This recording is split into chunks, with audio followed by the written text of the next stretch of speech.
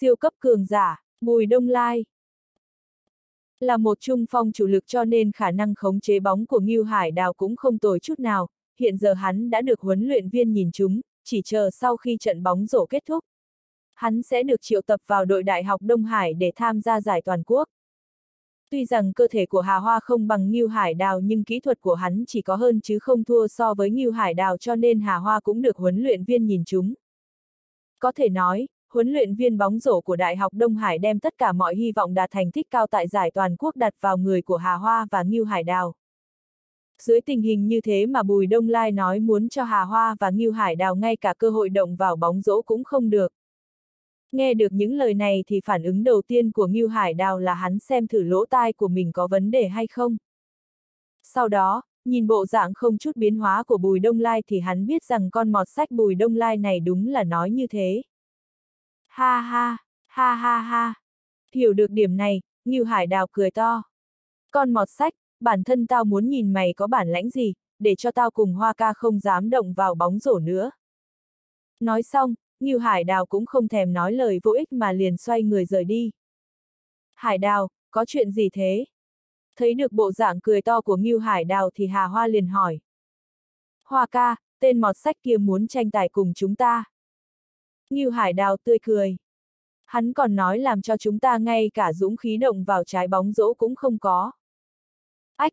Ngưu Hải Đào vừa nói xong, không riêng gì Hà Hoa mà ngay ca ê những thành viên khác cũng trợn tròn mắt. Hải Đào, con mọt sách là ai a? À?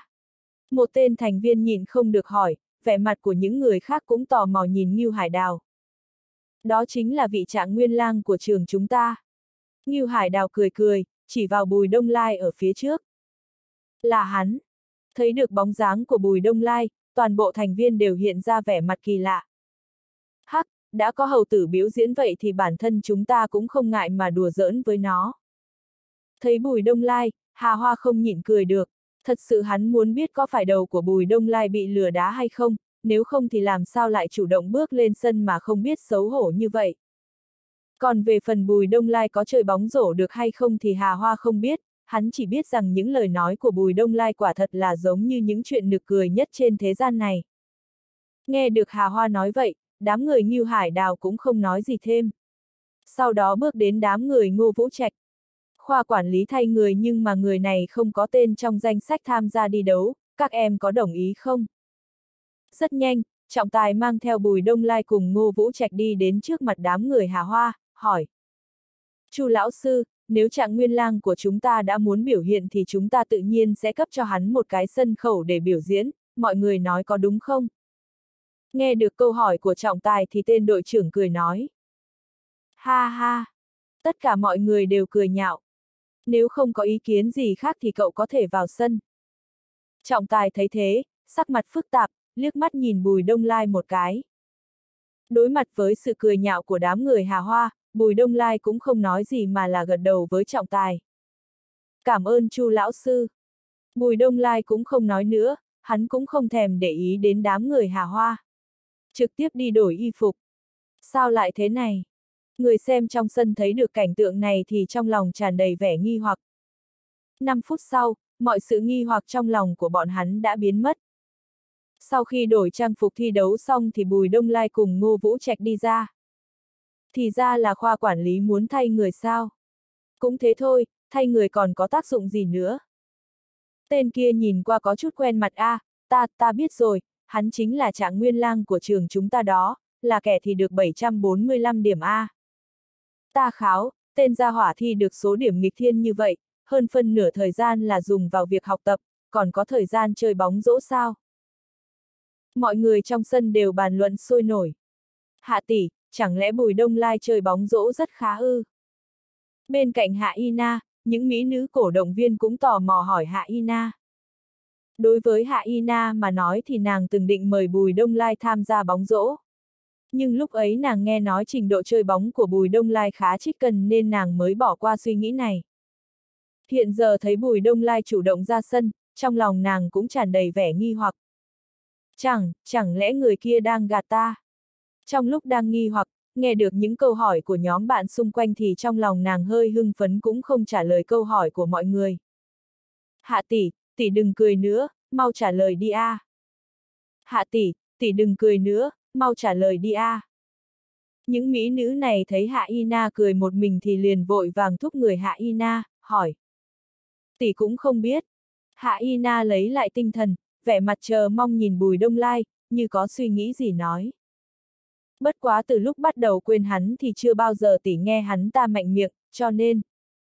Câu tiếp theo Hạ Y Na chưa nói ra nhưng ý nghĩa rất rõ ràng. Nàng tin Bùi Đông Lai. Nghe được câu trả lời của Hạ Y Na tất cả các mỹ nữ cổ động viên của khoa quản lý đều bán tín bán nghi nhìn Bùi Đông Lai đang ở trên sân. Từ sau khi Bùi Đông Lai bước chân vào Đại học Đông Hải thì hắn còn chưa đụng vào quả bóng rổ. Vì thế hắn liền đứng ở trên sân cầm lấy quả bóng rổ, thông qua phương thức này để tìm lại cảm giác. Thấy hành động của Bùi Đông Lai thì đám khán giả liền tò mò, bọn hắn muốn nhìn xem kỹ thuật chơi bóng của Bùi Đông Lai như thế nào. Kết quả là làm cho bọn hắn phải thất vọng, thẳng cho đến khi trận đấu bắt đầu Bùi Đông Lai cũng không làm gì cả, chỉ đứng trên sân cầm lấy quả bóng. Mà cách nhìn của Ngô Vũ Trạch không giống với bọn hắn. Tuy rằng Ngô Vũ Trạch chưa bao giờ thấy Bùi Đông Lai chơi bóng rổ nhưng mà hắn thấy được Bùi Đông Lai làm ra hành động nghịch thiên ở hàng hồ, cho nên hắn có một vạn lý do để tin tưởng Bùi Đông Lai tuyệt đối sẽ không làm việc gì nếu hắn không nắm chắc. Một lát sau, trận đấu lại được bắt đầu. Ta kháo, Trạng Nguyên Lang lại muốn giành quyền đoạt bóng với Ngưu Hải Đào sao?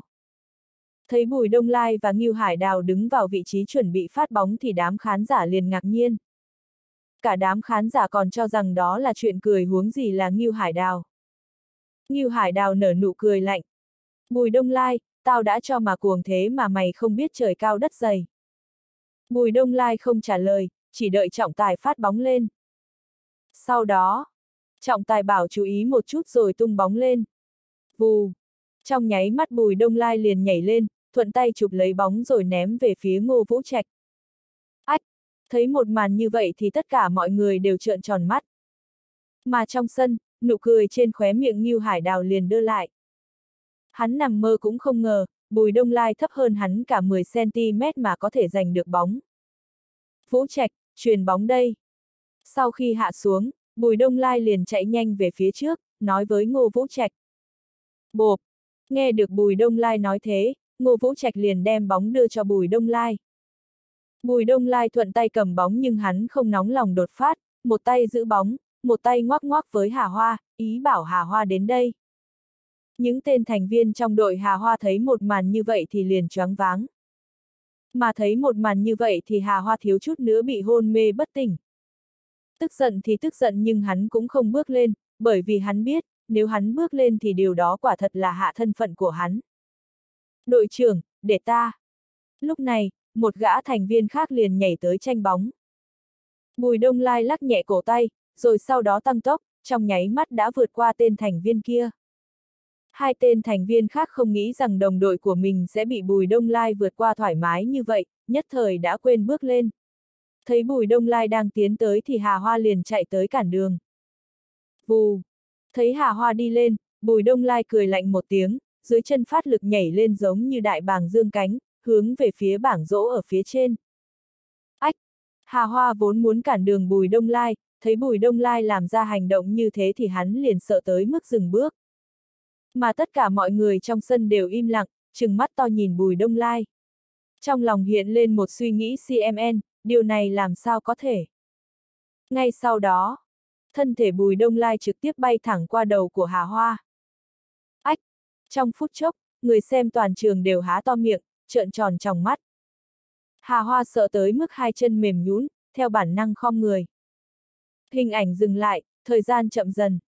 Bùi Đông Lai bay thẳng lên bảng rỗ, hai tay giữ bóng, nhắm ngay bảng rỗ mà đập xuống. Bang, bang! Quả bóng bị Bùi Đông Lai đập thẳng vào rỗ, sức lực thật lớn làm cho khung rỗ lung lay. Sau khi giành quyền lấy phòng, vượt qua hàng phòng thủ của đối phương rồi đăng. Thấy một màn như vậy, tất cả mọi người đều yên tĩnh, không khí trong sân trở nên im lặng chỉ có thể nghe được những tiếng nảy của quả bóng. Rất nghiêu. Sau đó, cả sân bóng như nổ tung. Hú, hú. Đám người khoa kinh tế liền điên cuồng, sôi nổi đứng dậy hét to lên. Toàn trường sôi trào. Khiếp sợ. Hưng phấn. Không. Là kích động. Giờ phút này, toàn bộ cổ động viên của khoa kinh tế không hiểu vì sao Bùi Đông Lai lại có thể giống với Michel Jordan nữa. Bọn hắn chỉ biết, Bùi Đông Lai làm được việc này, việc đó đã giúp bọn hắn phát tiết những oán khí cất giấu ở trong lòng. Này CMN, không phải là đệ tử của Michel Jordan chứ? So với đám người khoa kinh tế thì đám người bên Hà Hoa lại khiếp sợ nhìn vào Bùi Đông Lai. Không riêng gì bọn hắn mà ngay cả huấn luyện viên của Đại học Đông Hải cũng kinh ngạc. Thân là huấn luyện viên của Đại học Đông Hải thì hắn muốn dẫn dắt đội nhà giành chức vô địch của giải toán quốc.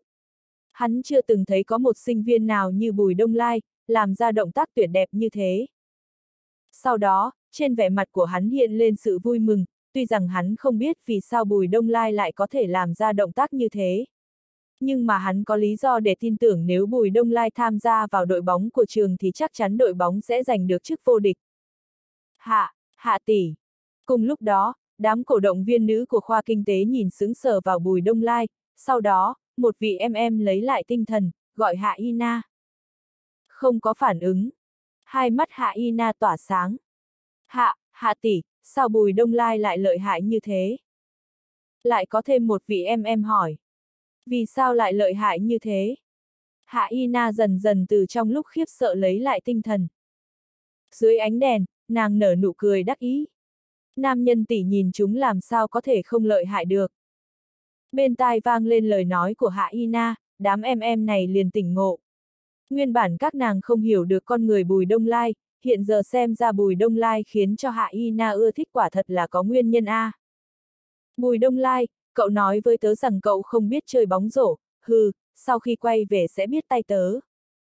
Thấy bọn tỉ muội không nói gì, Hạ Ina nghĩ tới ngày đó Bùi Đông Lai từ chối gia nhập vào đội bóng rổ thì nhất thời tức giận nhưng mà trên mặt nàng lại tràn đầy vẻ chờ mong, chờ mong biểu hiện tiếp theo của Bùi Đông Lai.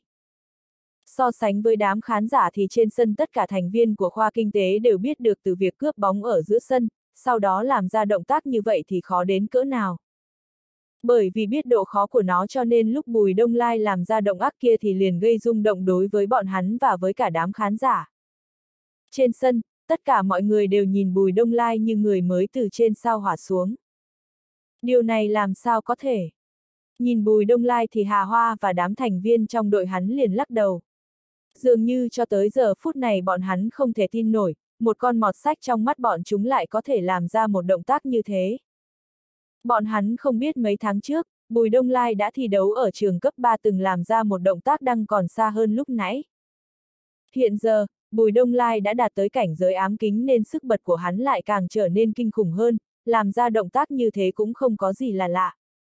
Nhìn bộ dạng đám người Hà Hoa thì Bùi Đông Lai cũng không giải thích gì, hắn chỉ liếc mắt nhìn Hà Hoa một cái. Cái nhìn kia như muốn nói, tao nói rồi, tao muốn cho mày cùng Ngưu Hải đào sau này ngay cả dũng khí động vào trái bóng rổ cũng không còn, đây chỉ mới là bắt đầu. Đông Lai, tốt lắm.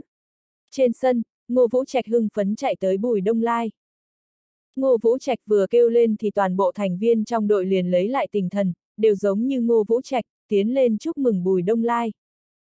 Bùi Đông Lai mỉm cười sau đó trở lại phần sân của mình. Bùi Đông Lai, tiếp tục nữa đi. Nhìn Bùi Đông Lai, tất cả khán giả của khoa kinh tế cũng không ngồi xuống, mà là hô to, thanh âm đinh tai nhức óc, phảng phất là đem nóc nhà của sân bóng rổ ném đi. Tiếng đinh tai nhức óc làm năm tên thành viên trong đội Hà Hoa lấy lại tinh thần, dưới ánh đèn, khuôn mặt bọn hắn tràn đầy vẻ khiếp sợ.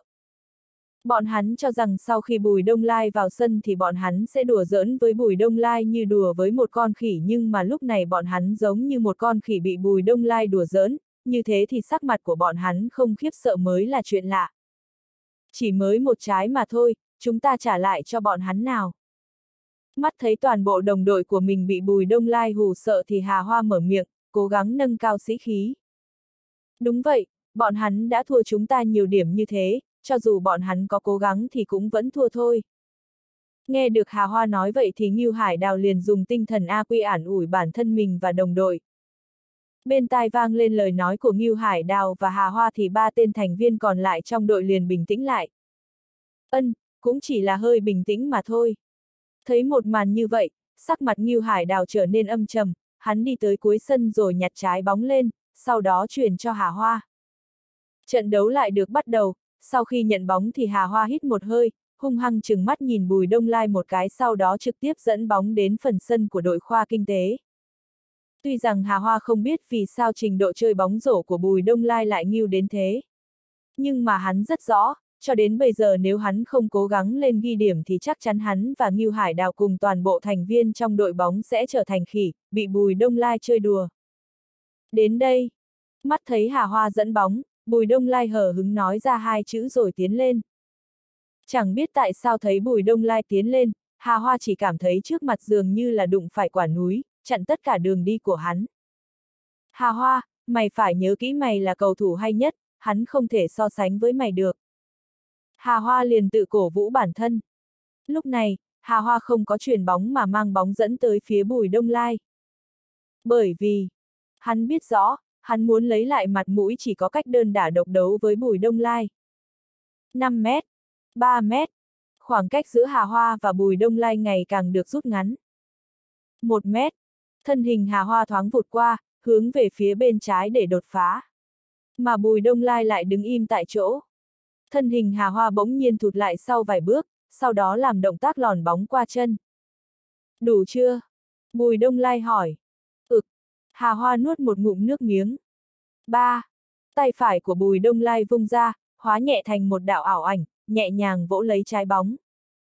Vù.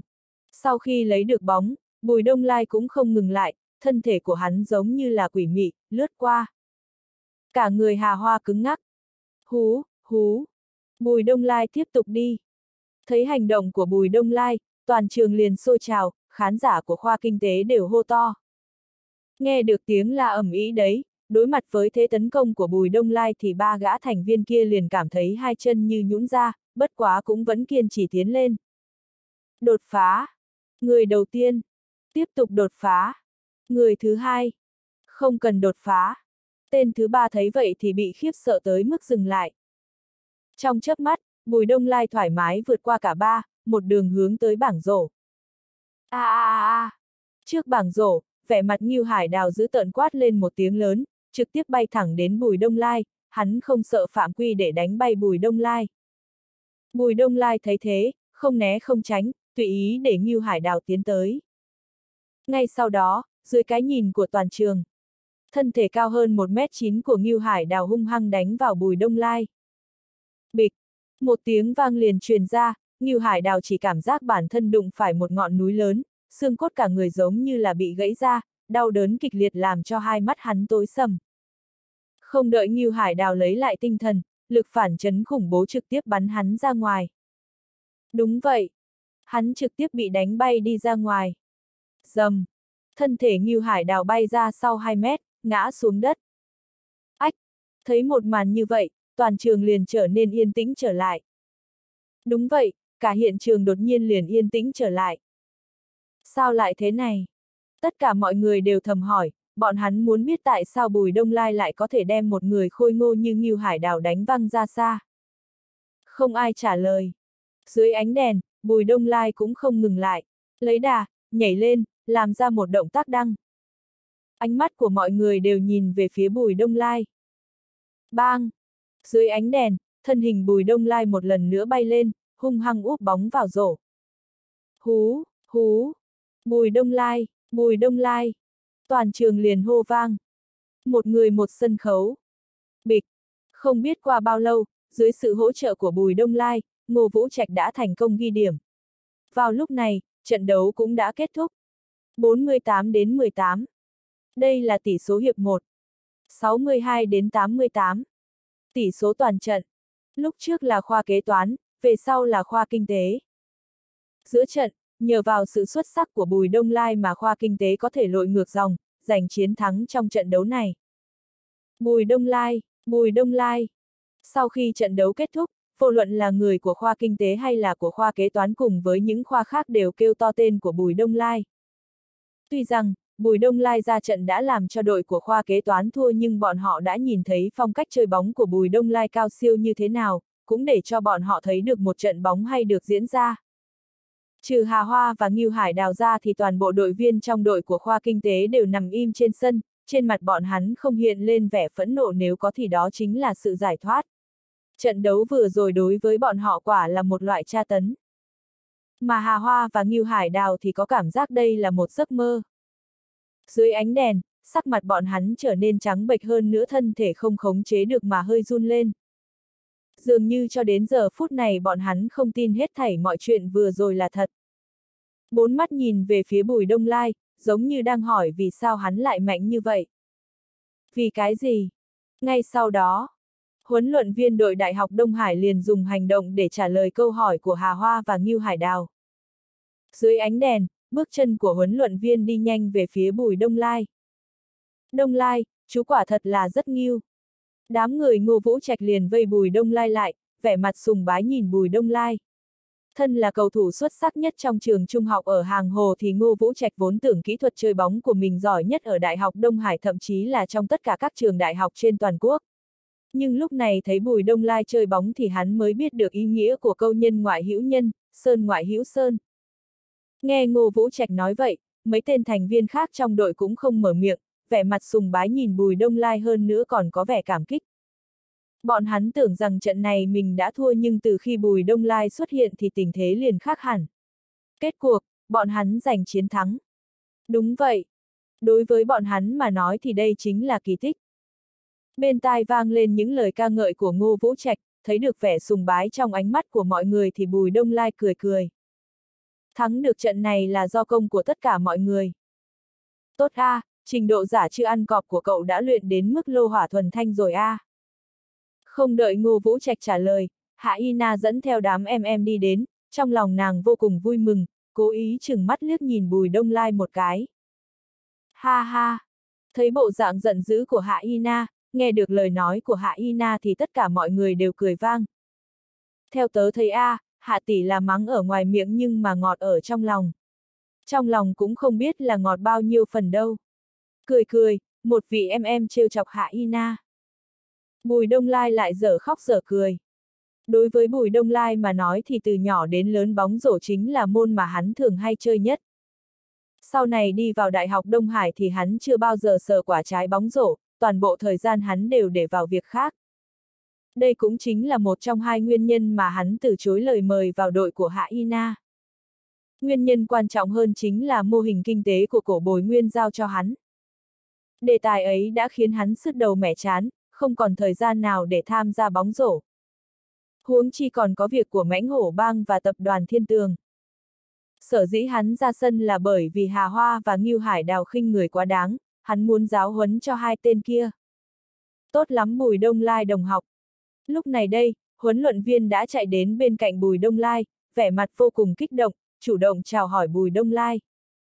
Đông Lai, vị này chính là huấn luyện viên của đội bóng trường chúng ta, Vương huấn luyện viên. Thấy Bùi Đông Lai hơi nghi hoặc thì Ngô Vũ Trạch chủ động giải thích. Ngài khỏe, Vương huấn luyện viên. Bùi Đông Lai mỉm cười đáp lại, tuy rằng hắn đoán được nguyên nhân của Vương huấn luyện viên đến tìm mình nhưng hắn vẫn không tự cao tự đại, mà thái độ vô cùng tôn kính. Bùi Đông Lai đồng học, trận đấu vừa rồi ta đã nhìn thấy cả. Có lẽ là không khống chế được sự kích động trong lòng nên Vương huấn luận viên nói thẳng. Biểu hiện của cậu có thể nói là vô cùng hoàn mỹ. Có thể nói, trong cuộc đời ta đây là lần đầu tiên ta thấy một người xuất sắc như vậy, ta muốn mời cậu tham gia vào đội bóng của trường, sau đó đoạt chức vô địch ở giải toàn quốc.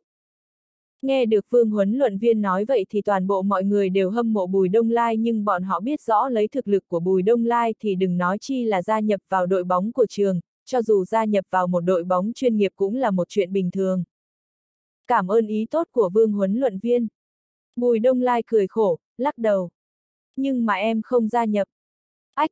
Mắt thấy Bùi Đông Lai từ chối thì nụ cười trên mặt vương huấn luận viên liền động lại, mà toàn bộ người của khoa kinh tế đều trợn tròn mắt thậm chí ngay cả Hạ Y Na cũng không tin. Dường như, bọn họ không nghĩ Bùi Đông Lai sẽ cự tuyệt. Bùi Đông Lai, kỹ thuật chơi bóng của chú hay như thế. Nếu có chú gia nhập vào đội bóng thì chắc chắn cúp vô địch của giải toàn quốc sẽ thuộc về đội chúng ta. Ngô Vũ Trạch là người thứ nhất mở miệng khuyên bảo Bùi Đông Lai. Hạ Y Na cũng không cam chịu rớt lại phía sau. Đúng vậy Bùi Đông Lai, đây chính là cơ hội của nhiều người, cậu có thể bỏ qua sao? Đông Lai đồng học, cá nhân ta vô cùng hy vọng cậu gia nhập vào đội bóng, cậu có thể suy nghĩ lại không? Dường như vương huấn luận viên không cam lòng. Bùi Đông Lai xin lỗi, nói.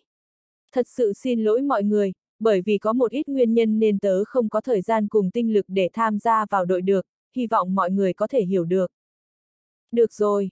Lại nghe Bùi Đông Lai từ chối lần nữa, Phương huấn luận viên cũng biết được Bùi Đông Lai là đệ tử do cổ bồi nguyên hiệu trưởng thu nhận nên việc không gia nhập vào đội bóng rổ cũng là dễ hiểu.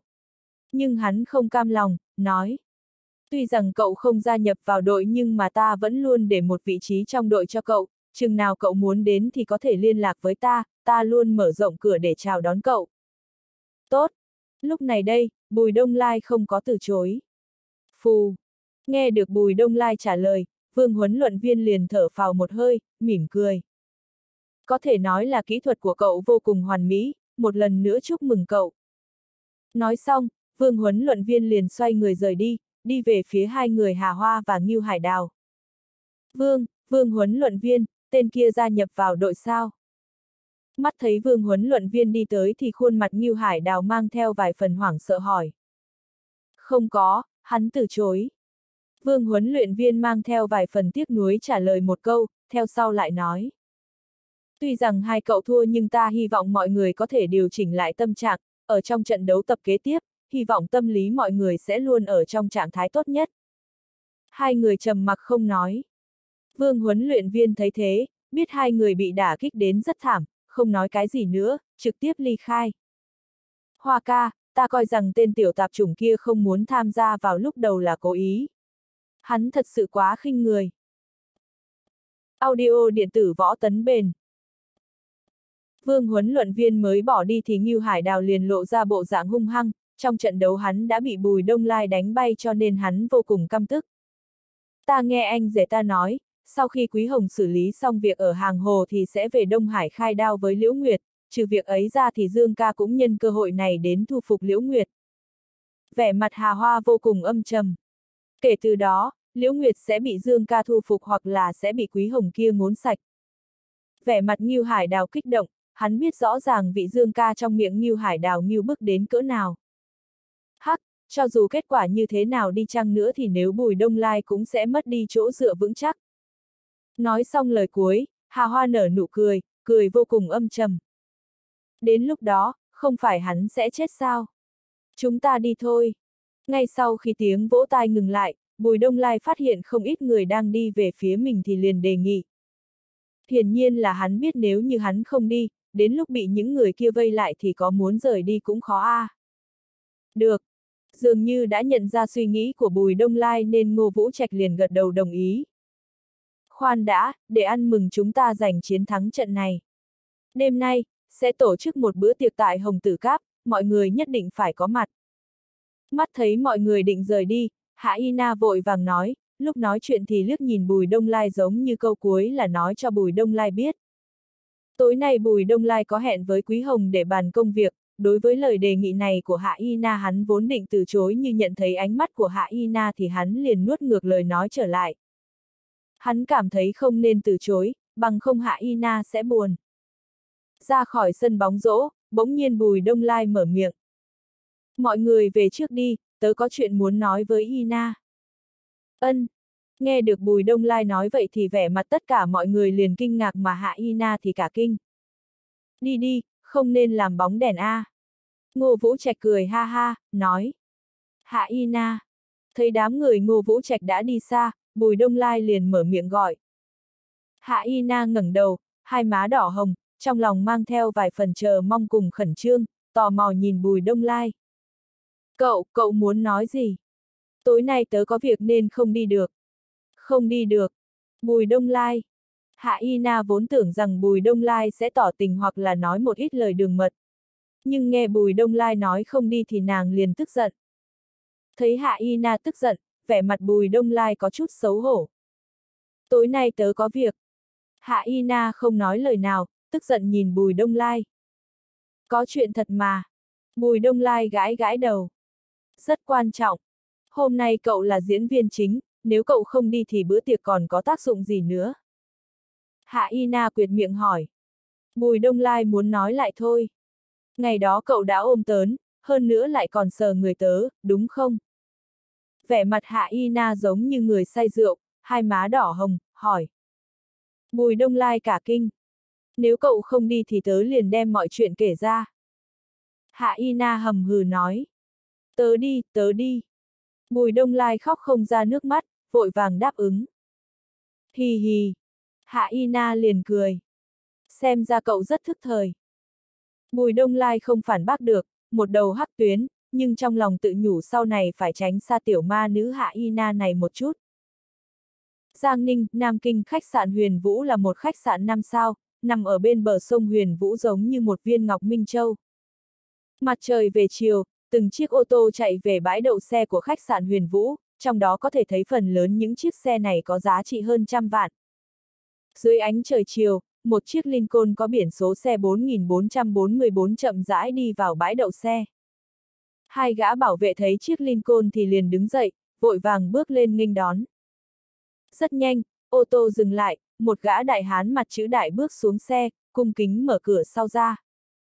Sau khi cửa được mở, một gã thanh niên tóc húi cua, mặc một bộ trang phục màu trắng bước xuống xe. Dương ra.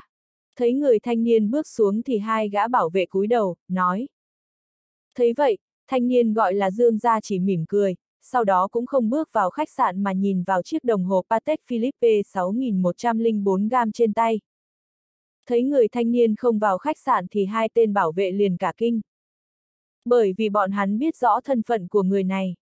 Thanh niên họ Dương, Dương Sách. Cả Giang Ninh thậm chí là Nam Tô thì bất kể người nào thì gặp người thanh niên này đều phải gọi một tiếng Dương ra. Là đại ca hắc đạo của Nam Tô. Đây chính là thân phận thật sự của hắn. Ngoài ra hắn còn có thêm thân phận khác. Hắn còn là con nuôi của Dương Viễn một lão đại trong giới quan trường ở Nam Tô. Còn là con rể của Hầu Đông Bình, lão đại của quân khu Giang Ninh. Ba thân phận, làm cho mọi người không dám không nể mặt hắn. Có thể nói không khoa trương, ở Giang Ninh thậm chí là cả Giang Tô, người có thể làm cho Dương Sách đứng chờ không có mấy ai. 10 phút sau, một chiếc Audi A6 chậm rãi đi tới. Thấy chiếc xe kia thì hai mắt Dương Sách liền tỏa sáng, vội vàng bước tới. Mắt thấy chiếc Audi A6 kia chạy tới thì trong nháy mắt hai gã bảo vệ liền hiểu, Dương gia đang đợi một vị đại lão gia. Sau đó, Dương Sách chủ động mở cửa sau của chiếc Audi A6 ra, động tác có thể nói là vô cùng tôn kính. Dương Sách, chú tự mình mở cửa cho ta, thật là muốn ta tổn thọ sao? Thấy Dương Sách mở cửa xe, một gã thanh niên có khí độ bất phàm cười trêu. Dương Sách cũng nở nụ cười. Có thể mở cửa cho Lâm Thư Ký là phúc khí của tôi. Cút đi. Nghe được Lâm Thư Ký nói thế, trong chiếc Audi A6 một người thanh niên liền cười mắng. Thấy một màn như vậy thì hai gã bảo vệ liền trợn tròn mắt. Người trẻ tuổi kia là ai? Trong lúc nhất thời hai gã bảo vệ đều nghi hoặc. Mắt thấy Dương Sách cùng tên thanh niên kia trò chuyện vui vẻ đi vào, hai gã bảo vệ liền cúi đầu. Rất nhanh, dưới sự dẫn đường của quản lý, Dương Sách cùng tên thanh niên kia đi vào một phòng xa hoa. Dương Sách a, chú nói đi, chỉ ăn bữa cơm thôi mà còn lãng phí như thế nào sao? Mắt thấy Dương Sách gọi xong thức ăn, tên quản lý đã rời khỏi phòng thì thanh niên họ Lâm hỏi. Dương Sách không trả lời ngay, mà lấy một cây thuốc lào được nhập từ Việt Nam về, cung kính đưa cho tên thanh niên rít một hơi, sau đó nói. Rất vui khi gặp được Lâm ca, Lâm ca đã cho ta mặt mũi, nếu ta còn mời vào những địa phương khác thì trong lòng cảm thấy không yên tâm a. À. Tên thanh niên tên là Lâm Tường không hé răng, nhưng trong lòng hắn rất rõ, có thể được Dương Sách nói như thế là bởi vì tự ý nào đó, hắn đến từ Kinh Thành, ở Nam Tô, luận về thân phận, địa vị thì Dương Sách không thể so sánh cùng hắn. Bởi vì hắn đến từ Lâm Gia ở Yên Kinh, hơn nữa là một trong những người có tư cách kế thừa Lâm Gia. Trong lòng hắn rất rõ, sở dĩ Dương Sách muốn kết giao với hắn là vì Dương Sách muốn thông qua hắn để đặt quan hệ với người ở Tử Cấm Thành, có thể nói là dã tâm của Dương Sách không nhỏ. Ngược lại, Lâm Tường muốn thông qua Dương Sách để triển khai mạng lưới công tác phía dưới. Hai người cần nhau, cho nên bọn hắn mới gặp nhau. Chú thật sự tính toán đi Đông Hải để thu phục Liễu Nguyệt kia sao? Nhẹ nhàng rít một hơi thuốc lào, Lâm Tường đổi đề tài, hắn biết đến bây giờ Dương Sách vô cùng nhớ mong Liễu Nguyệt nhưng bởi vì người trong nhà vợ hắn rất nghiêm cho nên hắn. Vâng. Dương Sách nói, giọng nói không lớn nhưng vô cùng kiên định. Hiện giờ Liễu Nguyệt đã lâm vào tuyệt cảnh, đối với chú mà nói thì đây chính là một cơ hội tốt. Lâm Tường cười cười, lấy thân phận của hắn thì chuyện ở hàng hồ cũng không giấu được hắn. Mặt khác, xà Mỹ nữ quý hồng kia không nên trêu chọc vào, cẩn thận bị nàng cắn lại đấy.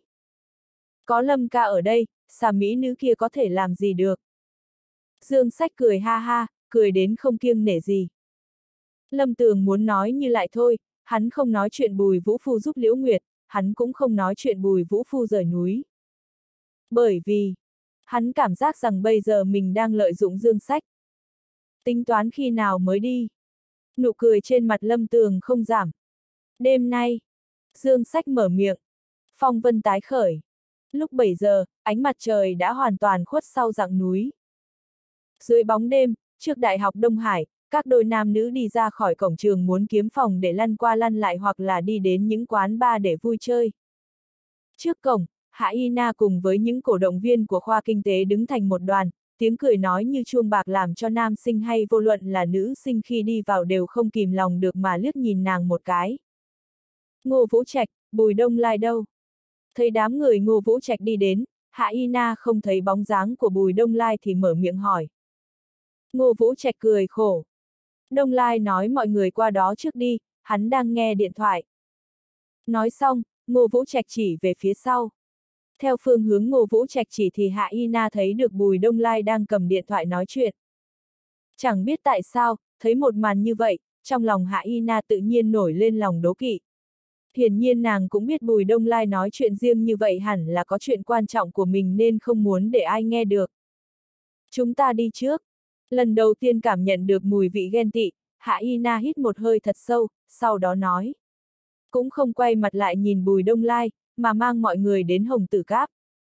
Cùng lúc đó, vẻ mặt Bùi Đông Lai xấu hổ, nói chuyện điện thoại. Quý tỷ, trong hai tiếng nữa, nhất định ta sẽ có mặt. Bùi Đông Lai, có phải cậu cảm thấy tỷ tỷ đây là một người dễ bị khi dễ không? Đối với Quý Hồng mà nói hiện giờ nàng là người làm công cho Bùi Đông Lai, mà dựa vào yêu cầu của Bùi Đông Lai thì nàng đã làm kế hoạch hợp tác giữa Đông Nguyệt Bang, tập đoàn Thiên Tường cùng với Mãnh Hổ Bang và tập đoàn Hồng Hải, hơn nữa nàng không chỉ gọi cho Bùi Đông Lai một lần. Mấy ngày trước, Bùi Đông Lai nói muốn xem qua kế hoạch cho nên hắn đã thể son thể sắt đáp ứng tối nay tới gặp thế nhưng khi mặt trời vừa khuất sau núi thì Bùi Đông Lai lại lật lọng, bảo là muốn tham gia lễ chúc mừng chó má gì đó. Điều này làm cho Quý Hồng hết chỗ nói, đồng thời nàng cũng rất tức giận. Phải biết rằng trong vòng 5 năm qua, phàm là người muốn gặp Quý Hồng thì chưa bao giờ có ai lỡ hẹn. Thật sự là ngoài ý muốn. Bùi Đông Lai cười khổ nói. Quý Hồng tức giận, nói. Bùi lão bản của ta, ta thật buồn bực, chỉ là một cuộc tụ họp chó má của đám sinh viên mà thôi, chẳng lẽ còn quan trọng hơn sự nghiệp của cậu sao? Không giống như vậy. Bùi Đông Lai thở dài, sở dĩ Bùi Đông Lai tham gia bữa tiệc hôm nay là bởi vì do Hạ Y Na uy hiếp.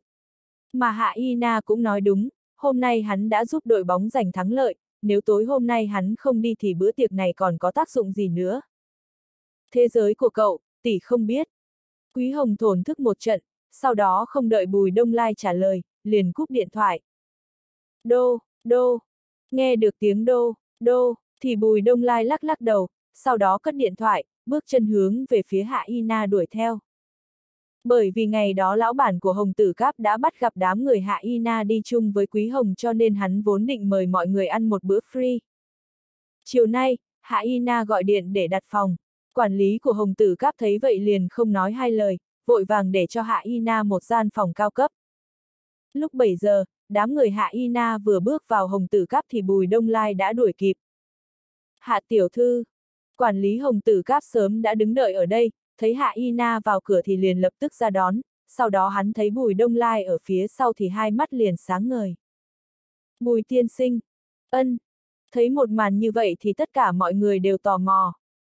Ở bọn hắn xem ra, một người như Hạ Y Na quen biết với quản lý ở Hồng Tử Cáp là một chuyện bình thường, thế nhưng một người sinh viên như Bùi Đông Lai làm sao khiến cho quản lý khách khí như vậy. Hạ Y Na nhìn thấy vẻ nghi hoặc trên mặt mọi người, vì không muốn làm cho Bùi Đông Lai khó chịu nên giành nói. Đi thôi, chúng ta lên đi. Nghe được Hạ Y Na nói vậy thì mọi người cũng không có hỏi, mà là đi theo Hạ Y Na vào thang máy. Một phút sau, đám người Bùi Đông Lai đã đến gian phòng, theo thứ tự mà ngồi xuống. Bởi vì Hạ Y Na đã gọi điện trước nên khi mọi người vừa ngồi xuống thì quản lý liền bắt đầu mang thức ăn lên. Chúc mừng chúng ta đã giành thắng lợi trong trận bóng vừa rồi. Thân là người dẫn đầu, Hạ Y Na liền bưng chén rượu lên, đề nghị mọi người cạn ly. Nghe lời đề nghị của Hạ Y Na thì tất cả mọi người đều cầm ly đứng dậy. Sau đó, tất cả mọi người đều một hơi uống sạch. Chén thứ hai, chúng ta mời Bùi Đông Lai đồng học, cảm ơn Bùi Đông Lai đã ra sân, giúp chúng ta giành chiến thắng. Sau khi uống xong một chén rượu, Hạ Y Na không có ngồi xuống mà là đề nghị tiếp. Đồng thời ánh mắt nàng liếc nhìn Bùi Đông Lai. Bang! Tất cả mọi người đều sùng bái nhìn Bùi Đông Lai, mà vẻ mặt của đám em em thì đầy hứng thú nhìn Bùi Đông Lai, các nàng muốn biết vì sao trình độ chơi bóng của Bùi Đông Lai lại nghiêu đến thế. Xong hai chén rượu, mọi người liền ngồi xuống bắt đầu ăn uống nhưng mà không ít người liền bưng rượu mời Bùi Đông Lai. Ước chừng Bùi Đông Lai uống hơn 20 chén rượu. Chén rượu trong hồng tử cắp cũng không nhỏ, 20 chén là khoảng một lít rồi. Sao nó có uống rượu gạo nhỉ? Nếu là trước kia thì chắc chắn chừng ấy rượu sẽ khiến Bùi Đông Lai quắc cần câu nhưng mà hôm nay sắc mặt hắn chỉ hơi đỏ mà thôi, không có cảm giác say. Ngày hôm nay, Bùi Đông Lai đã được Bùi Vũ Phu cho dược vật để cải tạo thân thể, hơn nữa đã trải qua đợt đặc huấn ở căn cứ huyết sát, đã bước vào con đường ám kính cho nên chừng này rượu cũng không ăn nhầm gì đối với hắn. Hơn một tiếng sau, trừ Bùi Đông Lai vẫn còn tỉnh thì tất cả mọi người đều đã ngà ngà say. Mà Trang Bích Phàm đại nhân, người có tử lượng kém nhất đã gục trên bàn. Tất cả mọi người uống như vậy cũng đủ rồi, hôm nay đến đây thôi. Mắt thấy ai ai cũng say, Bùi Đông Lai đề nghị nói. Nghe được Bùi Đông Lai nói thế, nghĩ đến lần trước ở trong quán bà Bùi Đông Lai cũng đã nói vậy, đồng thời nhớ lại tình cảnh thiếu chút nữa mình đã cùng Bùi Đông Lai lăn qua lăn lại trên giường. Trong đầu nghĩ đến cảnh tượng ngày đấy, bởi vì hơi ngà ngà say mà sắc mặt Hạ Y Na cũng đã ửng hồng, trong lòng cũng nhộn nhạo, nhất thời nàng cũng quên mở miệng nói tiếp tục. Tốt! Hạ Y Na không có mở miệng, mấy em em này cũng không dám uống nữa cho nên liền đồng ý ý kiến của Bùi Đông Lai. Mọi người đứng dậy cả, Bùi Đông Lai chủ động đỡ Trang Bích Phàm lên. Học! Bỗng nhiên, Trang Bích Phàm cong người lại, nôn một trận. Mọi người xuống trước đi. Bùi Đông Lai thấy thế thì vội vàng hướng Hạ Y Na nói một câu, sau đó đỡ Trang Bích Phàm vào phòng WC. Ngô Vũ Trạch thấy vậy thì vốn định vào theo nhưng Bùi Đông Lai đã nói để hắn, cho nên Ngô Vũ Trạch đành theo đám người Hạ Y Na xuống lầu. Dưới lầu, đám người Hà Hoa cũng có mặt ở đây, bọn hắn uống đến mặt đỏ tai hồng. Đây không phải là đám người của khoa kinh tế sao? Bỗng nhiên, một tên thấy Ngô Vũ Trạch đi ra thì lập tức kêu lên. Bá! Hắn vừa nói xong, tất cả mọi người đều nhìn về phía đám người Ngô Vũ Trạch. Hắc, Ngô Vũ Trạch, tao nói vì sao nữ nhân của mày khóc, muốn lên giường với lão tử, thì ra là mày là xăng pha nhất sao? Thấy Ngô Vũ Trạch ôm theo một đồng đội đang say rượu đi đằng trước thì vẻ mặt Ngưu Hải Đào hài hước cười. Ha ha! Tất cả mọi người nghe thế thì liền cười to. Mày nói cái gì? Nghe được Ngưu Hải Đào nói như thế, thấy đám người kia cười nhạo, không đợi Ngô Vũ Trạch mở miệng, một tên thành viên trong khoa kinh tế đã lên tiếng hỏi. Mẹ nó, mày là cái chó gì mà dám hô to gọi nhỏ với lão tử? Ngưu Hải Đào liền biến sắc, hắn liền đứng dậy, xách cổ áo tên kia, giống như là xách một con gà. Buông cậu ta ra. Thấy Ngưu Hải Đào làm ra hành động như vậy thì Ngô Vũ Trạch biến sắc, phẫn nộ quát lên. Nổi giận. Đối với Ngô Vũ Trạch mà nói thì hắn có thể nhịn khi Ngưu Hải Đào nói đến việc quách lệ na ngoại tình hắn cũng có thể nhịn khi bị Ngưu Hải Đào khiêu khích nhưng hắn không thể nhịn khi nhìn thấy Ngưu Hải Đào động thủ với bạn của mình. Ây ra, thế nào, ngay cả mày cũng chán cơm thèm cháo ư. Nghe Ngô Vũ Trạch nói vậy, Ngưu Hải Đào liền cười lạnh, sau đó vứt tên kia ra ngoài.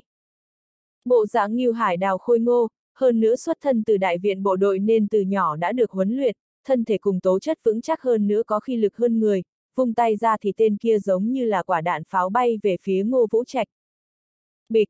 Bởi vì khoảng cách quá gần, thêm vào khí lực của Ngưu Hải Đào quá mạnh cho nên Ngô Vũ Trạch đã trực tiếp đụng vào tên kia, làm cho hai người ngã xuống đất.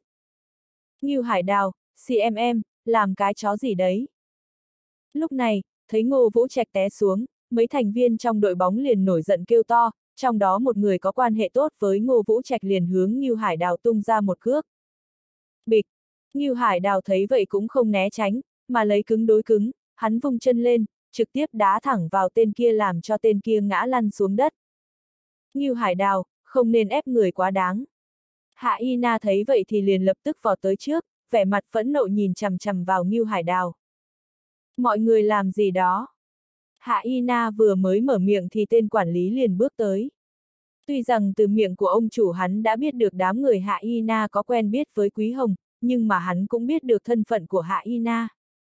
Đây cũng chính là nguyên nhân mà lúc nãy hắn đứng ra mời mọi người vào phòng.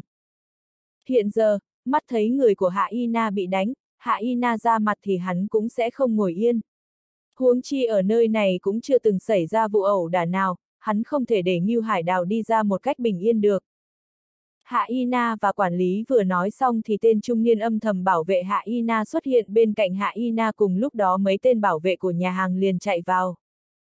Trừ những người đó ra thì những người dùng cơm ở lầu một thấy tình cảnh như vậy cũng vây quanh lại xem. Mà mấy vị em em cùng mấy tên nam sinh trong khoa kinh tế thấy một màn như vậy cũng đã bừng tĩnh hơn một nữa. Hạ Y Na, ta nói cho cô biết, đây là Đông Hải không phải là Tây Nam.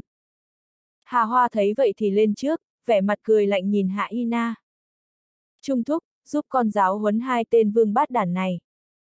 Hạ Y Na tức giận đến cả người run lên, hướng nam nhân trung niên bên cạnh nói. Sắc mặt nam nhân trung niên gọi là Trung thúc có chút phức tạp, nhìn Hạ Y Na nhắc nhở. Tiểu thư, ta kêu ông dạy dỗ bọn hắn. Hạ Y Na hoàn toàn nổi giận, không đợi nam nhân trung niên nói hết lời thì đã hô to lên. Hạ Y Na, không cần hô, coi như cô có hô to đi thế nào chăng nữa thì hộ vệ của cô cũng không dám động đến một đầu ngón tay của ta. Lúc này đây, không đợi trung niên nam nhân mở miệng, Hà Hoa hài hước cười nói. Không chỉ riêng hắn, mà ngay cả cha của cô Hạ Hà cũng không dám động. Ân. Nghe vậy, thì tên quản lý của Hồng Tử Cáp vốn định tiến lên giúp đỡ Hạ Y Na liền ngẩn ra, sau đó hắn suy nghĩ lại. Lý trí nói cho hắn biết, người như thế này tuyệt đối không đơn giản. Lúc này đây thấy hộ vệ của mình không dám ra tay thì Hạ Y Na liền hiểu được hộ vệ của mình đã âm thầm điều tra lai lịch của Hà Hoa và Ngưu Hải Đào, biết sau lưng của hai người này không tầm thường cho nên mới không ra tay. Hiểu được việc này, sắc mặt Hạ Y Na trở nên cực kỳ khó coi. Trung thúc, thúc cứ động thủ, mọi việc còn lại để con lo. hai s sau, Hạ Y Na lại mở miệng, mặc dù Trung thúc kiêng kỵ thế lực sau lưng của Hà Hoa nhưng mà nàng vẫn không nuốt trôi cục tức này, nàng không muốn ba người ngô vũ trạch bị đánh một cách vô duyên vô cớ như vậy. Tiểu thư, sắc mặt Trung thúc ngưng trọng mở miệng, ý bảo Hạ Y Na không nên làm theo cảm tính. Hạ Y Na, đừng phí công nữa, về nhà tắm rửa mà ngủ đi. Hà Hoa khinh miệt cười, nói. Hải đào, chúng ta đi. Nghe được Hà Hoa nói thế, Ngưu Hải đào liền cười lạnh liếc nhìn đám người Hạ Y Na, sau đó nghênh ngang rời đi. Đánh người còn muốn đi sao? Lúc này, một giọng nói làm cho người ta không rét mà run vang lên. Ai cho chúng mày có cái quyền đó? Bá! Giọng nói được thốt ra không riêng gì Hà Hoa và Ngưu Hải Đào mà tất cả mọi người đều hướng mắt nhìn về chủ nhân của giọng nói kia.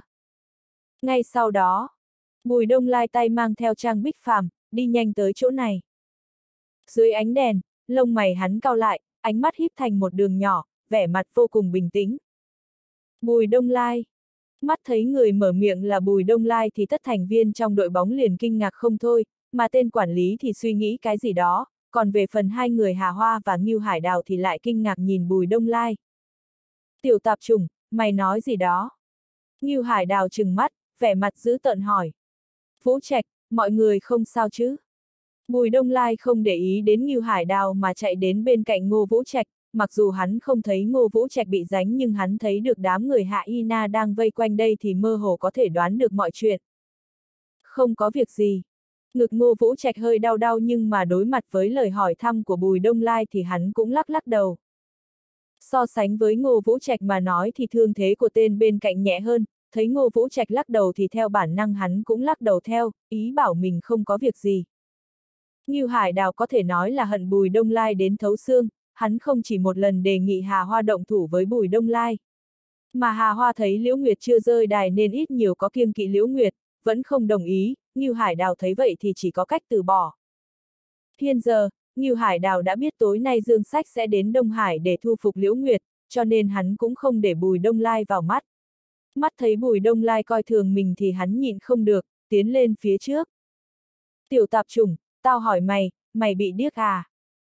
Không trả lời, mắt thấy Ngô Vũ Trạch và tên kia không có chuyện gì thì Bùi Đông Lai thở phào, sau đó hắn bước tới chỗ của Hà Hoa và Ngưu Hải Đào. Hà Hoa biết chuyện Bùi Đông Lai đánh Phương Thế Vinh trọng thương, lúc này thấy Bùi Đông Lai có ý muốn động thủ thì hắn vội vàng kéo Ngưu Hải Đào lại, chắn trước mặt Ngưu Hải Đào, nhíu mày nhìn Bùi Đông Lai, nói. Bùi Đông Lai, tao biết thân thủ mày không tệ, nhưng mà tao nhắc mày một câu, tốt nhất mày không nên vọng động, nếu không hậu quả mày không gánh được đâu. Vẫn như cũ, Bùi Đông Lai vẫn không trả lời, sắc mặt Bùi Đông Lai vẫn bình tĩnh đi tới. Hiện giờ Liễu Nguyệt đã bị Quý Hồng đẩy vào tuyệt cảnh, bản thân còn chưa lo xong cho mình huống hồ là mày. Thấy ánh mắt Bùi Đông Lai không tốt, sắc mặt Hà Hoa trở nên ngưng trọng, trong đôi mắt hiện ra vẻ khiếp sợ, bất quá hắn không biểu lộ lên trên mặt, mà tiếp tục lạnh lùng nhắc nhở. Nếu mày động thủ, chẳng những Liễu Nguyệt sẽ không bảo vệ được cho mày hơn nữa Liễu Nguyệt cũng sẽ bị chuyện này mà liên lụy, tao nghĩ chắc mày hiểu được ý của tao. Nói xong chưa? Còn cách Hà Hoa và Ngưu Hải đào khoảng một mét thì Bùi Đông Lai dừng lại. Cả người Hà Hoa cứng đờ. Vừa rồi là hắn động thủ sao? Bùi Đông Lai quay đầu lại đám người Ngô Vũ Trạch, hỏi. Không. Ngô Vũ Trạch lắc lắc đầu. Bùi Đông Lai, chấm. Hà Hoa ý thức được gì, khuôn mặt biến sắc, cố gắng mở miệng nói. Vù. Không đợi Hà Hoa nói hết, tay phải Bùi Đông Lai vung lên trực tiếp vung một bà tai vào mặt Hà Hoa. Bốp! Một tiếng vang tuyền ra. Dưới ánh đèn, Hà Hoa bị một bà tai của Bùi Đông Lai làm văng ra xa. Bùi Đông Lai, bà mẹ nhà mày. Ngưu Hải Đào vốn được Hà Hoa nhắc nhở rằng thân thủ của Bùi Đông Lai vô cùng tốt cho nên từ nãy đến giờ hắn im lặng, không có hé răng. Lúc này, mắt thấy Bùi Đông Lai hạ thủ đối với Hà Hoa thì Ngưu Hải Đào liền kích động, hắn vung tay lên, nện vào đầu của Bùi Đông Lai. Một quyền này, sức lực không hề nhỏ. Nếu mày muốn chết thì tao thanh toàn cho mày. Đối mặt với một quyền của Ngưu Hải Đào, Bùi Đông Lai cũng không né tránh, chỉ hóa thủ thành trường. Bịch! Nói xong, ám kình bạo. Giết gà dùng đao mổ trâu. Giọng nói nặng nề vang lên, mọi người rõ ràng chứng kiến, chẳng biết từ lúc nào Bùi Đông Lai đã nắm tay Ngưu Hải Đào, ngăn cản Ngưu Hải Đào công kích, để cho quả đấm của Ngưu Hải Đào không cách nào tiến tới. 3. Sau đó, đột nhiên tay của Bùi Đông Lai tụ tập ám kình, ám kình khủng bố trực tiếp đem cánh tay Ngưu Hải Đào chấn vỡ, máu tươi tuôn ra như suối. A, à, tay của ta, tay của ta làm sao vậy? Tục ngữ nói, tay đứt ruột sót, tay của Ngưu Hải Đào bị chấn nát, đau đớn kịch liệt như thủy triều truyền tới làm cho Ngưu Hải Đào chịu không được phát ra một tiếng tê tâm liệt phế kêu rên, cả người đau thiếu chút nữa hôn mê. T. Chứng kiến Ngưu Hải Đào lúc trước còn đầy đặn mà bây giờ cánh tay đầy máu, run run không dứt, mọi người nhìn không được hít vào một hơi, ánh mắt nhìn vào bùi đông lai tràn đầy vẻ khiếp sợ, trong lúc khiếp sợ còn mang theo vài phần sợ hãi. Thậm chí, ngay cả lúc biết bùi đông lai âm thầm tiêu diệt phương gia, xưng bá hàng hồ cho tới hồ giang, ngô vũ trạch cũng không ngoại lệ. Hắn thật không ngờ, thân thủ bùi đông lai lại lợi hại như vậy, càng không nghĩ đến bùi đông lai lại có thủ đoạn hung ác như vậy. Ngô Vũ Trạch nghĩ như vậy, chẳng lẽ những đội viên khoa hệ lại không nghĩ đến điều này sao? Bọn họ lúc trước chứng kiến Bùi Đông Lai một tát đánh bay người ra ngoài thì đã chấn kinh đến tột đỉnh, hiện giờ thấy Bùi Đông Lai ra tay đã phế đi cánh tay của Ngưu Hải Đào, một đám giống như bị tưới thêm một gáo nước lạnh, bọn hắn trở nên thanh tỉnh rất nhiều, trên mặt không còn biểu tình tức giận, có chăng chính là sự sợ hãi. Rất sợ hãi.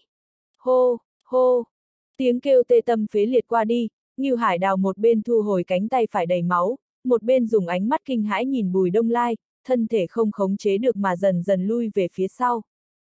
Giờ khắc này, hắn không có suy nghĩ Bùi Đông Lai làm như thế nào để cho tay phải của hắn mất đi cảm giác, hắn chỉ muốn cách Bùi Đông Lai xa một chút, lại xa một chút. Giờ khắc này, hắn cảm giác Bùi Đông Lai trong mắt hắn không phải là một tiểu tạp trùng hắn hận thấu xương mà là hắn cảm tưởng Bùi Đông Lai như là một ác ma. Vừa rồi chỉ là trừng phạt mày vì đã động thủ với Vũ Trạch. Sau đó, ở trong ánh nhìn chăm chú của mọi người, Bùi Đông Lai chậm rãi mở miệng, đồng thời hướng về phía trước bước một bước nhỏ. Chỉ một bước nhỏ. Mày, mày muốn làm gì? Ngưu Hải Đào sợ tới mức cả người cứng ngắc ngay tại chỗ. Trả lời Ngưu Hải Đào chính là một cái tát. Dưới ánh đèn, tay phải Bùi Đông Lai lại chém ra, hướng tới miệng Ngưu Hải Đào. Một tát này, mặc dù Bùi Đông Lai không có vận dụng ám kình, nhưng chỉ là dựa vào thực lực của hắn thì một tát này Ngưu Hải Đào không thể chịu đựng được. Bốp! Tiếng vang thanh thúy lại truyền ra, Ngưu Hải Đào giống như bóng bay, trực tiếp bay ra ngoài. A, a. Trên không trung, thân thể Ngưu Hải Đào trải nghiệm cảm giác bay lượn, trên mặt vặn vẹo, miệng mở ra khiến máu tươi chảy ràn rụa, mấy cái răng hòa lẫn máu tươi rơi xuống, rớt trên sàn nhà. Bịch. Sau đó, thân thể Ngưu Hải Đào hung hăng đập vào hà hoa bên cạnh, như là một con chó chết thông thường, cả người hắn cuộn tròn lại, không ngừng run rẩy, giống như có thể hôn mê bất cứ lúc nào. Một tát này bởi vì miệng của mày không sạch. Một cái tát đem Ngưu Hải Đào ngã văng xuống đất, vẻ mặt Bùi Đông Lai trở nên có chút âm trầm. Hắn tuy rằng chưa bao giờ có thấy qua mẫu thân của mình, có thể là đối với mẫu thân, có một loại tình cảm đặc thù, Ngưu Hải Đào lại lên tiếng chửi đến mẹ hắn, tương phản chạm đến nỗi đau của hắn, nếu không phải bận tâm có nhiều người xung quanh, hắn không để ý liền cho Ngưu Hải Đào đi tìm Diêm Vương ra đàm luận nhân sinh.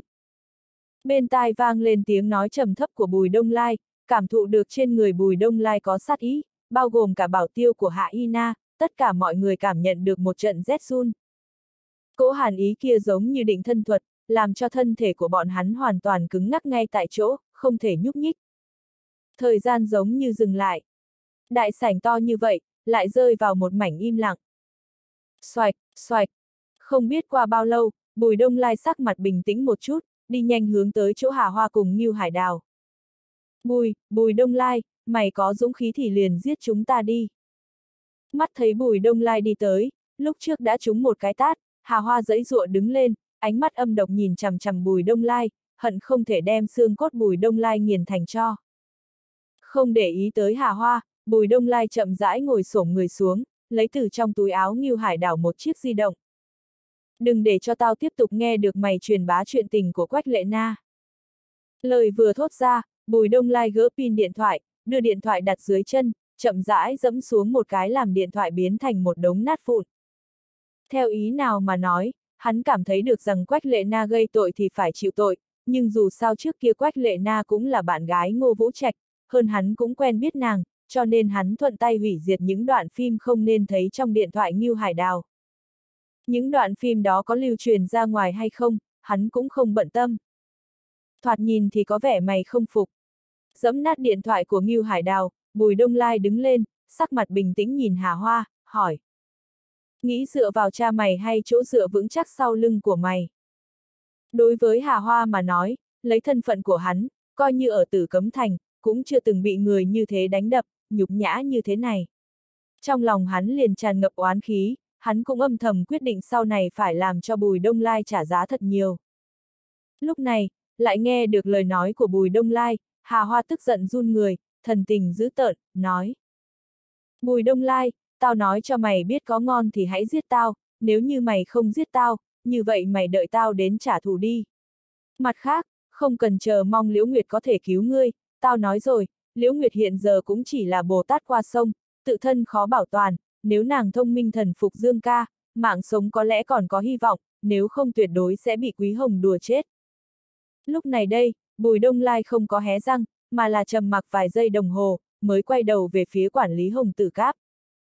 Trương quản lý, cho tôi mượn tầng cao nhất của khách sạn dùng một lúc, thế nào? Ok, ok. Trương quản lý cũng bị thủ đoạn hung ác của Bùi Đông Lai hù dọa không nhẹ, hắn không biết lần này Bùi Đông Lai muốn làm gì, nhưng vì sợ đắc tội nên trước tiên hắn vẫn đáp ứng Bùi Đông Lai. Thấy Trương quản lý gật đầu đáp ứng, Bùi Đông Lai hướng Vũ Trạch nói. Vũ Trạch, cậu trước tiên mang văn cảnh, Bích Phàm cùng Hạ Y Na về trước đi. Ừ. Nghe Bùi Đông Lai vừa nói như thế, Ngô Vũ Trác cũng biết Bùi Đông Lai muốn động thủ. Bùi Đông Lai, tớ không đi. Sắc mặt Hạ Y Na lo lắng nhìn Bùi Đông Lai, mặc dù nàng không biết Bùi Đông Lai muốn làm gì, nhưng nàng mơ hồ đoán ra thân phận Ngưu Hải Đào cùng Hà Hoa không đơn giản, sợ Bùi Đông Lai làm chuyện quá đáng, thế cho nên nàng muốn lưu lại. Cậu lưu lại cũng không giúp được gì. Nhận thấy Hạ Y Na quan tâm, trong lòng Bùi Đông Lai thấy ấm áp. Hạ Y Na mở miệng ra, cũng không phản bác. hữu tâm vô lực. Ngay cả nàng muốn cùng Bùi Đông Lai gánh vác phiền toái này, nhưng, nàng biết Bùi Đông Lai nói đúng sự thật, Hạ Hà cùng ông ngoại nàng thế lực đều ở Tây Nam, không thể vươn tay tới Đông Hải được. Thấy Hạ Y Na không nói lời nào, Bùi Đông Lai nghiêng đầu sang chỗ khác, nhìn về phía Hà Hoa. Tự mày lên lầu, hay là để ta đập nát chân của mày rồi mang mày lên. Hà Hoa cắn răng, vẻ mặt ủy khuất. Tao cho mày đem chỗ dựa vững chắc của mày gọi đến đây. Bùi Đông Lai mở miệng lần nữa, hắn định bỏ qua việc này, sau đó điều tra rõ ràng thân phận của Ngưu Hải Đào cùng Hà Hoa rồi mới tính toán nên xử trí hai người như thế nào. Nhưng là, lúc nãy, Hà Hoa nói lời kia làm Bùi Đông Lai thay đổi quyết định.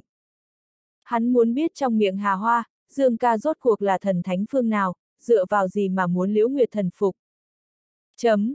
Cùng lúc đó, một chiếc xe Lincoln có biển số Giang Ninh, chạy theo quốc lộ nội thành, hướng chạy nhanh về khu biệt thự đàn cung. Dưới màn đêm, chiếc Lincoln đi giữa xung quanh là hai chiếc xe Mercedes-Benz, mỗi chiếc xe Mercedes-Benz đều có bốn gã đại hán mặc Âu phục. Những gã đại hán kia ngồi ở trong xe, ngẩng đầu ưỡn ngực, ánh mắt nhìn thẳng phía trước, có bộ dáng của một quân nhân. Mà trên thực tế, ở thời gian trước, bọn họ đích xác là quân nhân bảo vệ quốc gia. Chẳng qua là, bởi vì các loại nguyên nhân, bọn hắn bỏ đi chiếc áo quân nhân, trở thành bảo tiêu của Dương Sách. Trong chiếc Lincoln, Dương Sách tay trái kẹp một điếu nam kinh cửu ngũ trí tôn, tay phải bưng một ly rượu màu đỏ, hút một hơi thuốc, uống một hớp rượu, rất thích ý. Mấy phút đồng hồ sau, ba chiếc xe chạy vào khu biệt thự đàn cung, chạy thẳng tới biệt thự Liễu Nguyệt mua cho Đông Phương Lãnh Vũ. Rất nhanh, ba chiếc xe hơi lần lượt dừng lại trước biệt thự. A Long thân là cận vệ của Đông Phương Lãnh Vũ, cùng một tên bảo tiêu khác trong đêm tối đứng chắn ngay trước ô tô. Trong màn đêm, cửa ba chiếc xe hơi đều mở ra, những đại hán trong xe Ben đi tới chiếc Lincoln, mà Dương Sách chậm rãi từ chiếc Lincoln đi ra. Dương ra muốn gặp Liễu Tiểu Thư. Dương Sách xuống xe, hộ vệ của hắn, tên kia từng là thanh đao nhọn của quân khu đặc chủng Giang Ninh, mặt không chút thay đổi hướng A Long, trầm giọng nói. A Long tuy rằng thân là bảo tiêu của Đông Phương Lãnh Vũ, nhưng cũng biết, Dương Sách đối với Liễu Nguyệt có hứng thú không nhỏ, từng vài lần tới bái phỏng Liễu Nguyệt. Nhưng, A Long chưa bao giờ thấy Dương Sách mang nhiều người như vậy tới đây. Việc dị thường này làm cho vẻ mặt hắn trở nên có chút ngưng trọng. Chờ một chút, ta đi thông báo. Không vội, không vội. Dương Sách cười nhẹ, bắn bay tàn thuốc, màu đỏ tươi của tàn thuốc trong đêm tối hóa thành một đạo ánh sáng chói mắt. Dương tiên sinh, lão bản cho ông đi vào, nhưng những người khác không thể đi vào. Hội báo xong, A Long hướng Dương Sách nói. Tốt. Dương Sách nói. Có cần soát người không? Không cần. Sắc mặt A Long phức tạp trả lời một câu, sau đó ở phía trước dẫn đường, cùng lúc đó, vài tên thành viên huyết sát xuất hiện ở cửa biệt thư, vẻ mặt đề phòng. Rất nhanh, dưới sự dẫn dắt của A Long, Dương Sách thoải mái, vẻ mặt tươi cười đi vào biệt thư. Trong đại sảnh biệt thự, Liễu Nguyệt giống như ngày thường, cách ăn mặc vẫn là một thân màu đen, trên người là một chiếc áo đen, nửa mình dưới là một chiếc quần da, cả người tràn ngập cảm giác lạnh như băng. Tiểu Vũ cùng Uyển Nhi đâu? Tiến vào biệt thự, nhìn thấy Liễu Nguyệt, Dương Sách giống như trở lại nhà mình, chẳng những chủ động ngồi đối diện Liễu Nguyệt, hai chân mở lên bắt chéo, trực tiếp mở miệng hỏi Đông Vương Lãnh Vũ cùng Uyển Nhi. Dưới ánh đèn, hắn nhìn Liễu Nguyệt với ánh mắt thưởng thức. Ngoài ra còn có vẻ chinh phục của một nam nhân. Dương Sách, tốt nhất là ngươi hãy cho ta một lý do. Thấy bộ dạng tùy ý của Dương Sách, nhận thấy trong ánh mắt của ả Dương Sách tràn đầy dục vọng, vẻ mặt Liễu Nguyệt trở nên lạnh lùng, giọng nói mang theo hàn ý. Liễu Nguyệt, cô cần gì phải cả ngày ngụy trang như vậy? Đối với ánh mắt tức giận của Liễu Nguyệt, Dương Sách chẳng những không để ý, còn khe khẽ thở dài. Cô không cảm thấy mệt mỏi sao? Dương Sách, chân mày Liễu Nguyệt nhíu lại, trong con người hiện ra hàn quang. Được rồi, coi là tôi sợ cô. Dương Sách giang tay ra, trầm ngâm nói. Một đoạn thời gian trước, cô nhân cơ hội chèn ép Quý Hồng, đột nhiên tình thế xoay chuyển, Quý Hồng chẳng những thay đổi thế cục, còn liên hợp Bạch Gia, tiêu diệt Phương Gia, tiếp nhận hết thảy Phương Gia. Lần này, Liễu Nguyệt trầm mặc không nói. Kế tiếp, Quý Hồng hẳn là hướng cô khai đao. Dương Sách trực tiếp nhắc nhở nói. Nguyên bản, lấy tình thế của cô, Quý Hồng cũng không phải là đối thủ. Hiện giờ, Quý Hồng chẳng những khuếch trương thế lực, còn tìm được chỗ dựa vững chắc là Bạch Gia, tình cảnh của cô bây giờ rất nguy hiểm. Chuyện của ta không cần người quan tâm. Liễu Nguyệt lạnh lùng nói.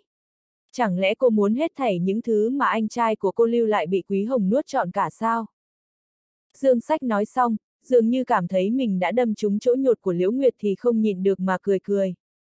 Mấy năm nay cô luôn tận lực, chính là muốn bảo vệ mọi thứ mà anh trai của cô để lại, cho nên, chắc hẳn là cô không muốn mọi thứ này trở thành bàn đạp của Quý Hồng. Dương Sách ta lặp lại lần nữa, chuyện của ta không quan hệ với ngươi, ta không có hứng thú đối với ngươi. Sau khi nghe xong Dương Sách nói thì Liễu Nguyệt trực tiếp truyền đạt mệnh lệnh đuổi khách. Nếu không có chuyện gì khác, người có thể đi rồi. Ta có thể giúp cô đối phó Quý Hồng, thậm chí còn có thể đem nàng đá ra khỏi Đông Hải. Dương Sách không có đứng dậy, mà là tung ra một mồi câu. Liễu Nguyệt cười lạnh. Trước đó không lâu, Đông Hải thường vụ phó thị trưởng Phó Dòng cũng nói qua điều tương tự. Phó Dòng, hắn đi con đường làm quan, muốn chân chính nhúng tay vào việc này là không có khả năng. Huống chi, coi như hắn có cái tâm tư kia, cũng không có năng lực, hắn làm quan có quyền thế, nhưng khi hậu trường của Bạch Gia xuất ra thì hắn không đáng giá để nhắc tới. Chẳng lẽ bằng vào nghĩa phụ cùng nhạc phụ của ngươi có thể đối kháng Bạch Gia? Liễu Nguyệt cười châm chọc. Đối mặt với lời cười nhạo của Liễu Nguyệt, Dương Sách cũng không để ý, bất quá giọng nói lại toát ra vẻ tự tin. Bọn họ đúng là không được, nhưng ta tin tưởng, Bạch Giả cũng không thể vì Quý Hồng mà vạch mặt, đối lập với bọn họ. Đương nhiên, ta nói cô giúp đối phó Quý Hồng, cũng không phải là mượn tay bọn họ, dù sao tay của bọn họ cũng không thể vươn tới Đông Hải. Vậy ngươi dựa vào người nào?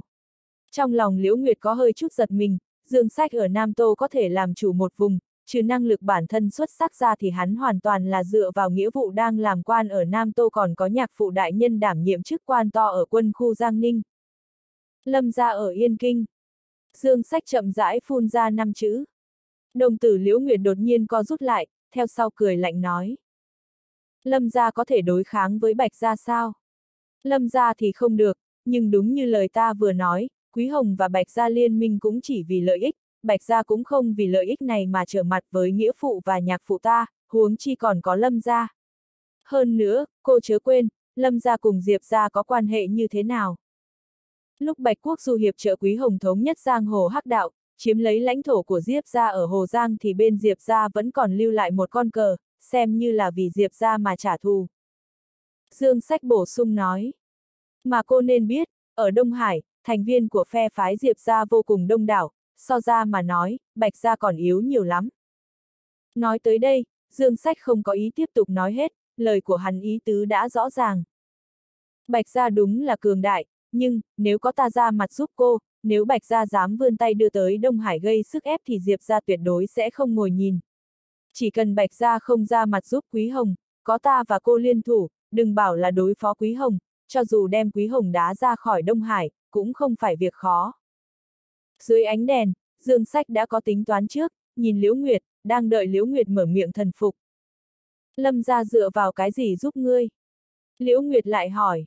Dương Sách lại cười, vẻ tự tin trên mặt càng nồng đậm. Nhân vật đời thứ tư của Lâm gia, Lâm Tường vừa mới được chuyển từ Yên Kinh xuống Giang Ninh, mà thư ký của hắn lại có quen với với ta, cho nên thông qua thư ký của hắn thì bây giờ chúng ta đã là bằng hữu với nhau, ân, cô có thể cho là quan hệ hợp tác cũng được. Thì ra là thế. Nghe được câu trả lời thuyết phục của Dương Sách, mặt Liễu Nguyệt không chút thay đổi nói.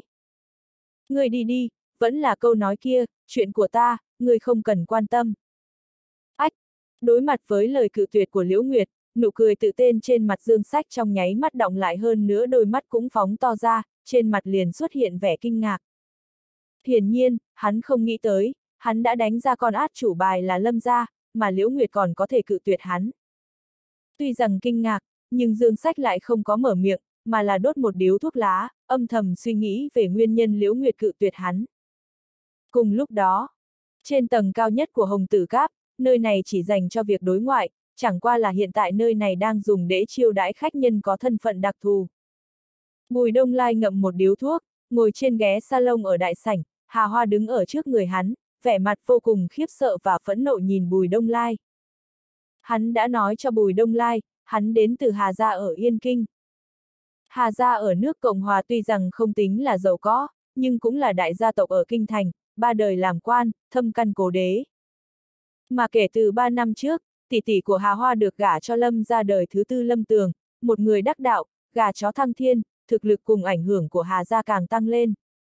Nguyên bản Hà Hoa nghĩ Bùi Đông Lai biết được thân phận chân thật của hắn thì sẽ lộ ra bộ dáng bất an thậm chí là sợ hãi, nhưng không ngờ Bùi Đông Lai lại không một chút để ý, điều này làm cho hắn vừa sợ vừa giận. Bùi Đông Lai mặc dù tao không biết được mày là thần thánh phương nào, nhưng tao hy vọng mày hiểu được, động vào tao thì mày đã trực tiếp đắc tội với Hà Gia cùng Lâm Gia, đến lúc đó đừng bảo Liễu Nguyệt giúp đỡ mày, cho dù có nàng ra mặt thì mày cũng chết chắc. Mắt thấy Bùi Đông Lai trầm mặc không nói mà hút thuốc lá thì Hà Hoa nhịn không được mở miệng nói. Bùi Đông Lai phun ra một ngụm khói thuốc, không có nói cho Hà Hoa biết chuyện tính Lâm Phong ở Nạp Lan ra bị hắn hù dọa đến tè ra quần, mà là hỏi. Sốt cuộc, Dương ca trong miệng mày là ai? Dương Sách ở Giang Ninh, đại ca hắc đạo Nam Tô, nghĩa phụ của hắn là phó thư ký tỉnh ủy Nam Tô, nhạc phụ hắn là phó chính ủy quân khu Giang Ninh. Vẻ mặt Hà Hoa cười lạnh nói. Hôm nay hắn đã đi tới Đông Hải thu phục Liễu Nguyệt, nếu không có bất ngờ gì xảy ra, lúc này, Liễu Nguyệt đã thần phục ở dưới chân hắn. Nếu như tao đoán không có sai, mày há miệng cũng dương ca mà ngậm miệng cũng dương ca, là bởi vì dương sách có quen biết với lâm tường sao. Bùi đông lai chậm rãi bóp tắt điếu thuốc, suy nghĩ một chút rồi nói. Đúng vậy. Mắt thấy bùi đông lai nghe câu trả lời của mình lại không lên tiếng, Hà Hoa liền tìm lại được sự tự tin, giọng nói lại càng trở nên cường ngạnh. Bùi đông lai, chỉ cần bản thân mày tự phế đi hai cánh tay, sự tình hôm nay tao có thể coi như chưa phát sinh. Gọi điện cho Dương Sách, bảo cho hắn trong vòng nửa giờ chạy tới đây. Bùi Đông Lai nhìn mặt Hà Hoa toát ra vẻ cuồng ngạo, trầm giọng nói. Nếu không, để cho hắn đến nhặt xác của mày về. Cái, cái gì? Ngạc nhiên nghe được lời nói của Bùi Đông Lai, Hà Hoa mới lấy lại được vẻ tự tin trong lòng liền chấn động, hắn trợn tròn mắt, vẫn không nhúc nhích nhìn Bùi Đông Lai. Giờ khắc này, hắn hoài nghi lỗ tai mình có vấn đề.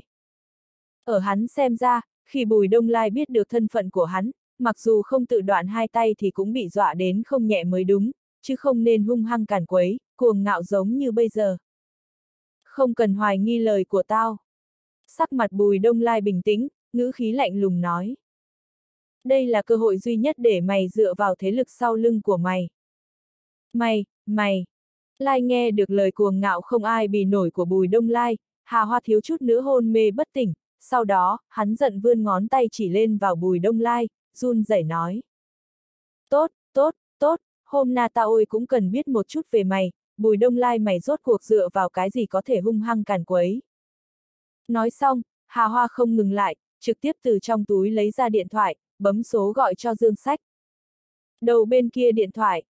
Dương Sách lẳng lặng hút xong một điếu thuốc lá, nhận thấy được điện thoại trong túi áo rung lên, nhưng hắn không có bắt máy mà ánh mắt của hắn lạnh lùng nhìn vào Liễu Nguyệt, trầm giọng nói. Liễu Nguyệt, ta đối với cô thế nào chắc trong lòng cô cũng hiểu được. Ta không dối gạt cô, ta tìm đến cô là vì điều này chứ không phải là những thế lực của cô, hắc đạo của Đông Hải sớm hay muốn ta cũng sẽ nhúng tay vào. Dương Sách, nếu ngươi không đi, ta cam đoan hôm nay ngươi sẽ hối hận khi tới Đông Hải. Liễu Nguyệt nổi giận, sát ý nổi lên. Liễu Nguyệt, tận dụng thời cơ. Dương Sách đứng lên. Đã đến nước này, cô tự thu xếp ổn thỏa. Nói xong, Dương Sách lấy điện thoại di động ra, một bên đi ra ngoài, một bên nghe điện thoại. Dương ca, là đệ, tiểu hoa. Điện thoại chuyển đến, Hà Hoa như vớ được cây cỏ cứu mạng, có vẻ hết sức kích động. Nghe thấy lời nói của Hà Hoa khác lạ, Dương Sách dừng bước lại. Làm sao vậy, tiểu hoa? Dương ca, anh có biết Liễu Nguyệt có quen một người tên là Bùi Đông Lai không? Hà Hoa gấp gáp hỏi. Dương Sách hơi có vẻ nghi hoặc. Biết. Hắn để cho em chuyển cáo với anh, nếu trong vòng nửa giờ anh không đến Hồng Tử Cáp, thì đến nhặt xác em về. Đô, đô. Tầng cao nhất trong Hồng Tử Cấp, Hà Hoa vừa nói xong, điện thoại di động bị Bùi Đông Lai lấy đi, dập máy. Trong biệt thự đàn cung sắc mặt Dương Sách đột nhiên biến đổi, theo sau quay đầu, nhìn thoáng qua Liễu Nguyệt, nói. Liễu Nguyệt, cái tên thanh niên Bùi Đông Lai mà cô quen biết không biết tại sao lại đi bắt cậu em vợ của Lâm Tường, hơn nữa còn nói, để cho ta trong nửa giờ phải qua đó, nếu không thì nhặt xác của nó. Ngạc nhiên nghe được lời nói của Dương Sách, Liễu Nguyệt ngẩn ra. Nếu cô quản hắn, ta có thể nể mặt cô, để cho chính hắn nhảy sông Hoàng Phổ, có thể bơi tới bờ bên kia, coi là hắn mạng lớn, bơi không qua thì coi là hắn xui xẻo. Nếu cô mặc kệ, ta không ngần ngại đem hắn vứt xuống sông Hoàng Phổ cho cá ăn. Thấy bộ dạng kinh ngạc của Liễu Nguyệt, theo bản năng dương sách tưởng Liễu Nguyệt sợ, cười lạnh nói. Ta khuyên cô nên nhúng tay vào, bởi vì, lửa giận của Hà, lâm ra cô không chịu nổi. Dương sách ta cũng khuyên ngươi, sau này ngươi không cần bước vào Đông Hải nửa bước, càng không nên đi trêu chọc hắn, nếu không, ngay cả chết như thế nào thì ngươi cũng không biết. Dưới ánh đèn, Liễu Nguyệt cũng cười. Tuy rằng nàng không biết vì sao Bùi Đông Lai lại cùng em vợ của Lâm Tường nảy sinh xung đột, cần Dương Sách tới, nhưng, nàng biết ở Đông Hải, Dương Sách tuyệt đối không đấu lại Bùi Đông Lai. Ngay cả, Hà Gia cùng Lâm Gia. Nàng có một vạn lý do tin tưởng, nếu Bùi Đông Lai xảy ra chuyện không hay, nam nhân từng thiếu ngạo khắp Trung Quốc kia, tuyệt đối sẽ huyết tẩy tử cấm thành. Bên tai vang lên nhắc nhở của Liễu Nguyệt, trên khuôn mặt Liễu Nguyệt toát ra vẻ lạnh lùng kèm theo nụ cười khinh thường, Dương Sách vốn ngẩn ra, sau đó sắc mặt hắn phức tạp liếc mắt nhìn Liễu Nguyệt một cái. Liễu Nguyệt, ý của cô là chuyện lần này cô sẽ nhúng tay vào. Việc này ta không quản. Liễu Nguyệt lắc lắc đầu. Không quản. Lúc trước Liễu Nguyệt đem lời kia nói ra, theo bản năng hắn cho rằng Liễu Nguyệt đã động thủ, hiện giờ nghe được Liễu Nguyệt nói không quản thì hắn liền lộ ra bộ dạng nghi ngờ. Hy vọng cô sẽ không nhúng tay vào. Dưới ánh đèn, Dương Sách nghỉ hoặc nhìn chằm chằm Liễu Nguyệt. Liễu Nguyệt cũng không giải thích thế nữa. Dương Sách thấy vậy liền không nói lời vô ích, nhanh chóng rời đi. Hắn tính toán đợi đến khách sạn Hồng Tử Cáp rồi quyết định, nếu Liễu Nguyệt nhúng tay, như vậy hắn liền đem việc này nói cho Lâm Tường ra mặt để tạo áp lực, bức bách Liễu Nguyệt không dám đi quản, đồng thời để cho Bùi Đông Lai từ mình nhảy xuống sông Hồng Phổ. Nếu Liễu Nguyệt mặc kệ không quản thì hắn không để ý mà giết chết Bùi Đông Lai sau đó ném hắn xuống sông Hoàng Phổ, tặng cho Lâm Tường một cái nhân tình, sau người hai người sẽ hợp tác chặt chẽ với nhau hơn. Nhìn bóng lưng Dương Sách rời đi, Liễu Nguyệt không có ngăn trở, cũng không có nói gì nữa, nàng rất rõ ràng, âm thầm phá vỡ phương gia, đồng thời thu phục Quý Hồng, Bùi Đông Lai hoàn toàn không cần sự trợ giúp của nàng. Ngược lại, theo ý nào mà nói, Quý Hồng cùng Phương gia liên thủ lại để đối phó nàng đều là Bùi Đông Lai âm thầm giúp đỡ. Trong tầng cao nhất của khách sạn Hồng Tử Cáp, Bùi Đông Lai để cho Hà Hoa nói chuyện điện thoại xong, thì hắn lại gọi một cuộc điện thoại. Sau khi làm xong tất cả chuyện này, hắn liền đứng ở cửa sổ, hướng mắt nhìn khách sạn trước ngã tư đường. Ban đêm 10 giờ, ngã tư ngay khách sạn người xe đông như kiến, trong đoàn người này, cũng có sinh viên đi học về, cũng có những đôi tình nhân đi thuê phòng, cũng có nam nhân được nữ nhân nhà giàu bao nuôi ngồi xe hơi rời đi. Phía sau bùi đông lai, bởi vì đã mất máu quá nhiều cho nên sắc mặt của Ngưu Hải đào một mảnh trắng bệch, môi mơ hồ phát tím, như một con chó chết cuộn tròn trên mặt đất, vẫn không nhúc nhích. So sánh với Ngưu Hải đào mà nói, Hà Hoa chẳng qua chỉ là bị bùi đông lai cho ăn một cái tát, hơn nữa bùi đông lai đã không chế lực đạo, cho nên hắn bị thương cũng không nghiêm trọng. Không có bùi đông lai cho phép, Hà Hoa không dám ngồi xuống, mà giống như là trẻ con nghe lời, đứng ở nơi đó, nhìn bóng lưng bùi đông lai, vẻ mặt vô cùng phức tạp. Lúc này hắn đã không còn vọng động như lúc trước, mà là dần dần bình tĩnh hơn. Nói chung, người cuồng vọng chỉ có hai loại, thứ nhất, tuổi trẻ ngông cuồng, không biết trời cao đất rộng, thứ hai là có vốn để đủ cuồng vọng. Sau khi tỉnh táo lại, Hà Hoa mơ hồ cảm thấy được, Bùi Đông Lai nếu đã biết được thân phận của hắn, nhưng vẫn biểu hiện rất cuồng vọng, như vậy khẳng định hắn có chỗ dựa vững chắc, hơn nữa, tuyệt đối không phải dựa vào Liễu Nguyệt. Liễu Nguyệt mặc dù đang ở Đông Hải nắm giữ nửa địa bàn hắc đạo, nhưng so với Hà Gia cùng Lâm gia hai đại gia tộc ở Kinh Thành thì không có tư cách. Chẳng qua là, hắn hiểu được điểm này, lại không nghĩ ra tại sao Bùi Đông Lai có thể dựa vào cái gì mà coi thường Dương Sách, Hà Gia cùng Lâm gia. Dù sao, trong ký ức của hắn, gia tộc có quyền thế trong nước Cộng Hòa, cũng không có bùi gia. thậm chí, hắn còn nghĩ muốn những người ở sau lưng tìm hiểu một lần, nhưng cũng không tìm được họ bùi. Không thể đoán được bối cảnh của bùi đông lai, Hà Hoa lúc này lại nghĩ tới cảnh tượng bùi đông lai đánh vỡ xương tay như Hải Đào, cuối cùng hắn cho rằng bùi đông lai dựa vào một thân võ nghệ. Sau khi cho ra kết luận như vậy, Hà Hoa cảm thấy được bùi đông lai tìm chết, ở hắn xem ra, Bùi Đông Lai có võ nghệ như bức, cũng tuyệt đối không phải là đối thủ trong chốn quan trường. Tầng cao nhất, Hà Hoa âm thầm suy đoán thận phận Bùi Đông Lai, đại sảnh dưới lầu 1, trương quản lý cũng âm thầm phán đoán bố cảnh song phương. Lúc trước, hắn đã gọi cho lão bản giấu mặt một cú điện thoại, sau khi lão bản lắng nghe hắn hội báo thì lão bản đã đoán ra thân phận của hai người Hà Hoa cùng Ngưu Hải Đào không tầm thường. Về phần, Bùi Đông Lai. Thân là lão bản sau màn của Hồng Tử Cáp, thân là lão bản trong giới kinh doanh, hắn tự nhiên biết tình cảnh hiện tại của Liễu Nguyệt không ổn, ở dưới tình hình như vậy Bùi Đông Lai dựa vào Liễu Nguyệt đi trêu chọc vào Ngưu Hải Đào và Hà Hoa, ngay cả hạ gia cũng không dám mà Bùi Đông Lai lại dám, điều này làm cho hắn nghĩ hoài không ra. Tuy rằng trong lòng vô cùng nghi hoặc, nhưng kinh nghiệm làm việc cẩn thận mấy năm qua của hắn, hắn muốn trương quản lý không đếm xỉa, thờ ơ lạnh nhạt, không tham dự vào chuyện này. Đối mặt với chỉ đạo của lão bản, trương quản lý tự nhiên làm theo, nhưng, trong lòng khó tránh khỏi suy đoán thân phận song phương. Hai mươi mấy phút đồng hồ sau, chiếc xe Lincoln có biển số 4444 được hai chiếc ben hộ tống hai bên, một đường sông qua đèn đỏ, đi tới trước bãi đỗ xe của khách sạn Hồng Tử Cáp. Vù! Xe hơi dùng lại, tám tên từng là quân nhân đặc chủng trước tiên nhảy xuống xe, giống như là đi chấp hành nhiệm vụ, nghiêm chỉnh chờ đợi, mà Dương Sách thì không đợi cận vệ hắn mở xe, hắn chủ động mở cửa xe đi ra. Dương ra, chung quanh không có mai phục. Dương Sách xuống xe, cận vệ Trần Biêu nhanh chóng quan sát chung quanh, phát hiện không có mai phục thì lập tức hội báo với hắn. Dương Sách không có lên tiếng, mà khuôn mặt âm trầm, mang theo chín tên bảo tiêu, đi vào khách sạn. Bọn họ ở tầng trên cùng. Mặc dù trương quản lý chưa từng thấy Dương Sách, nhưng thấy Dương Sách không tầm thường, vội vàng tiến tới, chủ động mở miệng. Hiển nhiên, hắn nhìn ra, Dương Sách là viện binh của Bùi Đông Lai hoặc Hà Hoa. Phía trên có bao nhiêu người? Dương Sách thu hồi nụ cười khinh thường, khuôn mặt âm trầm dọa người. Ba, ba. Nhận thấy được hàn ý toát ra trên người Dương Sách, trương quản lý khẩn trương, lúc nói chuyện cũng có chút ấp úng. Trong đó, có hai người bị trọng thương. Ách! Nghe trương quản lý trả lời như thế trong con mắt của Dương Sách hiện lên một tia nghi hoặc. Sở dĩ nghi ngờ, là hắn cho rằng Liễu Nguyệt sẽ ra mặt hỗ trợ, cho dù bản thân không đến cũng sẽ phái người đến. Mà dựa theo lời của trương quản lý, trên lầu có ba người, theo ý nói, trừ bỏ bùi đông lai ra thì chỉ còn Hà Hoa cùng Ngưu Hải Đào.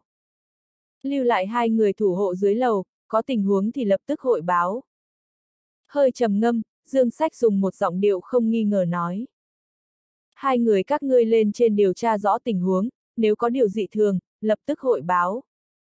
Vâng, Dương gia.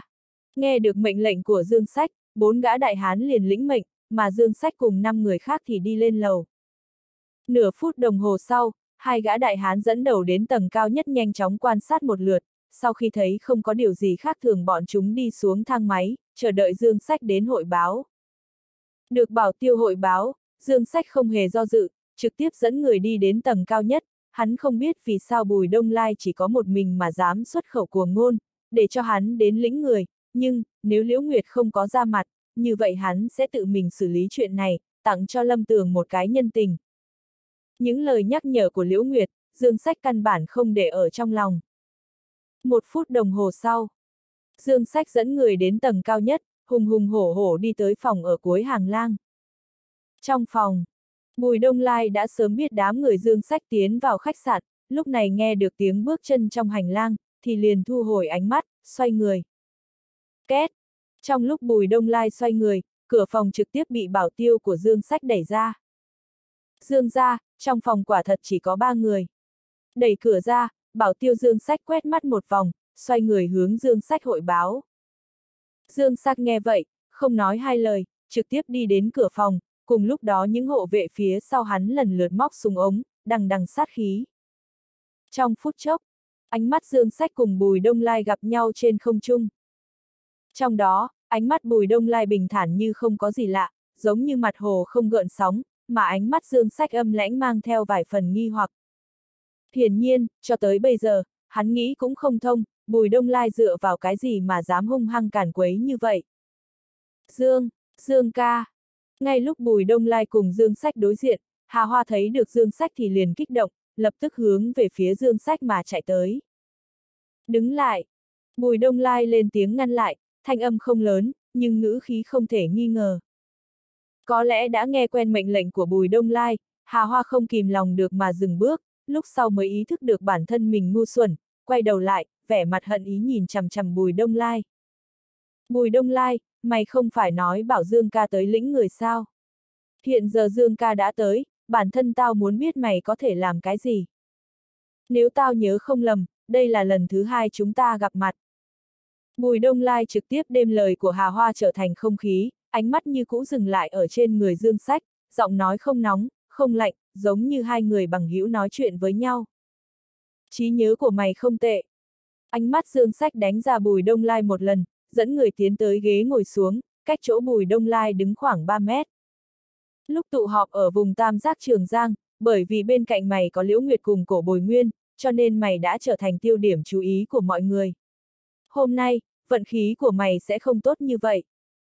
Bá, bá, bá, chấm. Lời nói dương sách vừa dứt, phía sau hắn bảy tên bảo tiêu giống như được chỉ thị của hắn, ngoại trừ bảo tiêu tên Trần Biêu, sáu người khác đều rút súng, nhắm vào bùi đông lai. Đối mặt với sáu gã quan nhân đặc trùng mang súng, trên mặt bùi đông lai không lộ ra vẻ hoảng sợ, ngược lại hắn lại vô cùng chấn định, giống như là đã nắm giữ toàn cục ở trong lòng bàn tay. Bùi đông lai chấn định nhưng dương sách thì nhíu mày, hắn ngó chằm chằm vào bùi đông lai gần tùng chữ. Lúc trước, tao đã nói với Liễu Nguyệt, nếu như nàng ra mặt bảo về mày thì ta sẽ để cho mày tự nhảy xuống sông Hoàng Phổ bơi tới bờ bên kia, nếu như mày còn sống thì đó là do mạng của mày lớn, nếu như không thì coi như mày xui xẻo. Còn nếu nàng không ra mặt thì tao sẽ đem thi thể mày băm nát rồi ném xuống sông Hoàng Phổ cho cá ăn. Chỉ bằng bọn hắn. Bùi Đông Lai nở nụ cười. Mày cho rằng tao không dám. Mắt dương sách lộ hung quang, sát ý hiện lên. Lần này, Bùi Đông Lai không trả lời, bởi vì trong hành lang có tiếng bước chân truyền tới. Dương ra, có người tới đây. Không riêng gì Bùi Đông Lai nghe được tiếng bước chân, bảo tiêu Dương Sách cũng nghe được. Lúc trước, Dương Sách yêu cầu hai gã bảo tiêu ở dưới lầu chờ, có tình huống gì thì lập tức hội báo, hiện giờ, có người lên đây, nhưng hai gã ở dưới không có gì hội báo. Điều này làm cho sắc mặt Dương Sách cuồng biến, trong lòng hiện ra một trực giác không tốt. Dương Sách, tiểu đệ đệ thân ái của ta, lúc nào Đông Hải lại đến phiên cậu tới Dương Oai. Sau đó, không đợi Dương Sách làm ra quyết định, một âm thanh mê người đột nhiên vang lên. Lời nói xong, bóng người hiện. Một thân ảnh xuất hiện ở cửa phòng. Quý Hồng. Nhìn người mới xuất hiện ở cửa phòng không tính là xa lạ, đồng tử Dương Sách đột nhiên phóng lớn, trực tiếp ngẩn người tại chỗ. Bởi vì không nhận được thông chi của hai gã bảo tiêu dưới lầu, trong lòng hắn hiểu được, khẳng định ở dưới đã có người không chế hai tên bảo tiêu kia. Điểm này, đủ để chứng minh, viện binh của Bùi Đông Lai thực sự dũng mãnh. Nhưng, hắn nằm mơ cũng thật không ngờ, người đó chính là xà mỹ nữ Quý Hồng làm cho cả nam nhân nam bán quốc có sắc tâm không có sắc đảm. Quý Hồng, sao cô lại tới đây? Sau khi kinh ngạc qua đi, Dương Sách lấy lại tinh thần, mang theo vài phần nghi hoặc, hắn vốn cho là cứu binh của Bùi Đông Lai tới, nhưng sau nhìn thấy Quý Hồng thì hắn liền nghĩ điều này không có khả năng. Dù sao, hai người Quý Hồng cùng Liễu Nguyệt cũng đã đối đầu với nhau, cả hắc đạo Trung Quốc ai cũng biết chuyện này. Nếu Bùi Đông Lai cùng Liễu Nguyệt có quan hệ rất tốt, như vậy khả năng Quý Hồng đến trợ giúp cho Bùi Đông Lai là không có. Cửa phòng, Quý Hồng giống như ngày thường, vẫn là một thân sắc phục màu đỏ, đôi môi khêu gợi cũng là màu đỏ tươi, kiều diễm ướt át, làm cho người ta nhìn không được muốn hôn lên một cái.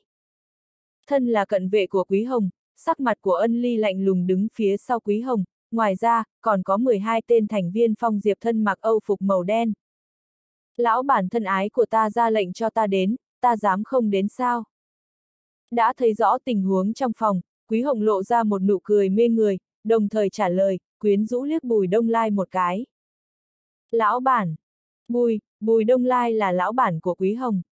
Ngạc nhiên nghe được lời nói của Quý Hồng, dù Dương Á có một trái tim kiên cường, cũng bị cả kinh không nhẹ, cả người trực tiếp sững sờ tại chỗ. Cô, cô nói hắn là lão bản của cô. Dương Sách mở to mắt, giống như là ban ngày gặp được quỷ, vẻ mặt si ngốc nhìn Quý Hồng. Lão bản thân ái của ta, nhìn dáng dấp của cậu không có thích hợp làm lão bản A, khanh khách. Hỏi một đằng, Quý Hồng trả lời một nẻo, nói xong lại nở nụ cười, giống như dâm phụ, quyến rũ mê người. Mặc dù Dương Sách có một vạn lý do phủ định Bùi Đông Lai thu phục được Quý Hồng, nhưng, sự thật trước mắt cho hắn biết, tất cả chuyện này đều là sự thật, một nữ nhân vật hô phong hoán vũ ở Đông Hải, không ai dám khinh nhờn, lại trở thành thủ hạ của Bùi Đông Lai. Điều này hoàn toàn tương phản, làm cho trong lòng Dương Sách nhấc lên tầng tầng sóng lớn. Không riêng gì Dương Sách, ngay cả bảy tên bảo tiêu của hắn cũng bị chấn kinh, còn về phần Hà Hoa cùng Ngưu Hải Đào đang nằm nửa sống nửa chết trên mặt đất, cũng trực tiếp sợ ngây người. Theo ý nào mà nói, Hà Hoa cùng Ngưu Hải Đào trong lòng khiếp sợ hơn Dương Sách, quả thực chỉ hơn chứ không kém. Bọn hắn rất tò mò, Bùi Đông Lai rốt cuộc dựa vào cái gì mà hung hăng càn quấy, hiện giờ nhìn thấy Quý Hồng, bọn hắn mới tỉnh ngộ, nhưng, đồng thời cũng tràn ngập tò mò, Quý Hồng làm sao có thể là thủ hạ của Bùi Đông Lai. Không ai trả lời. Dưới ánh đèn, bao gồm cả dương sách, bọn họ vẫn không nhúc nhích, nhìn Quý Hồng như một pho tượng đá điêu khắc. Tục ngữ nói, cuồng long không áp địa đầu xa. Dù dương sách ở Nam Tô quyền thế ngập trời, hơn nữa còn hợp tác với Lâm Tường, nhưng, muốn cho hắn vỗ ngực có thể đánh bại Quý Hồng, chẳng những người khác không tin tưởng, ngay cả bản thân hắn cũng không tin. Nếu không phải là như thế, hắn cũng không hao hết tâm tư đi tìm Liễu Nguyệt, hắn và Liễu Nguyệt nói chuyện hợp tác, nhưng tâm tư muốn chinh phục Liễu Nguyệt, còn phần nhiều là muốn hợp tác cùng Liễu Nguyệt để đánh bại Quý Hồng. Một người Quý Hồng hắn còn không đánh bại được. Huống chi, Bùi Đông Lai phía sau còn có Liễu Nguyệt. Giờ khắc này, hắn đã hiểu vì sao Liễu Nguyệt biết hắn muốn đối phó Bùi Đông Lai thì lại mặc kệ, hắn cũng minh bạch vì sao Liễu Nguyệt cảnh báo hắn không cần bước chân vào Đông Hải nửa bước, và cũng không nên trêu chọc Bùi Đông Lai. Tuy rằng không biết mày dựa vào cái gì thu phục Quý Hồng, nhưng ta không phải không thừa nhận, một màn này mày làm rất đẹp. Tuy rằng không biết mày dựa vào cái gì thu phục Quý Hồng, nhưng tao không phải không thừa nhận, một màn này mày làm rất đẹp.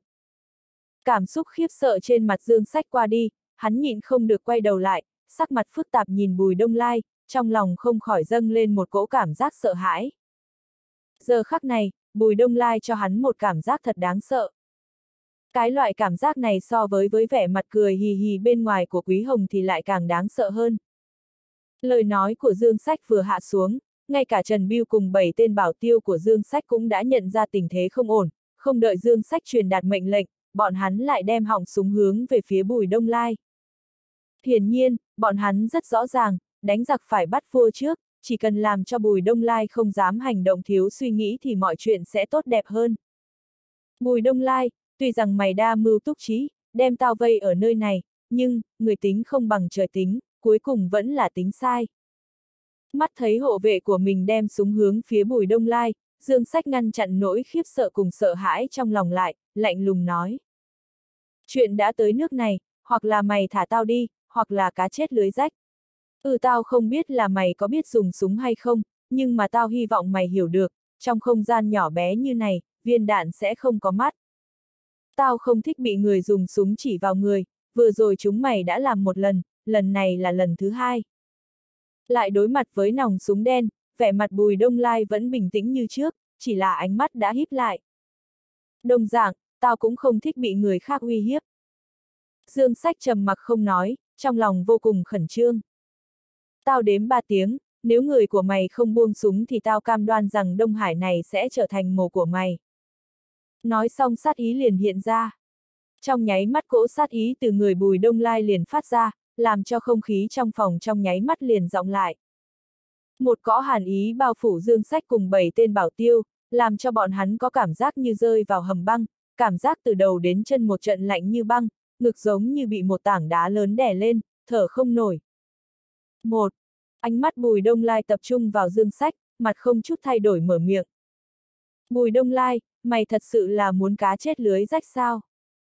Cảm thấy sát y của Bùi Đông Lai làm cho hắn khiếp sợ, nhưng dù sao dương sách cũng là kiêu hùng một phương, hắn không có đem vẻ sợ hãi biểu lộ trên mặt, mà là gắt gao nhìn chằm chằm Bùi Đông Lai. 2.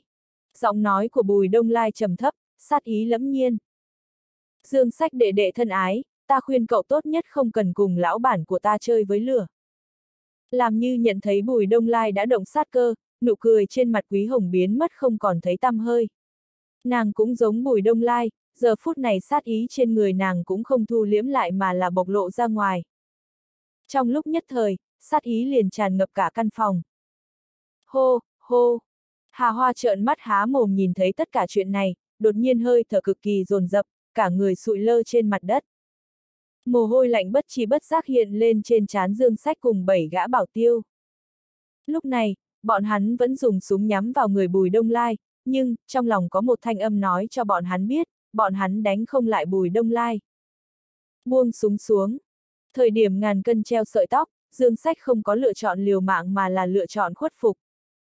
Sở dĩ như vậy, bởi vì hắn nhìn ra được, Bùi Đông Lai nói không phải là nói đùa, hắn cũng biết Quý Hồng không cần thành viên phong diệp ra tay, bản thân Quý Hồng cũng chính là cao thủ ám kính, mà Bùi Đông Lai có thể thu phục Quý Hồng điều đó chứng tỏ thực lực của hắn tuyệt đối chỉ hơn chứ không kém.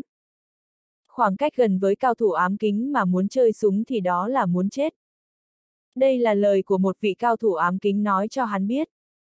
Lúc đó, Dương Sách cũng không tin, kết quả cử ra một thủ hạ từng là bộ đôi y đặc trùng tay cầm súng ra đấu với một cao thủ ám kính. Kết quả, bảo tiêu của hắn chưa kịp nổ súng, liền bị đánh bại, hoàn toàn mất đi sức chiến đấu. Dưới một dạng tình hình như vậy, Dương Sách cảm thấy không gian trong phòng nhỏ, bên mình lại có nhiều người như vậy, cho dù Bùi Đông Lai có là cao thủ ám kính thì hắn cũng không thoát khỏi cái chết. Nhưng, hắn có một vạn lý do tin tưởng, trước khi thuộc hạ hắn nổ súng thì Bùi Đông Lai có thể cho hắn đi gặp Diêm Vương. Huống chi, phía sau còn có Quý Hồng. Dĩ nhiên, Dương Sách lựa chọn khuất phục là bởi vì hắn cảm thấy được Bùi Đông Lai không muốn lấy mạng hắn. Nghe được mệnh lệnh của Dương Sách, Trần Biêu cùng sáu tên bảo tiêu liền bỏ súng xuống. Thấy bảo tiêu của Dương Sách đều buông súng xuống, Bùi Đông Lai trầm mặc di chuyển cước bộ, hướng Dương Sách đi tới. Mắt thấy Bùi Đông Lai bước tới gần, mặc dù trong lòng Dương Sách biết được Bùi Đông Lai không có giết hắn nhưng hắn cũng cảm thấy sợ hãi. Hắn cố gắng áp chế nỗi sợ hãi trong nội tâm, nhưng há lại thất bại, dưới ánh đèn, khóe mắt của hắn điên cuồng nhảy lên, thân thể dần trở lên cứng ngắc. Không riêng gì Dương Sách, mắt thấy Bùi Đông Lai đi tới, tâm trạng của Trần Biêu cùng mấy tên bảo tiêu đem treo trên cổ họng. Mà ở cửa phòng, ánh mắt Quý Hồng dõi theo thân ảnh Bùi Đông Lai, trong ánh mắt tràn ngập tò mò, tò mò rốt cuộc Bùi Đông Lai muốn xử trí Dương Sách như thế nào. Thời gian chậm dần, khoảng cách giữa Bùi Đông Lau với Dương Sách thu hẹp lại, tiếp tục thu hẹp lại. sốt cục, hắn đi tới trước người Dương Sách, quỳ xuống. Dưới ánh đèn, chẳng biết từ lúc nào trong tay Bùi Đông Lai đã móc ra khẩu súng PIC P210, nòng súng trực tiếp chĩa vào mi tâm Dương Sách. Bên tai vang lên lời nói của Bùi Đông Lai, cảm giác được hàn ý lạnh lẽo từ cây súng truyền tới, cả người Dương Sách cứng đờ, còn người thu nhỏ lại tạo thành một mũi nhọn nguy hiểm. Mà bảy tên bảo tiêu của Dương Sách bị hành động của Bùi Đông Lai làm kinh hãi, nhưng cũng không dám rút súng. Bởi vì, bọn hắn đều biết, lúc này Dương Sách lựa chọn khuất phục, cuộc quyết đấu đêm nay đã phân rõ thắng bại. Bùi Đông Lai, tao không tin mày dám giết ta. Mặc dù là sợ hãi ở trong lòng nhưng Dương Sách không chịu khuất phục. Vẻ mặt hắn phẫn nộ nhìn chằm chằm Bùi Đông Lai, giống như cuồng sư phẫn nộ. Không trả lời. Dưới ánh đèn, Bùi Đông Lai chậm rãi, chậm rãi đem nòng súng hướng xuống, trực tiếp nhét súng vào trong miệng Dương Sách. Quỳ xuống, hoặc là tao lấy súng bắn chết mày. Bùi Đông Lai một lần nữa mở miệng, ngữ khí không thể nghi ngờ. Một cơ hội cuối cùng. Ực. Bên tai vang lên lời nói lạnh lẽo của Bùi Đông Lai, nhìn vẻ mặt bình tĩnh của Bùi Đông Lai, cổ họng dương sách mấp máy một trận, kìm lòng không được mà nuốt một ngụm nước miếng. Giờ phút này, tuy rằng hắn đã áp chế nỗi sợ hãi lại nhưng mà có thể thấy được vẻ sợ hãi đang hiện ra rất rõ trên khuôn mặt của hắn. Sau đó, trong ánh mắt khó tin của bảy tên bảo tiêu cùng Hà Hoa. Ở Nam Tô một tay che trời, được xưng là Dương gia Dương Sách, bỏ qua thân phận lão đại hắc đạo ở Nam Tô, hắn giống như là một con chó Trung Quốc, chậm rãi, chậm rãi quỳ xuống. Bịch, đầu gối Dương Sách nện xuống đất, tiếng động vang lên. Quỳ rồi. Không ai nghĩ rằng Dương Sách sẽ quỳ trước mặt Bùi Đông Lai. Thấy một màn như vậy, bảy tên bảo tiêu Dương Sách có một loại cảm giác ảo mộng, mà Hà Hoa cùng Ngưu Hải Đào nằm một bên, cả người liền kịch liệt run lên. Giờ khắc này, nếu không phải trên người truyền đến cảm giác đau đớn, bọn hắn sẽ cho rằng mình đang nằm mơ. Bởi vì, bọn hắn nằm mơ cũng thật không ngờ, chỗ dựa vững chắc của bọn hắn là Dương Sách lại đang quỳ trước mắt tên mọt sách Bùi Đông Lai. Không riêng gì Hà Hoa cùng Ngưu Hải Đào, thậm chí ngay cả Quý Hồng cũng không nghĩ tới. Nhìn khuôn mặt bình tĩnh như trước của Bùi Đông Lai, Quý Hồng bỗng nhiên cảm thấy may mắn, may mắn mình ở thời điểm quan trọng bản thân mình đã làm ra một lựa chọn chính xác. Tao nhớ rõ mày mới vừa nói, nếu để liễu tỷ ra mặt thì mày liền để tao tự mình nhảy xuống sông Hoàng Phổ, mạng tao lớn thì sống, xui xẻo thì chết, nếu liễu tỷ không ra mặt thì mày sẽ đem tao dẫm nát rồi ném xuống sông Hoàng Phổ cho cá ăn. Ở ánh mắt chăm chú của mọi người, Bùi Đông Lai rút nòng súng ra, giống như thân linh nhìn xuống một con kiến, từ trên cao nhìn xuống dương sách, ngữ khí bình tĩnh nói. Mày quỳ từ đây rời đi, chuyện đêm nay, chúng ta xóa bỏ, nếu không, tao cũng không để ý mà dùng biện pháp đối phó đối với mày. Cả người dương sách cứng ngắc, một nỗi nhục nhã chưa bao giờ trải nghiệm đang chiếm Laia nội tâm của hắn, làm cho hai mắt hắn đỏ bùng, vẻ mặt biệt khuất tới cực điểm.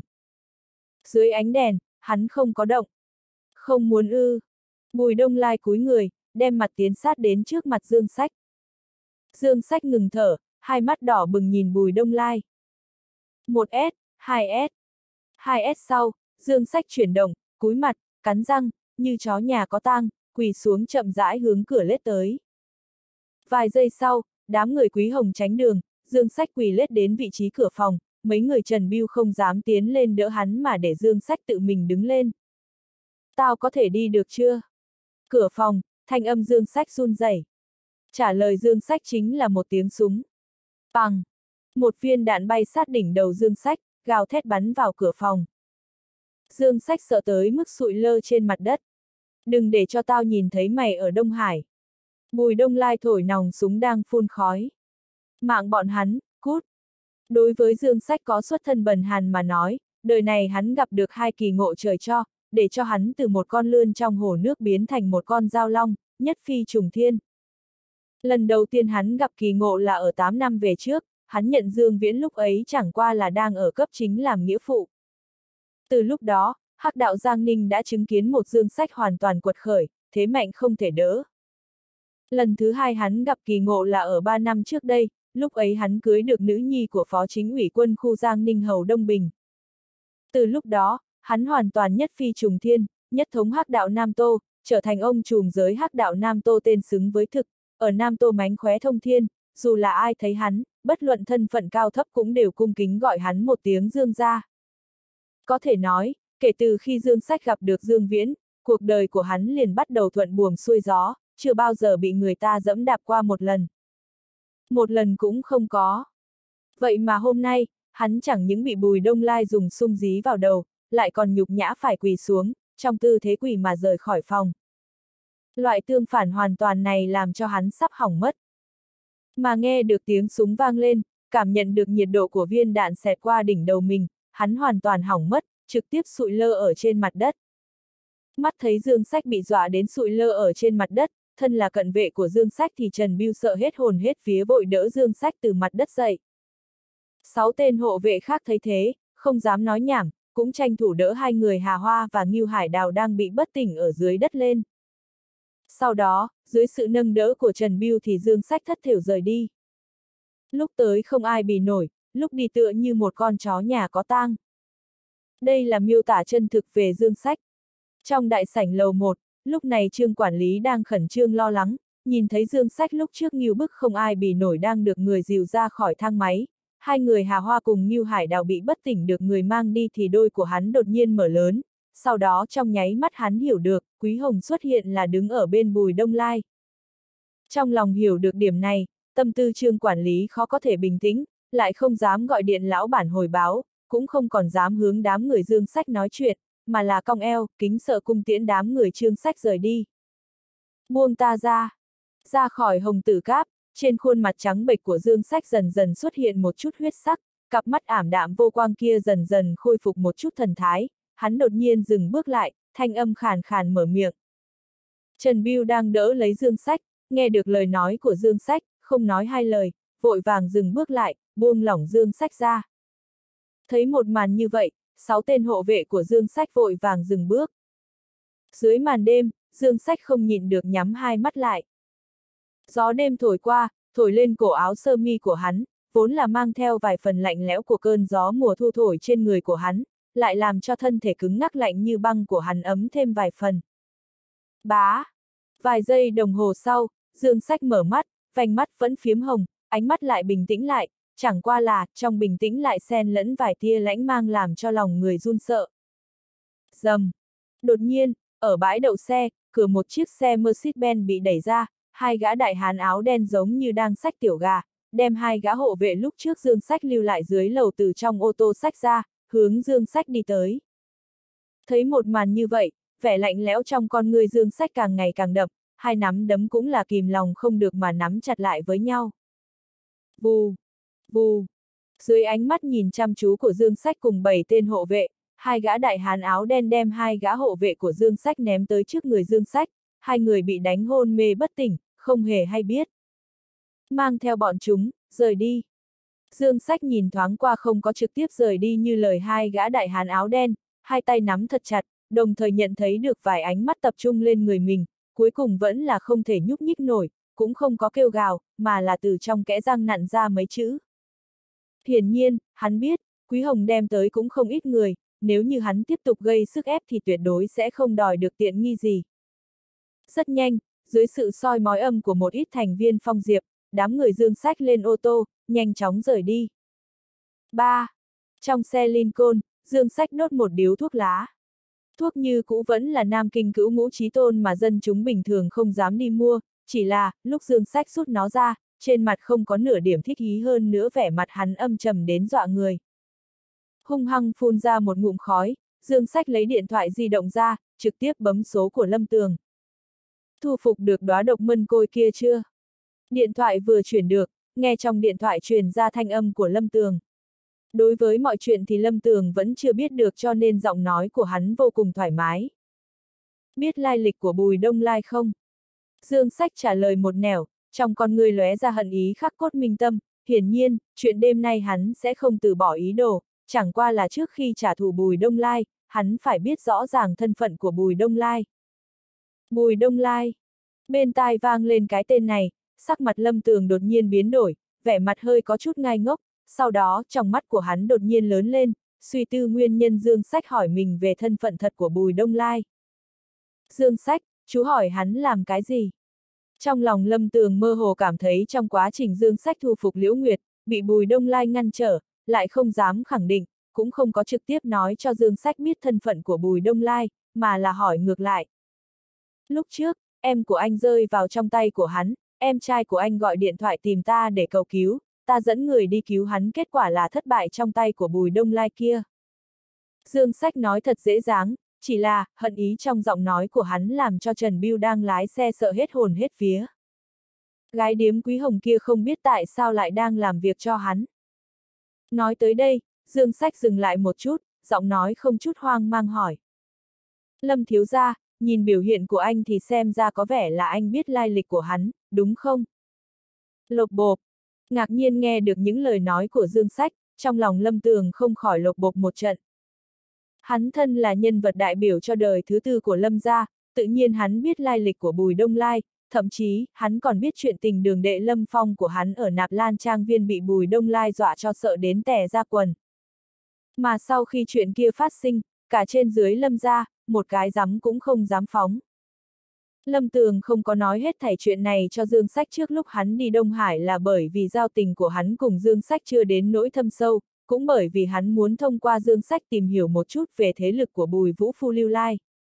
Kể từ khi Bùi Vũ Phu tái xuất giang hồ, các đại gia tộc kinh thành, đều là muốn biết điểm này, chỉ là hắn chỉ biết cái thứ nhất, mà không biết cái thứ hai. Không biết chuyện đúng là đáng sợ nhất.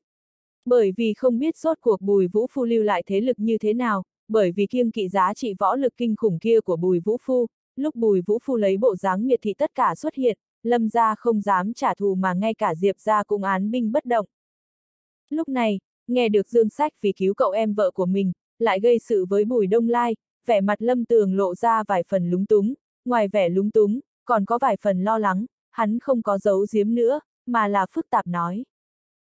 Dương Sách, nghe một lời khuyên của ta, mau rời khỏi Đông Hải, không cần nghĩ tới việc báo thù. Hắn rốt cuộc là người như thế nào? Nhận thấy được Lâm Tường thân là nhân vật triển vọng đời thứ tư của Lâm gia tựa hồ đối với Bùi Đông Lai còn có kiêng kỵ thật sâu, trong lòng Dương Sách sung mạnh, đồng thời càng thêm hiếu kỳ đối với thân phận của Bùi Đông Lai. Hắn là nhi tử của Bùi Vũ Phu. Sắc mặt Lâm Tường ngưng trọng mở miệng, lúc nói ba chữ Bùi Vũ Phu kia, trong thanh âm mang theo vài phần rung động, trong giọng nói lộ ra sự kính sợ khó có thể che giấu. Kính sợ là bởi vì 20 năm trước, hắn biết, cái nam nhân được xưng là võ thần kia trước mặt Lâm gia, Diệp gia và các gia tộc có người nắm quyền khác, đem cha của Lâm Phong lúc ấy ném như một túi rác rưởi bỏ đi ra khỏi một khách sạn ở Yến Kinh. Mà lúc đó, bao gồm cả người nắm quyền Diệp gia ở bên trong, không người nào dám nói một câu. Một người cũng không có. Nhi tử của Bùi Vũ Phu. Ngạc nhiên nghe được lời nói của Lâm Tường, vẻ tức giận, hận ý trên mặt Dương Sách trong nháy mắt biến mất vô ảnh vô tung, thay vào đó là cảm giác khiếp sợ. Thân là lão đại xã hội đen Nam Tô thì chẳng những hắn đã nghe nói qua chuyện tình của Bùi Vũ Phu, hơn nữa hắn đã đem nam nhân kia trở thành thần tượng trong lòng mình. Ở dưới loại tình hình này, Lâm Tường lại nói cho hắn biết, kẻ lúc trước dẫm lên mặt mũi hắn Bùi Đông Lai chính là nhi tử của Bùi Vũ Phu. Cái này trực tiếp dọa cho hắn sợ ngây người, làm cho hắn quên mất cả trả lời Lâm Tường. Hắn, hắn không phải là đã chết rồi sao? Không biết qua bao lâu, Dương Sách dần dần lấy lại tinh thần, cảm xúc khiếp sợ bị cảm giác sợ hãi thay thế, giọng nói run rẩy không ngừng. Người người đều nói hắn đã chết, hắn lại đột nhiên xuất hiện. Lâm Tường cảm thấy một trận vô lực. Cụ thể chuyện gì đã xảy ra, ta nói vậy cũng không rõ ràng, đợi gặp mặt nói chuyện đi. Tốt. Dương Sách nuốt nước bọt, nhẹ giọng trả lời một câu. Không cần đem những gì ta nói với chú nói cho thằng em vợ bất tài của ta, đợi quay lại ta sẽ thu thập hắn. Thấy Dương Sách đáp ứng, Lâm Tường nghĩ tới điều gì, lại bổ sung. Ừ, mặc dù không biết Lâm Tường vì sao phải làm như vậy, nhưng lúc này Dương Sách đã không có tâm tư đi suy nghĩ nhiều như vậy, suy nghĩ của hắn Thủy chung khó có thể bình tĩnh lại được. Hắn lại không nhìn được quay đầu lại, hướng khách sạn Hồng Tử Cáp phía xa xa nhìn thoáng qua. Dưới ánh đèn lờ mờ, trên mặt của hắn cũng tìm không được nửa điểm oán khí nữa. Có chăng chỉ là cảm giác sợ hãi. Giờ khắc này, hắn rốt cục minh bạch vì sao Bùi Đông Lai dám nổ súng, coi thường hết thảy mọi chuyện. Hắn cũng rõ ràng, vì sao xà mỹ nữ quý hồng người làm cho nam nhân cả nam bán quốc chỉ dám nhìn chứ không dám khinh nhờn kia, lại thần phục chịu làm việc cho Bùi Đông Lai.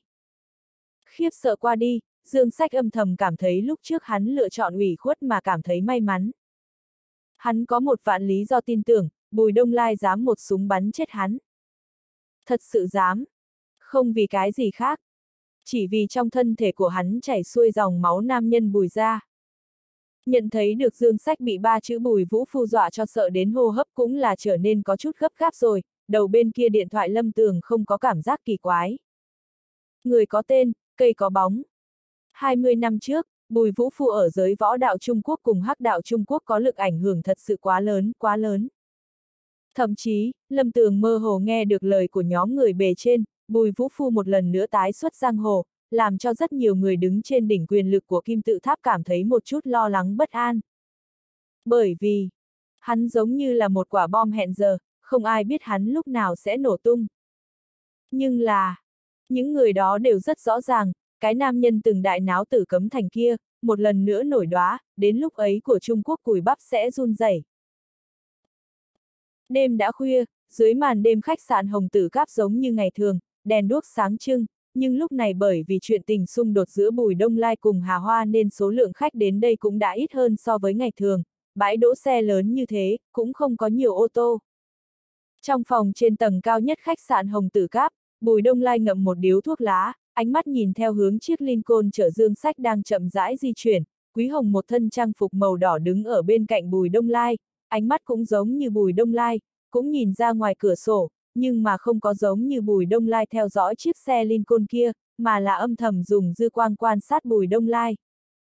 Nhìn khuôn mặt bình tĩnh của Bùi Đông Lai, trong đầu hiện ra hết thảy việc Bùi Đông Lai làm lúc trước, trong lòng Quý Hồng thổn thức không thôi.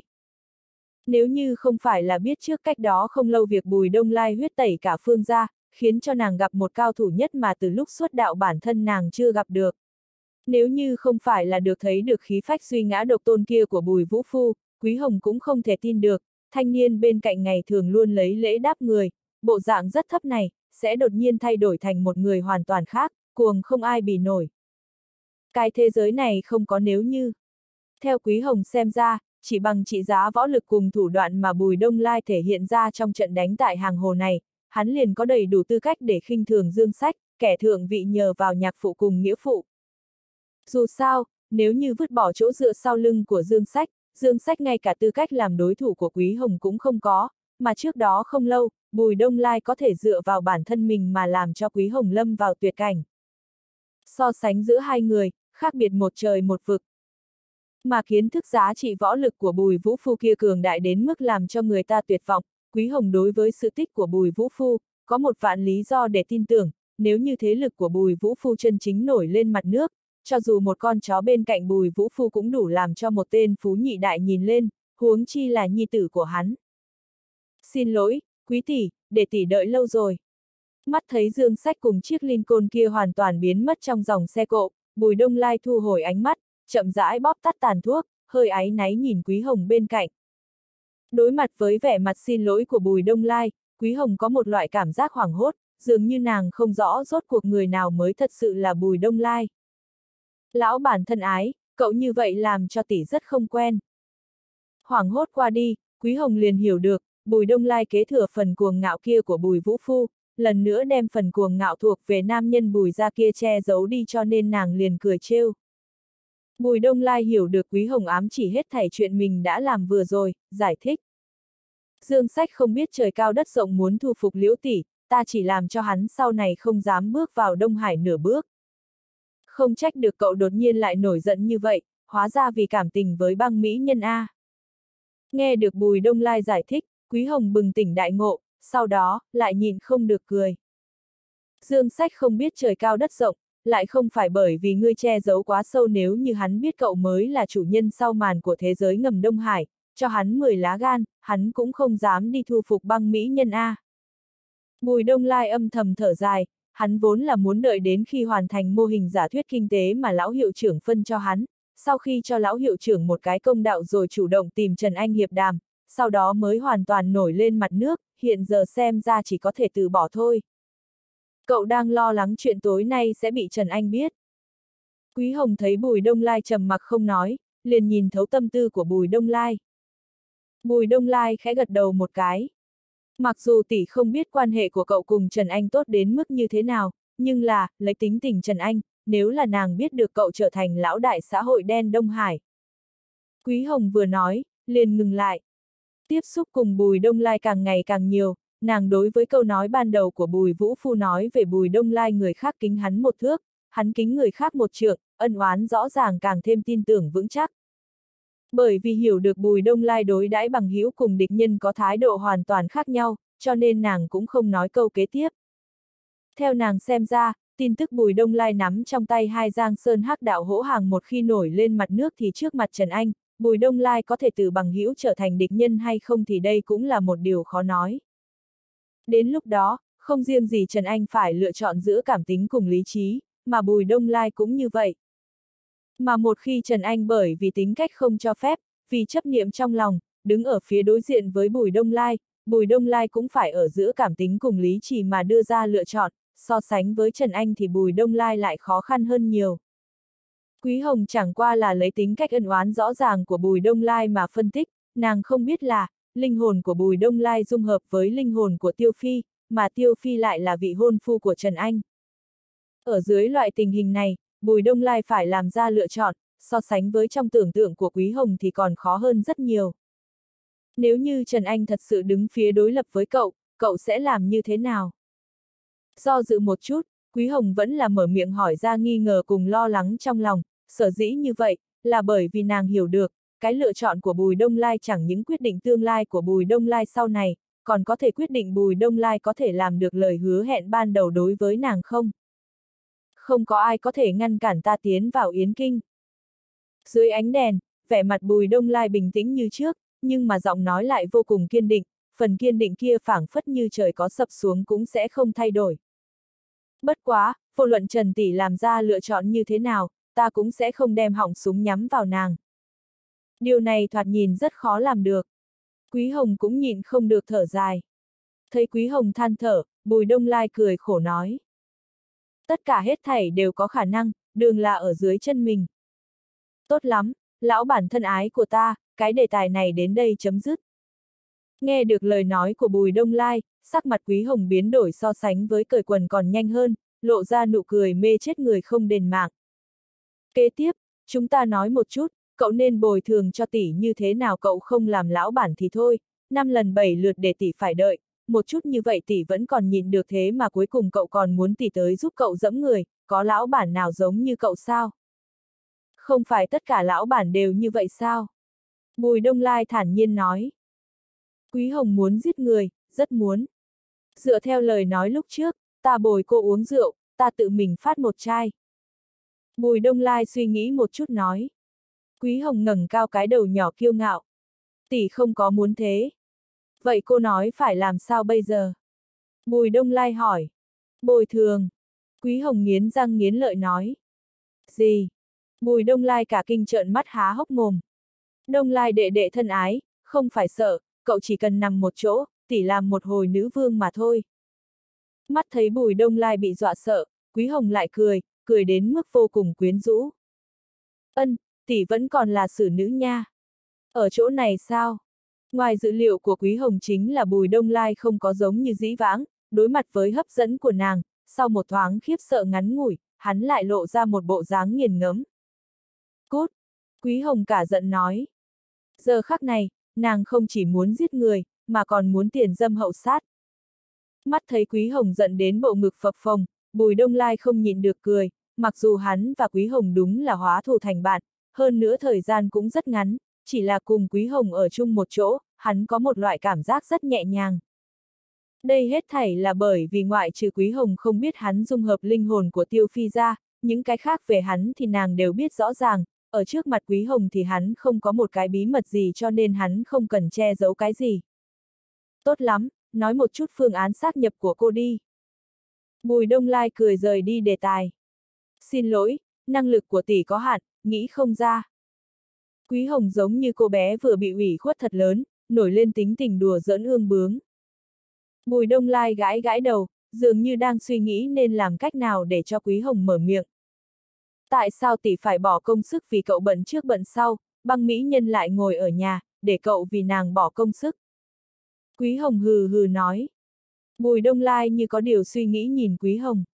Hay là tỷ thấy trong lòng không thoải mái, hay là đang ghen? Tỷ đang ghen, thì sao nào? Quý Hồng nâng đôi đại hung khí lên, thân thể thiếu chút nữa dán sát vào người Bùi Đông Lai, Bùi Đông Lai có thể ngửi được mùi thơm trên cơ thể của nàng hơn nữa hắn còn có thể cảm nhận được trong miệng nàng phun ra mùi thơm.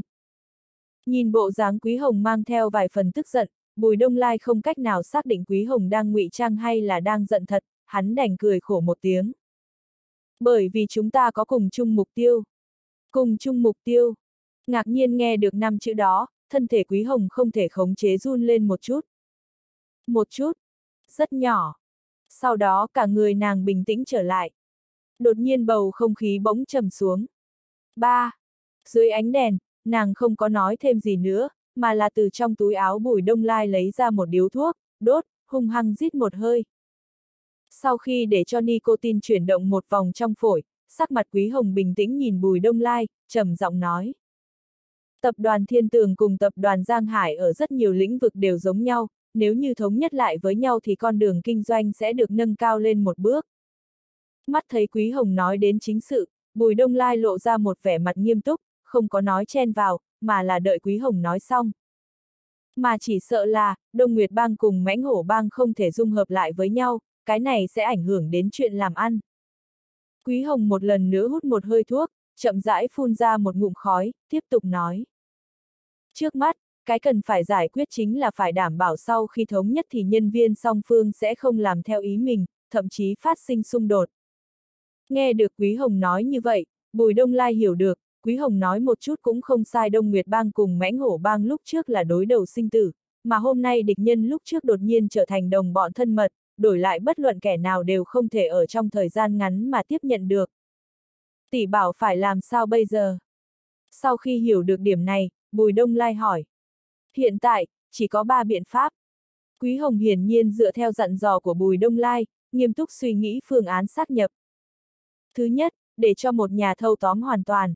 Vô luận là để cho tỷ thâu tóm thế lực của Liễu Nguyệt, hoặc là để cho Liễu Nguyệt thâu tóm thế lực của tỷ, cũng có thể đạt tới mục đích. Bất quá, ở trong quá trình thâu tóm, cho dù một bên diễn trò, nhưng dù sao người dưới tay cũng không biết đó là diễn trò, cho nên, tạo thành tổn thất là tất nhiên, trọng yếu hơn chính là còn có thể bị những người khác bắt được nhược điểm. Đây là hạ hạ sách, bất quá cũng là một loại biện pháp che giấu tai mắt người ngoài. Thứ hai, ta với Liễu Nguyệt cùng ra mặt, mạnh mẽ làm cho thủ hạ dưới quyền đồng ý thống nhất.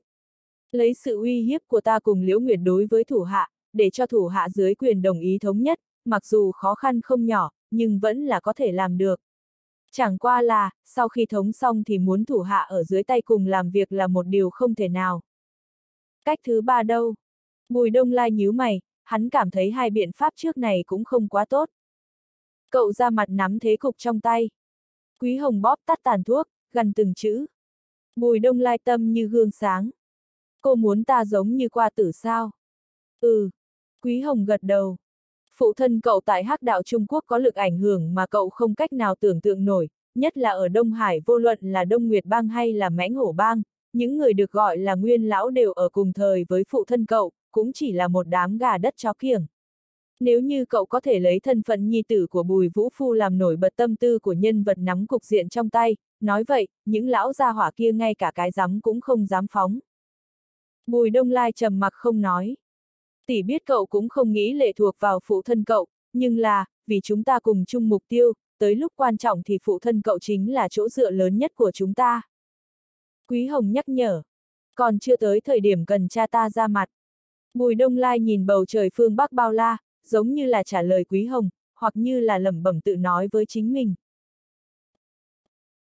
Bóng đêm như nước, gió đêm thổi lất phất, ban đêm sân trường Đại học Đông Hải không có tiếng động lớn náo nhiệt, nhưng cũng không yên tĩnh, trên đường sân trường tùy ý là có thể thấy được nhiều đôi tình lữ dắt tay nhau bước chậm, còn có đôi tình lữ ngồi ở trên bãi cỏ, trong rừng cây vuốt ve, hôn môi nhau, cả sân trường tràn ngập một cỗ không khí lãng mạn. So sánh với cái gọi là tình yêu thời sinh viên mà nói thì chơi game chính là tiêu tốn thời gian của sinh viên nhiều hơn, cơ hồ trong mỗi KTX cũng đều có thể thấy sinh viên thức đêm chiến đấu hăng hái chơi game. Ngoài ra còn có vài sinh viên muốn cố gắng học tập để thoát khỏi cảnh đói nghèo nên đã tới giáo học lâu, ôm sách giáo khoa ngồi học. Tuổi thanh xuân hoặc là tiêu xài hoang phí, hoặc là quý trọng. Bọn họ lựa chọn phương thức khác nhau, con đường khác nhau, kết quả cuối cùng cũng khác nhau. Nhóm người trước có thể lưu lại tốt đẹp chính là những thương cảm, sau này không cách nào nhớ lại, rồi sau đó chú lại vì tương lai mà điên cuồng phấn đấu. Đồng dạng, nhóm người trước có thể hưởng thụ tình yêu dễ chịu thời sinh viên đại học, chơi trò chơi tông khoái cảm, người thuộc bộ phận sau có thể sau khi ra khỏi sân trường đại học thể nghiệm tư vị dùng kim tiền bao nuôi tình nhân cùng tiểu tam. Dường như, không có người nào là không hưởng thụ tuổi thanh xuân của mình. Trong cửa cây TC Nam sinh lầu 5, Ngô Vũ Trạch, Cổ Văn Cảnh cùng Hạ Y Na ba người ngồi ở trên bậc thang, nhìn xuống sân trường, trầm mặc không nói. Cơ hồ là mỗi nam sinh đi vào KTX lầu này cũng sẽ kìm lòng không đậu đem ánh mắt quăng về hướng ba người, chính xác ra là quăng về hướng Hạ Ina. Đối mặt với từng ánh mắt nhìn chăm chú, Hạ Ina không hề để ý đến, nàng chẳng qua là lẳng lặng nhìn về phía trước sân trường, đang đợi cái thân ảnh bất chi bất giác đã khắc sâu vào trong nội tâm của nàng xuất hiện. Hạ Ina, cậu trở về đi thôi, Đông Lai không có chuyện gì đâu. Ngô Vũ Trạch mở miệng, đây đã là lần thứ năm hắn khuyên Hạ Y Na trở về phòng rồi, nhưng mà một hiệu quả cũng không có, Hạ Y Na một lần nữa lắc đầu cự tuyệt. Tớ chờ hắn. Thanh âm Hạ Y Na rất nhẹ, giọng nói lại vô cùng kiên định. Hắn thật sự là không có chuyện gì. Vẻ mặt ngô vũ trạch cười khổ, cũng không có nói tin tức bùi đông lai xưng bá hắc đạo hàng hồ, mà là suy nghĩ một chút, nói. Cậu cẩn thận suy nghĩ một chút, từ khi chúng ta biết hắn tới nay, hắn có lúc nào làm chuyện không nắm chắc chưa? Tớ đồng ý với cách nhìn của Ngô Vũ Trạch, Đông Lai thực không có chuyện gì. Mặc dù cổ văn cảnh đối với tin tức sự kiện hàng hồ không rõ ràng lắm, chỉ là, hắn đối với Bùi Đông Lai có một loại cảm ứng khó hiểu, phần cảm ứng khó hiểu kia để cho hắn cảm thấy vô luận là sự kiện quân sự ban đầu kia hay là sự kiện hàng hồ vừa mới xảy ra kia, cũng không đơn giản giống như vẻ ngoài như vậy, hắn cảm thấy Bùi Đông Lai vào thời điểm quan trọng thì làm ra những tác động. Tớ biết hắn chưa bao giờ làm chuyện gì mà không nắm chắc. Hạ Ina gật đầu, sau đó tâm tình bỗng nhiên trở nên có chút kích động. Chỉ là, các cậu biết không, cái tên Hà Hoa kia là người của Hà Gia Yến Kinh, phụ thân hắn là một nhân vật thực quyền trong ngành trọng yếu, đại bá của hắn lại là một đại tướng biên giới ở Đông Bắc. Ngoài trừ cái đó ra thì tỷ tỷ của hắn gả cho Yến Kinh Lâm ra Lâm Tường, mà Lâm Tường hiện đang nhậm chức ở Giang Ninh, còn Ngưu Hải Đào kia nữa, phụ thân hắn đang là quân đoàn trưởng của một quân khu nào đó ở Giang Ninh. Lúc trước, lúc mà Hạ Y Na từ tình báo biết được thân phận của Hà Hoa cùng Ngưu Hải Đào, nàng mới hiểu được, vì sao hai người Ngưu Hải Đào cùng Hà Hoa không chỉ một lần nhắc nhở nàng, nơi này là Đông Hải, là vùng châu thổ Trường Giang. Lúc này, Hạ Y Na nói ra những lời này, trong đôi mắt toát ra vẻ lo lắng thật sâu, đồng thời còn có cảm giác vô lực. Nàng rất muốn giúp Bùi Đông Lai vượt qua cửa ải khó khăn này, chỉ là, lý trí nói cho nàng biết, chuyện này nàng có lòng mà không đủ lực bàn về thực lực, hạ hà cha của nàng cùng ông ngoại dồn lại đều là chống không được hà ra huống chi phía sau hà gia còn có lâm gia, con quái vật còn lớn hơn. Nghe được lời nói của hạ y na, ngô vũ trạch không khỏi âm thầm thở dài, hắn rất muốn nói cho hạ y na biết tin tức sự kiện hàng hồ, nhưng nghĩ đến dặn dò ban đầu của bùi đông lai, chỉ có thể đem lời nói đến khóe miệng nuốt trở về trong bụng. Trong lúc nhất thời, ba người đều trầm mặc. Đến lúc khóa cửa phòng rồi, mau trở về phòng ngủ. Không biết qua bao lâu, bóng người trong sân trường dần dần ít đi, quản túc hướng về phía ba người hô lên. Biết rồi, đại thúc, cứ trở về đi. Ngô Vũ Trạch quay đầu lại, mỉm cười một tiếng, sau đó lấy ra điện thoại di động gọi vào số điện thoại của Bùi Đông Lai nhưng mà vẫn như cũ không cách nào liên lạc được. Hạ Y Na, trở về đi thôi. Không cách nào liên lạc với Bùi Đông Lai, Ngô Vũ Trạch không thể làm gì khác hơn là một lần nữa khuyên Hạ Y Na trở về phòng. Lúc này, Hạ Y Na chưa trả lời. Vẻ cảm xúc kích động đột nhiên hiện ra trên khuôn mặt nàng, cả người nàng đột nhiên đứng lên. Ách! Ngạc nhiên nhận thấy được vẻ dị thường của Hạ Y Na, hai người Ngô Vũ Trạch và Cổ Văn Cảnh không hẹn mà cùng nhìn về phía trước, rõ ràng thấy được Bùi Đông Lai hướng về phía này đi tới. Bùi Đông Lai! Dưới màn đêm, Hạ Y Na kích động hô lên một tiếng Bùi Đông Lai, sau đó, giống như nhận được tiếng lòng gọi về, cả người kìm lòng không được hướng phía Bùi Đông Lai chạy tới. Trên đường sân trường, Bùi Đông Lai vốn là đang suy nghĩ tới lúc cùng Quý Hồng thương lượng quyết sách, ngạc nhiên nghe được lời của Hạ Y Na mà nói, lập tức ngẩng đầu nhìn về phía trước. Sau một khắc, hắn rõ ràng thấy, Bạch Phú Mỹ toàn trường người người đều biết kia, người được rất nhiều nam sinh ngầm đánh giá là đóa hoa xinh đẹp nhất giảng đường, đang hướng về phía hắn mà chạy như điên. Tóc dài phất phới, làn váy tung bay. Dưới màn đêm, Hạ Y Na chạy như vậy. Cảm giác kia giống như nàng sợ bùi đông lai lại đột nhiên một lần nữa biến mất trong tầm mắt của nàng. Thấy một màn như vậy, hai người ngô vũ trạch cùng cổ văn cảnh liếc mắt nhìn nhau, xoay người trở về phòng, tựa hồ không muốn làm bóng đèn. Mà bùi đông lai nhìn mỹ nhân hướng về phía mình mà chạy như vậy, bước chân hắn hơi chậm lại. a à, đột nhiên, dưới chân hạ y na bị vướng vào cái gì, cả người phát ra một tiếng thét kinh hãi, thân thể theo tác động của lực quán tính, bay thẳng đến phía trước ngã quỵ xuống. Bù! Bùi đông lai thấy thế, cả người ngay tại chỗ bắn ra, hóa thành một đạo tàn ảnh, hướng phía hạ y na mà đến. Trong một sát na, lúc mà hạ y na sắp ngã trên mặt đất thì một bàn tay to có lực lượng chụp tới, giống như mỏ kim dưới đáy biển, trực tiếp từ bên eo của nàng đem nàng bế lên. Sau đó, Hạ Y Na lập tức cảm thấy thân thể của mình ngã vào trong lòng của Bùi Đông Lai, mùi vị quen thuộc mà xa lạ kia theo gió tràn vào trong mũi nàng, thân thể của nàng đột nhiên cứng ngắc, vẻ mặt ngây ngốc nhìn Bùi Đông Lai. Giờ khắc này, nàng cảm thấy mình đang nằm mơ. Làm sao vậy? Nhìn vẻ mặt ngây ngốc của Hạ Y Na, Bùi Đông Lai buông Hạ Y Na ra, cười khổ hỏi. Không trả lời. Bên tai vang lên lời của Bùi Đông Lai, nhận thấy được Bùi Đông Lai buông lỏng tay ra, Hạ Y Na không biết súng khí từ đâu ra, kìm lòng không nổi vươn hai tay ra, ôm lấy Bùi Đông Lai, ôm rất chặt, rất chặt. Vẻ mặt Bùi Đông Lai liền đưa lại. Tớ lo lắng cho cậu. Hạ Y Na đem mặt dán tại trên ngực Bùi Đông Lai, nghe thấy tiếng tim đập của Bùi Đông Lai, thanh âm run rẩy nói. Tớ lo lắng cho cậu. Tớ lo lắng cho cậu. Mấy chữ nhẹ nhàng, theo gió phiêu tán, lại giống như một tiếng nhu thuận không một tiếng động rơi vào trong tai bùi đông lai, một lần nữa làm hắn cảm thấy xúc động. Thân thể bùi đông lai hơi cứng đờ, sau đó, hắn do dự một chút, cuối cùng là vươn tay ra, vỗ vỗ vai Hạ ina cười khổ nói. Tớ không sao. Nhận thấy được trên tay bùi đông lai truyền đến hơi ấm cùng lực lượng, Hạ ina hít sâu một hơi, chậm rãi thoát khỏi lồng ngực bùi đông lai. Hai mắt nàng mông lung nhìn bùi đông lai người đàn ông này đã khắc sâu vào trong nội tâm của nàng, ánh mắt thâm tình.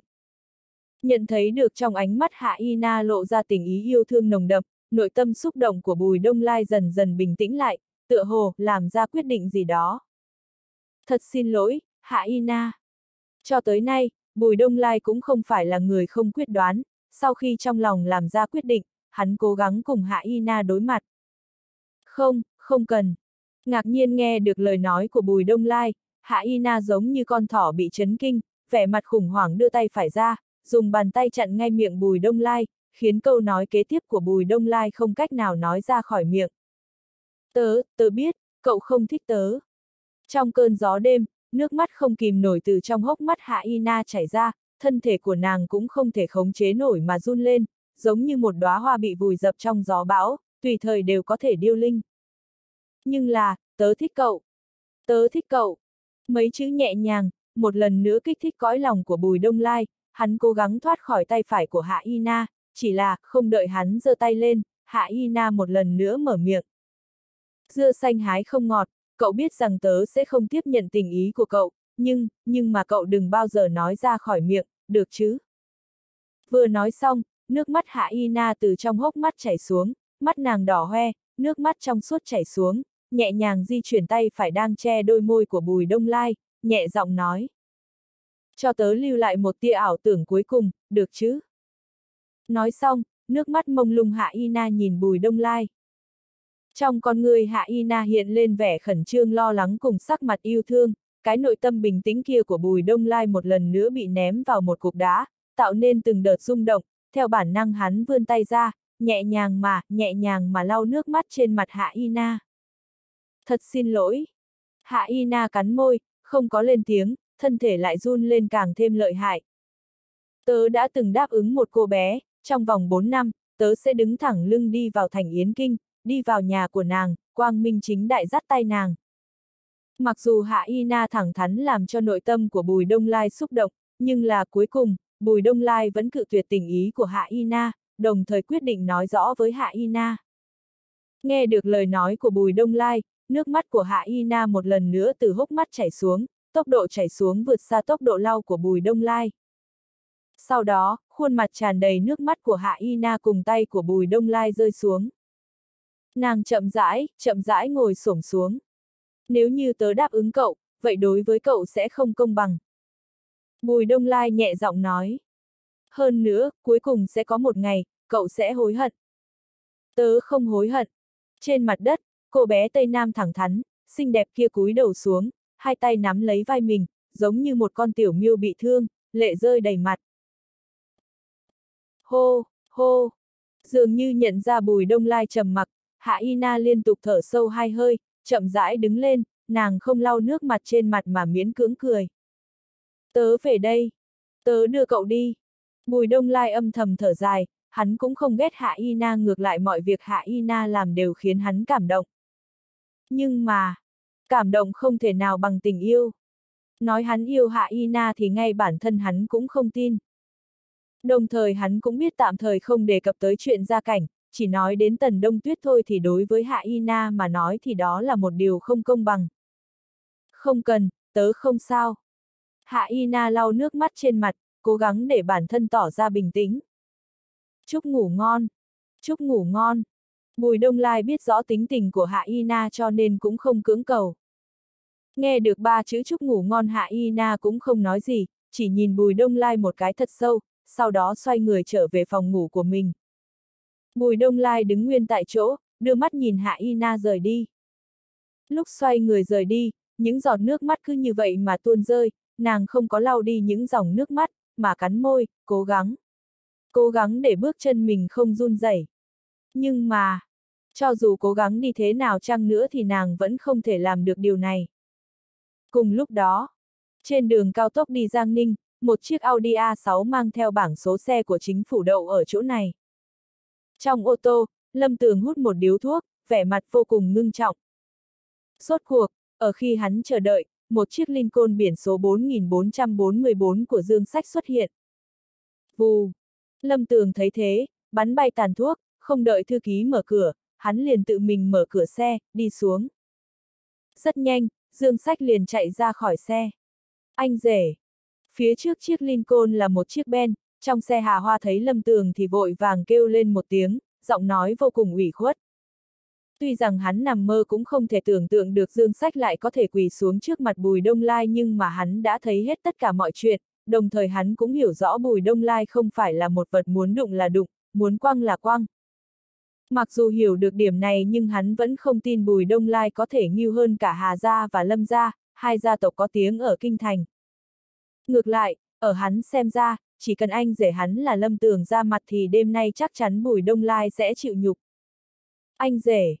Vài giây sau, Hà Hoa chạy đến trước người Lâm Tường, giống như là một đứa trẻ bị ủy khuất. Đồ phế vật vô dụng. Thấy vậy Lâm Tường liền mắng một tiếng, sau đó trực tiếp tát một bà tai vào mặt Hà Hoa. Bốp!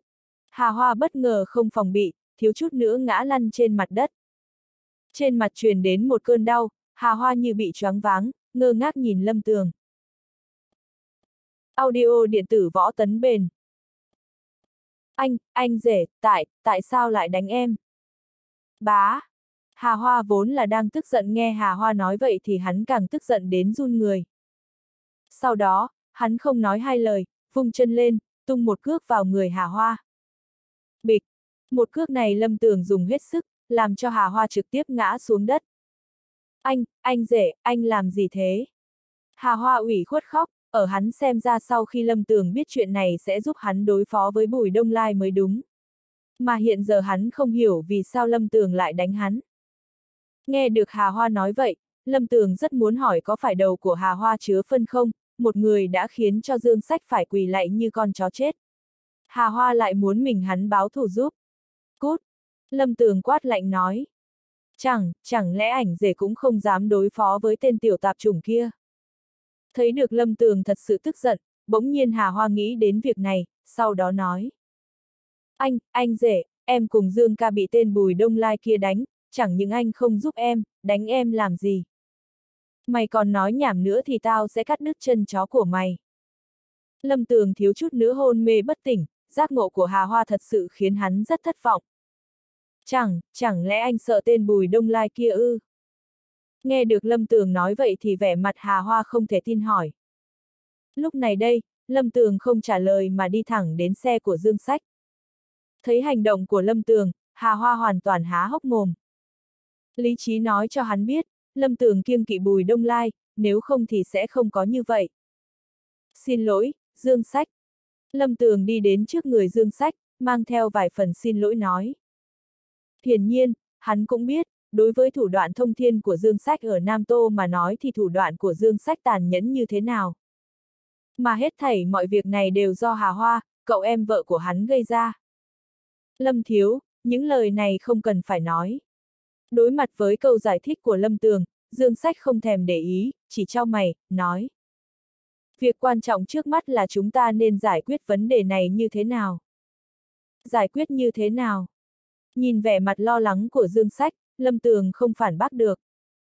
Bởi vì hắn biết sự tồn tại của Bùi Vũ Phu, cho dù hắn vận dụng toàn bộ thế lực của gia tộc thì cũng không thể ngăn nổi thế tiến công của Bùi Đông Lai, lại càng không nói đến chuyện trả thù Bùi Đông Lai. Nếu như không phải như thế thì ngày đó Lâm gia đã ra mặt cho Lâm Phong. Nói với người ở Đông Hải không nên truy cứu đến việc này. Một lúc sau, sắc mặt Lâm Tường ngưng trọng, mở miệng. Nghe được Lâm Tường nói thế thì Dương Sách liền trầm mặc. Tuy hắn hiểu rằng Bùi Đông Lai đã thả hắn đi thì Bùi Đông Lai sẽ không có ý định đối phó với hắn nhưng mà tiếng tăm của Bùi Vũ Phu đã làm cho hắn không thể nào không lo lắng. Nếu hắn truy cứu thì chúng ta nên làm gì để ứng phó? Trầm mặc một lát, Dương Sách lo lắng hỏi. Chúng ta chỉ có thể nhận sai. Sắc mặt lâm tường khó coi. Bởi vì mấy tháng trước, một vị đường đệ của ta đã bị hai cha con hắn làm cho nhục nhã, kết quả là thúc thúc cùng ông nội của ta chẳng những không ra mặt giúp hắn mà còn giảm bớt thế lực của gia tộc ủng hộ hắn. Bịch! Nghe được cuộc nói chuyện giữa hai người Lâm Tường và Dương Sách, Hà Hoa liền hôn mê bất tỉnh. Trong lúc hôn mê, hắn không ngừng hỏi thầm bản thân, rốt cuộc Bùi Đông Lai là thần thánh phương nào. Làm sao hắn, hắn lại dám vũ nhục Lâm Phong. Thấy Hà Hoa hôn mê, Dương Sách cũng trầm mặc. Trong đôi mắt Dương Sách hiện lên vẻ sợ hãi, không có cách nào che giấu được. Reng, reng. Đột nhiên tiếng chuông điện thoại vang lên. Lông mày Lâm Tường nhíu lại, hắn cầm điện thoại lên, rõ ràng thấy số gọi là ở Yến Kinh. Thấy vậy, hắn liền nghe máy. Alo, là vị nào? Nạp Lan Minh Châu. Sân bay Yến Kinh, đi theo dòng người đăng ký, Nạp Lan Minh Châu tay cầm điện thoại giống như là một con khổng tước, làm đám nam nhân xung quanh phải ngước nhìn. Nàng chậm rãi mở miệng. Nạp Lan Minh Châu. Nghe được cái tên này thì hai mắt của Lâm Tường đột nhiên mở to ra. Thân là nhân vật đại biểu đời thứ tư của Lâm gia, hắn cũng được coi như là một nhân vật có tiếng ở tử cấm thành. Lần đầu tiên hắn nghe đến cái tên Nạp Lan Minh Châu này là từ một năm trước, từ chính trong miệng của vị đường đệ của mình. Đối với việc này thì hắn cũng không để ý. Lần thứ hai hắn nghe đến Nạp Lan Minh Châu là chuyện Lâm Phong bị hai cha con Bùi Đông Lai hù sợ đến tẻ quần ở trong chính trang viện của Nạp Lan gia.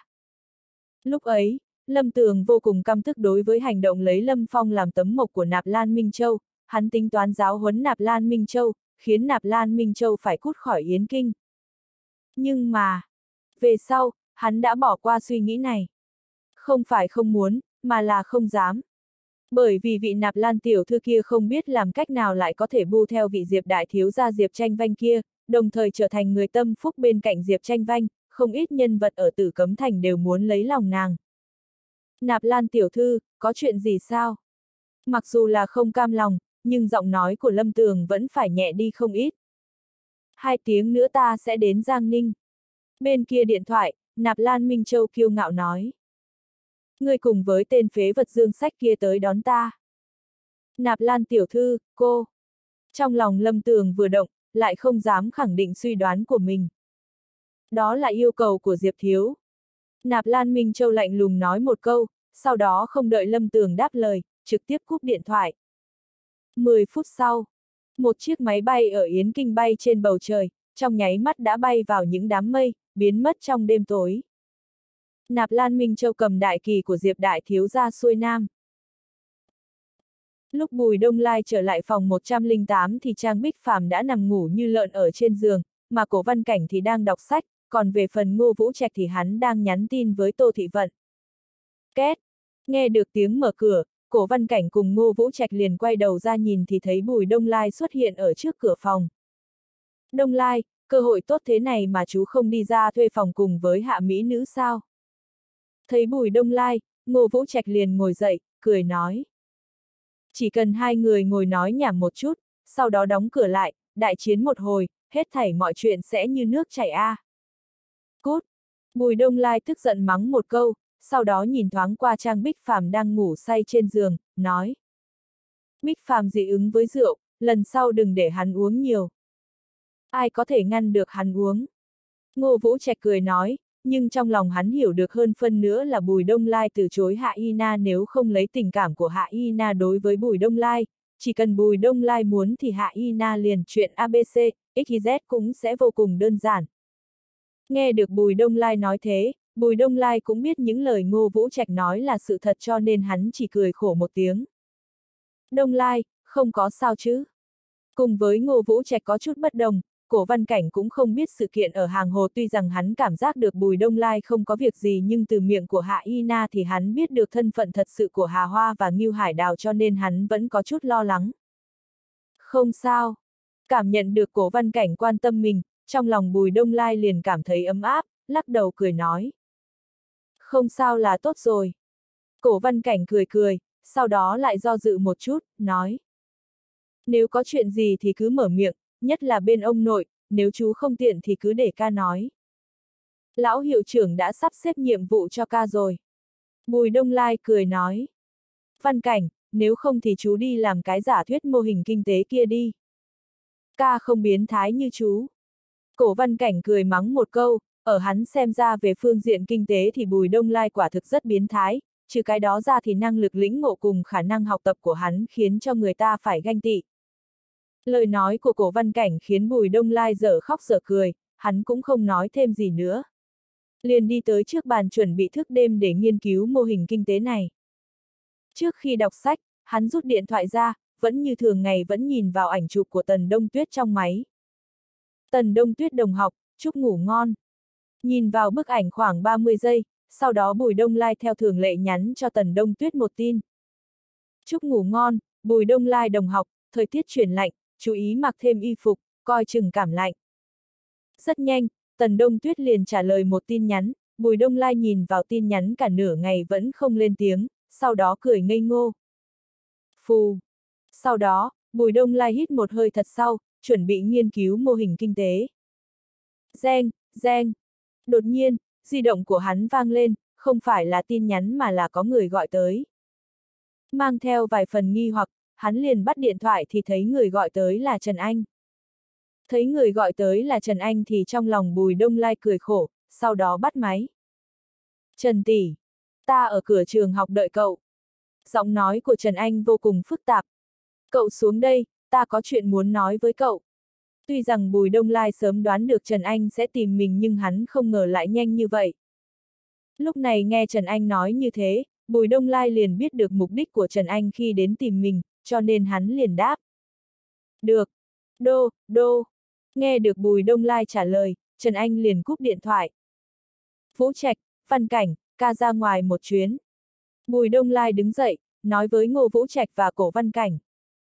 Nghe được Bùi Đông Lai nói thế, Ngô Vũ Trạch tưởng rằng Hạ Y Na gọi tới, vốn muốn trêu chọc Bùi Đông Lai vài câu nhưng thấy sắc mặt Bùi Đông Lai lộ ra vẻ ngưng trọng cho nên hắn cũng giống như Cổ Văn Cảnh, cả hai đều gật đầu. Đối diện với Đại học Đông Hải, ở một ngã tư đường một chiếc SUV, xe Việt giã của đặc công Đông Hải đứng ở đây. Trong ô tô, Trần Anh thân mang một bộ quần áo thể thao, dưới chân mang theo một đôi giày cả người toát lên vẻ ôn nhu của một người phụ nữ. Nhưng mà sắc mặt của nàng thì vô cùng lãnh mạc, làm cho người ta khi thấy nàng thì cảm thấy rằng mình cách xa nàng cả ngàn dặm. Chẳng qua, bên trong vẻ lãnh mạc kia còn mang theo vài phần phức tạp. Dưới ánh đèn, nàng nhìn vào cửa của Đại học Đông Hải, trong lòng không biết đang nghĩ việc gì. 20 phút sau, Bùi Đông Lai xuất hiện, thân hình mỏng manh hướng xe của nàng đi tới. Thấy được Bùi Đông Lai, đồng tử của Trần Anh đột nhiên co lại, vẻ mặt vô cùng phức tạp. Rất nhanh, Bùi Đông Lai đã đi đến bên cạnh xe. Hô! Trần Anh lấy lại tinh thần, mở cửa sổ ra, nói. Lên xe.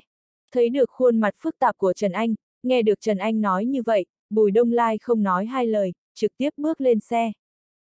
Sau đó, Trần Anh khởi động xe rồi phóng nhanh như một con quái thú. Có lẽ do tâm tình không tốt nên dọc đường đi, tốc độ lái xe của Trần Anh rất nhanh. Không biết qua bao lâu, khi đến được bờ sông Hoàng Phổ thì Trần Anh cho dừng xe. Bùi Đông Lai, cậu còn coi ta là một vị tỷ tỷ của cậu sao?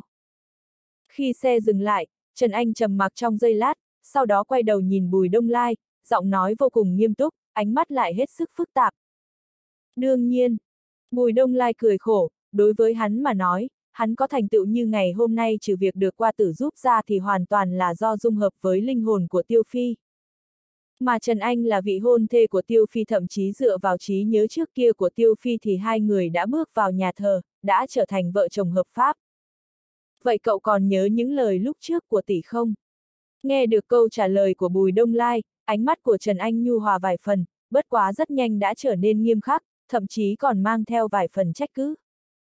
Bùi Đông Lai thở dài. Nhớ rõ, tỷ đã từng nói sau này tỷ không hy vọng có một ngày ta có tên trong danh sách truy bắt của tỷ. Vậy thì cậu đã làm như thế nào? Trần Anh cao giọng, giọng nói mang theo vài phần tức giận. Bùi Đông Lai không phản bác được. Hắn biết rõ, Trần Anh đã tìm hắn thì tự nhiên nàng đã biết được mọi chuyện. Đông Lai, nói cho tỷ biết, chuyện ở hàng hồ có phải là do cậu làm không? Trần Anh thấy Bùi Đông Lai không nói lời nào, hỏi. Cha con Phương Trấn hẳn là chết trong tay cậu phải không? Vâng. Bùi Đông Lai không có dấu giếm, mà là thừa nhận. Bá!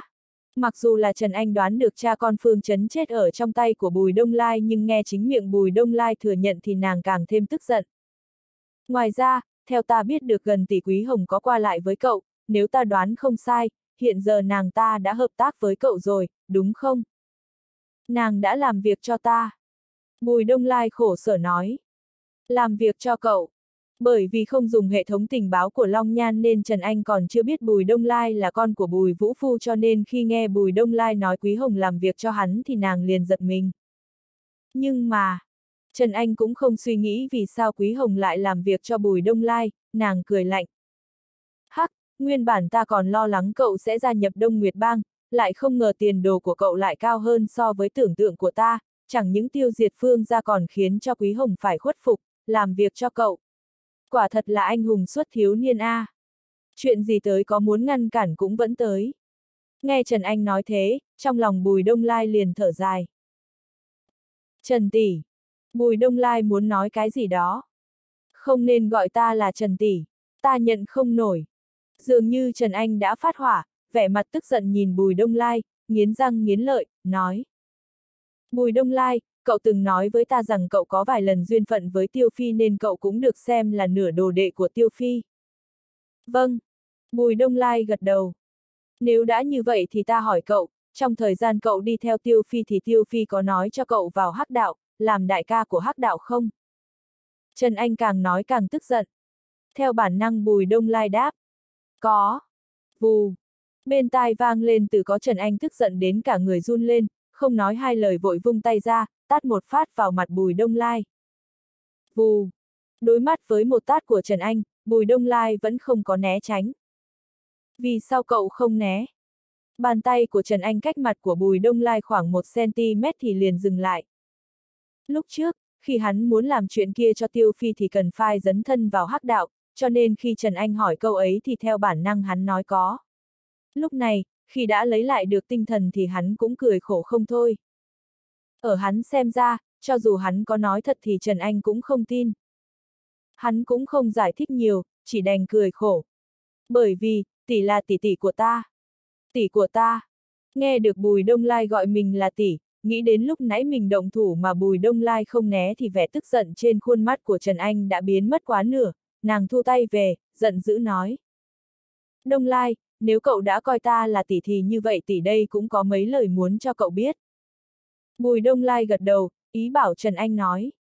Tỷ không biết Tiêu Phi có nói cho cậu biết Long Nha là một tổ chức như thế nào không?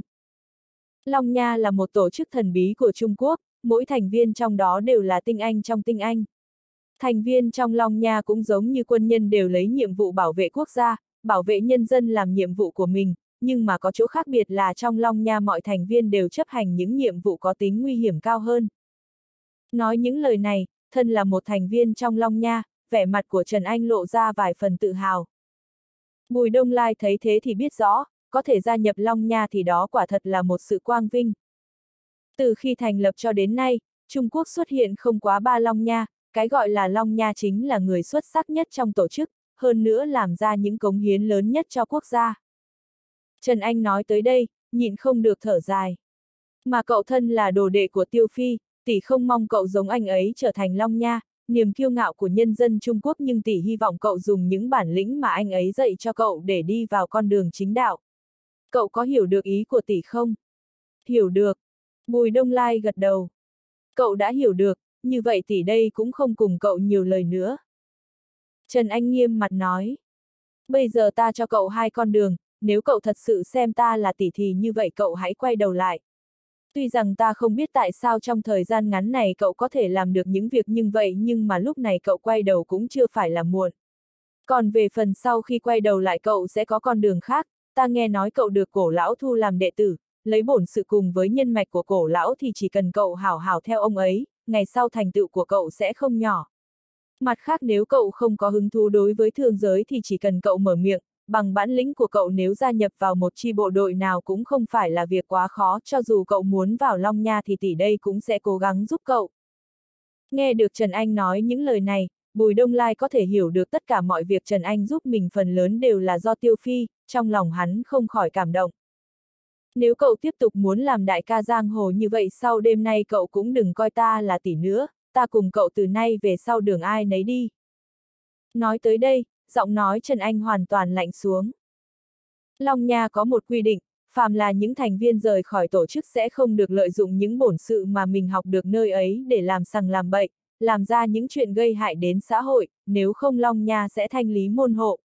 Tuy rằng cậu không phải là thành viên của Long Nha nhưng cậu là đệ tử của Long Nha thứ ba.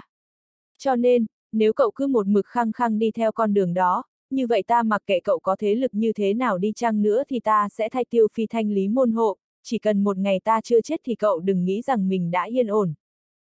Bùi Đông Lai giữ im lặng.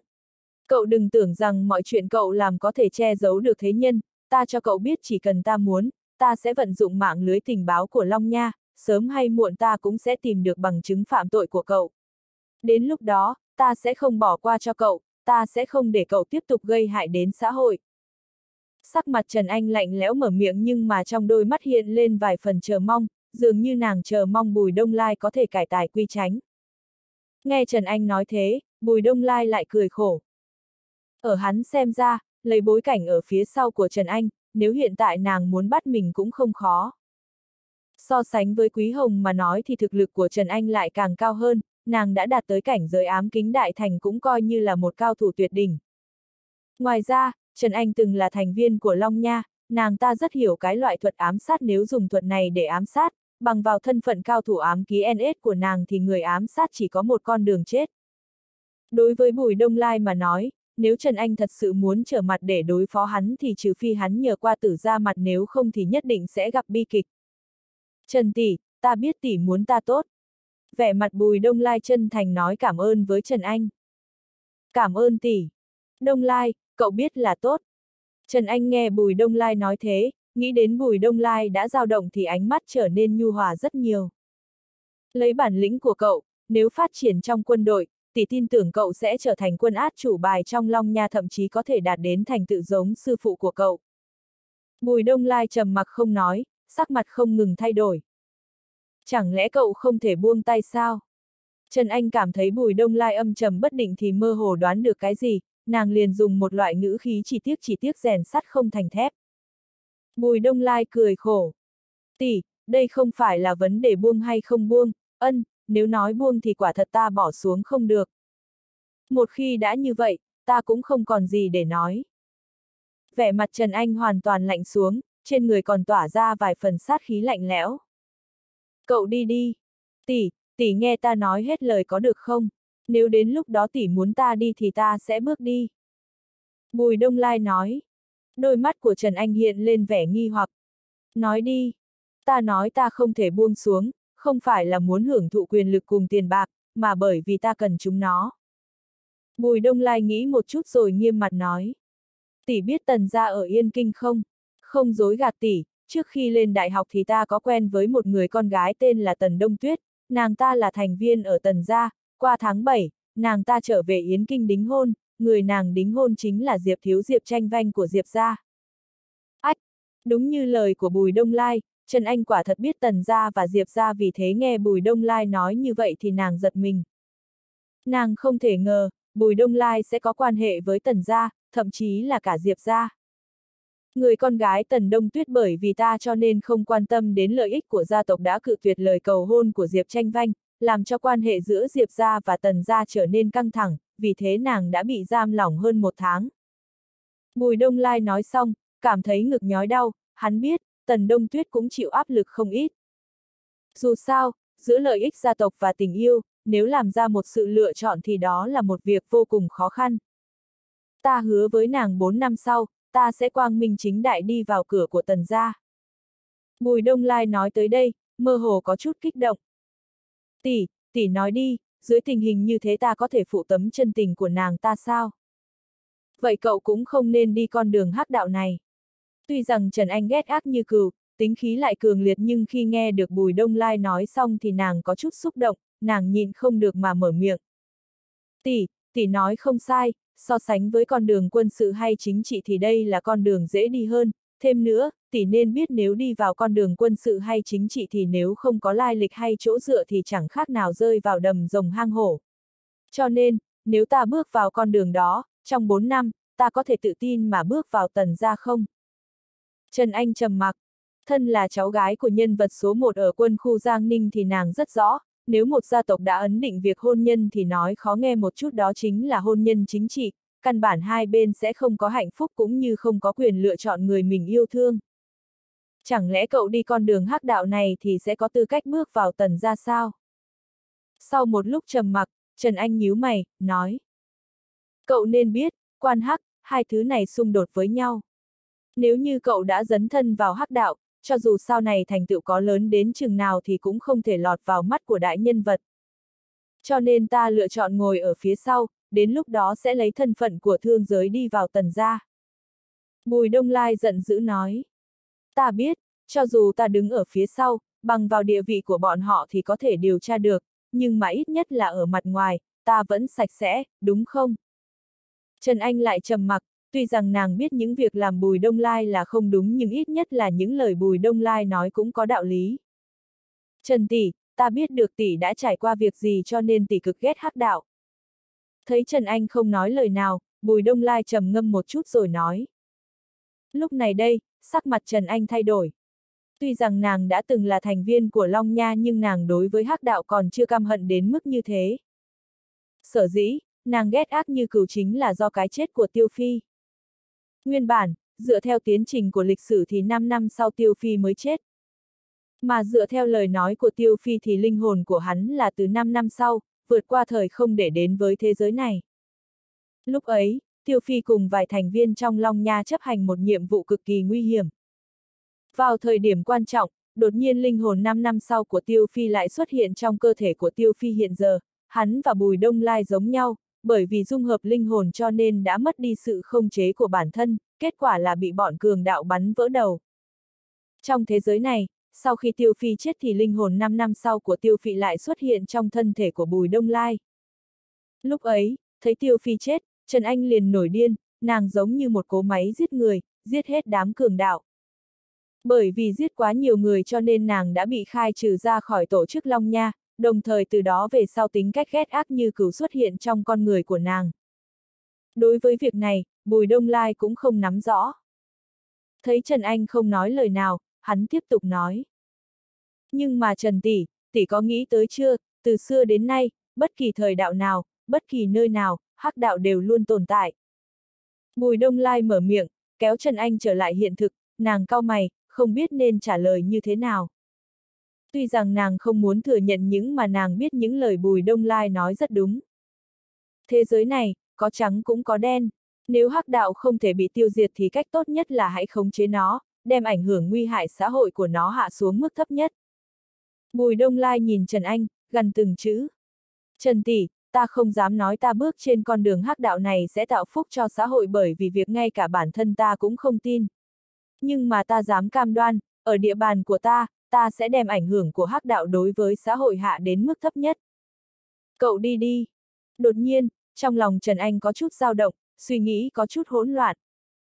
Vẫn là câu nói kia, đừng nên để ta nắm lấy nhược điểm nếu không ta sẽ không lưu tình. Trần Tỷ, vô luận Tỷ làm ra quyết định gì, ta vẫn không đem nòng súng chĩa vào họng Tỷ.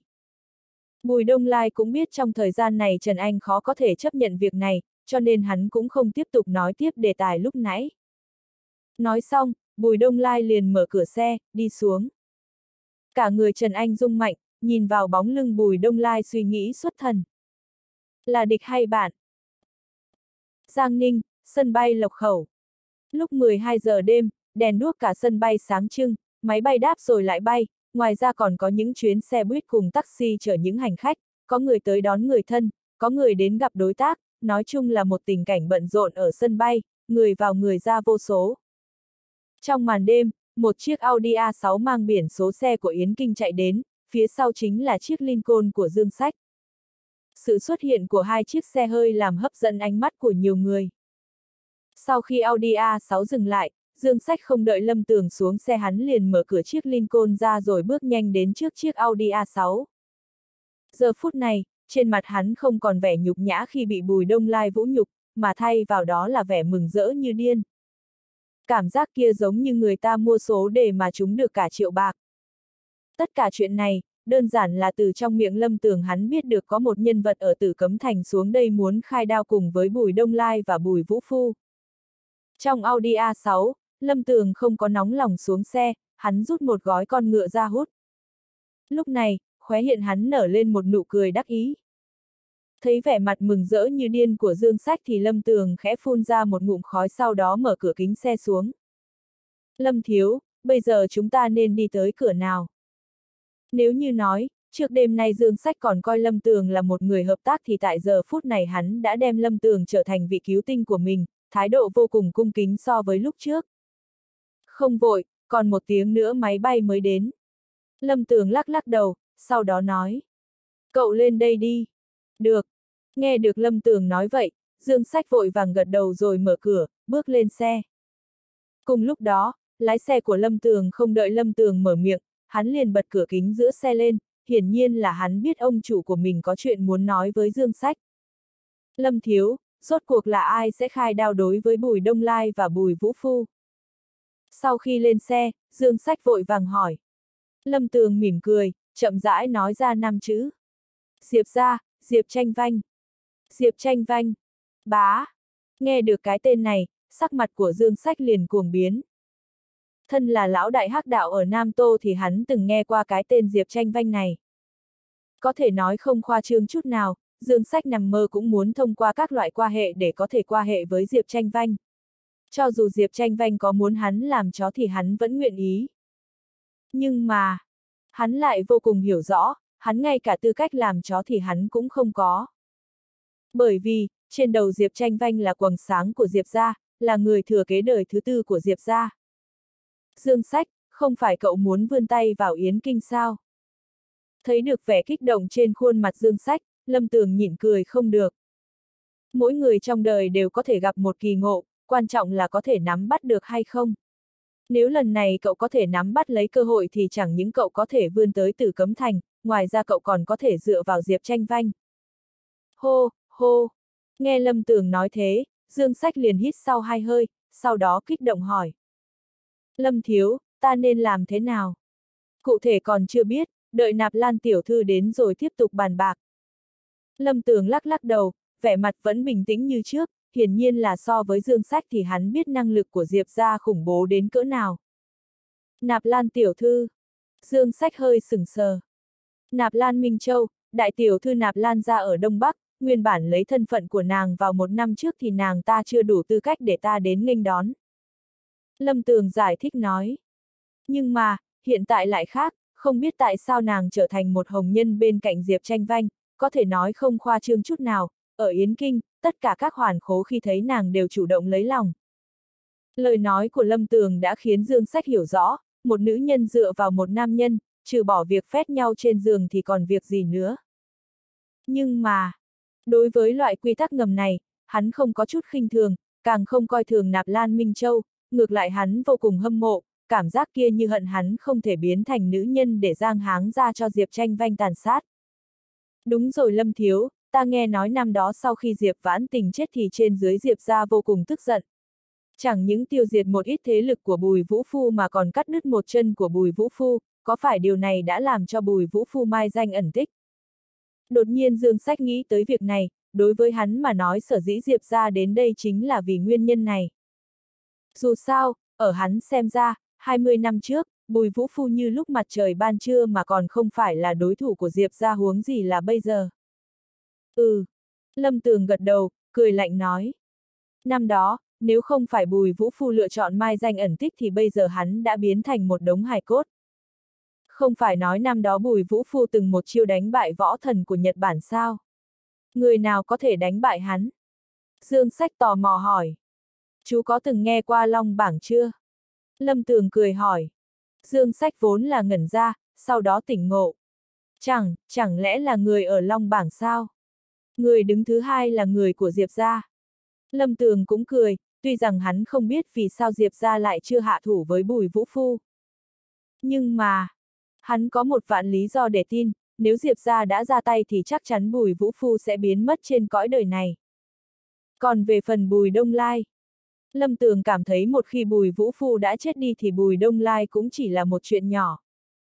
Hắc hắc, ta còn lo lắng nên đối phó như thế nào với sự trả thù của tên vương bát đản họ Bùi kia, hiện tại đã không cần lo lắng. Dương Sách kích động nói. Thật sự ta muốn nhìn tên tiểu tử Bùi Đông Lai kia quỳ xuống trước mặt, sau đó dập đầu mà cầu xin tha thứ. Cảnh ấy rất nhanh sẽ thực hiện được.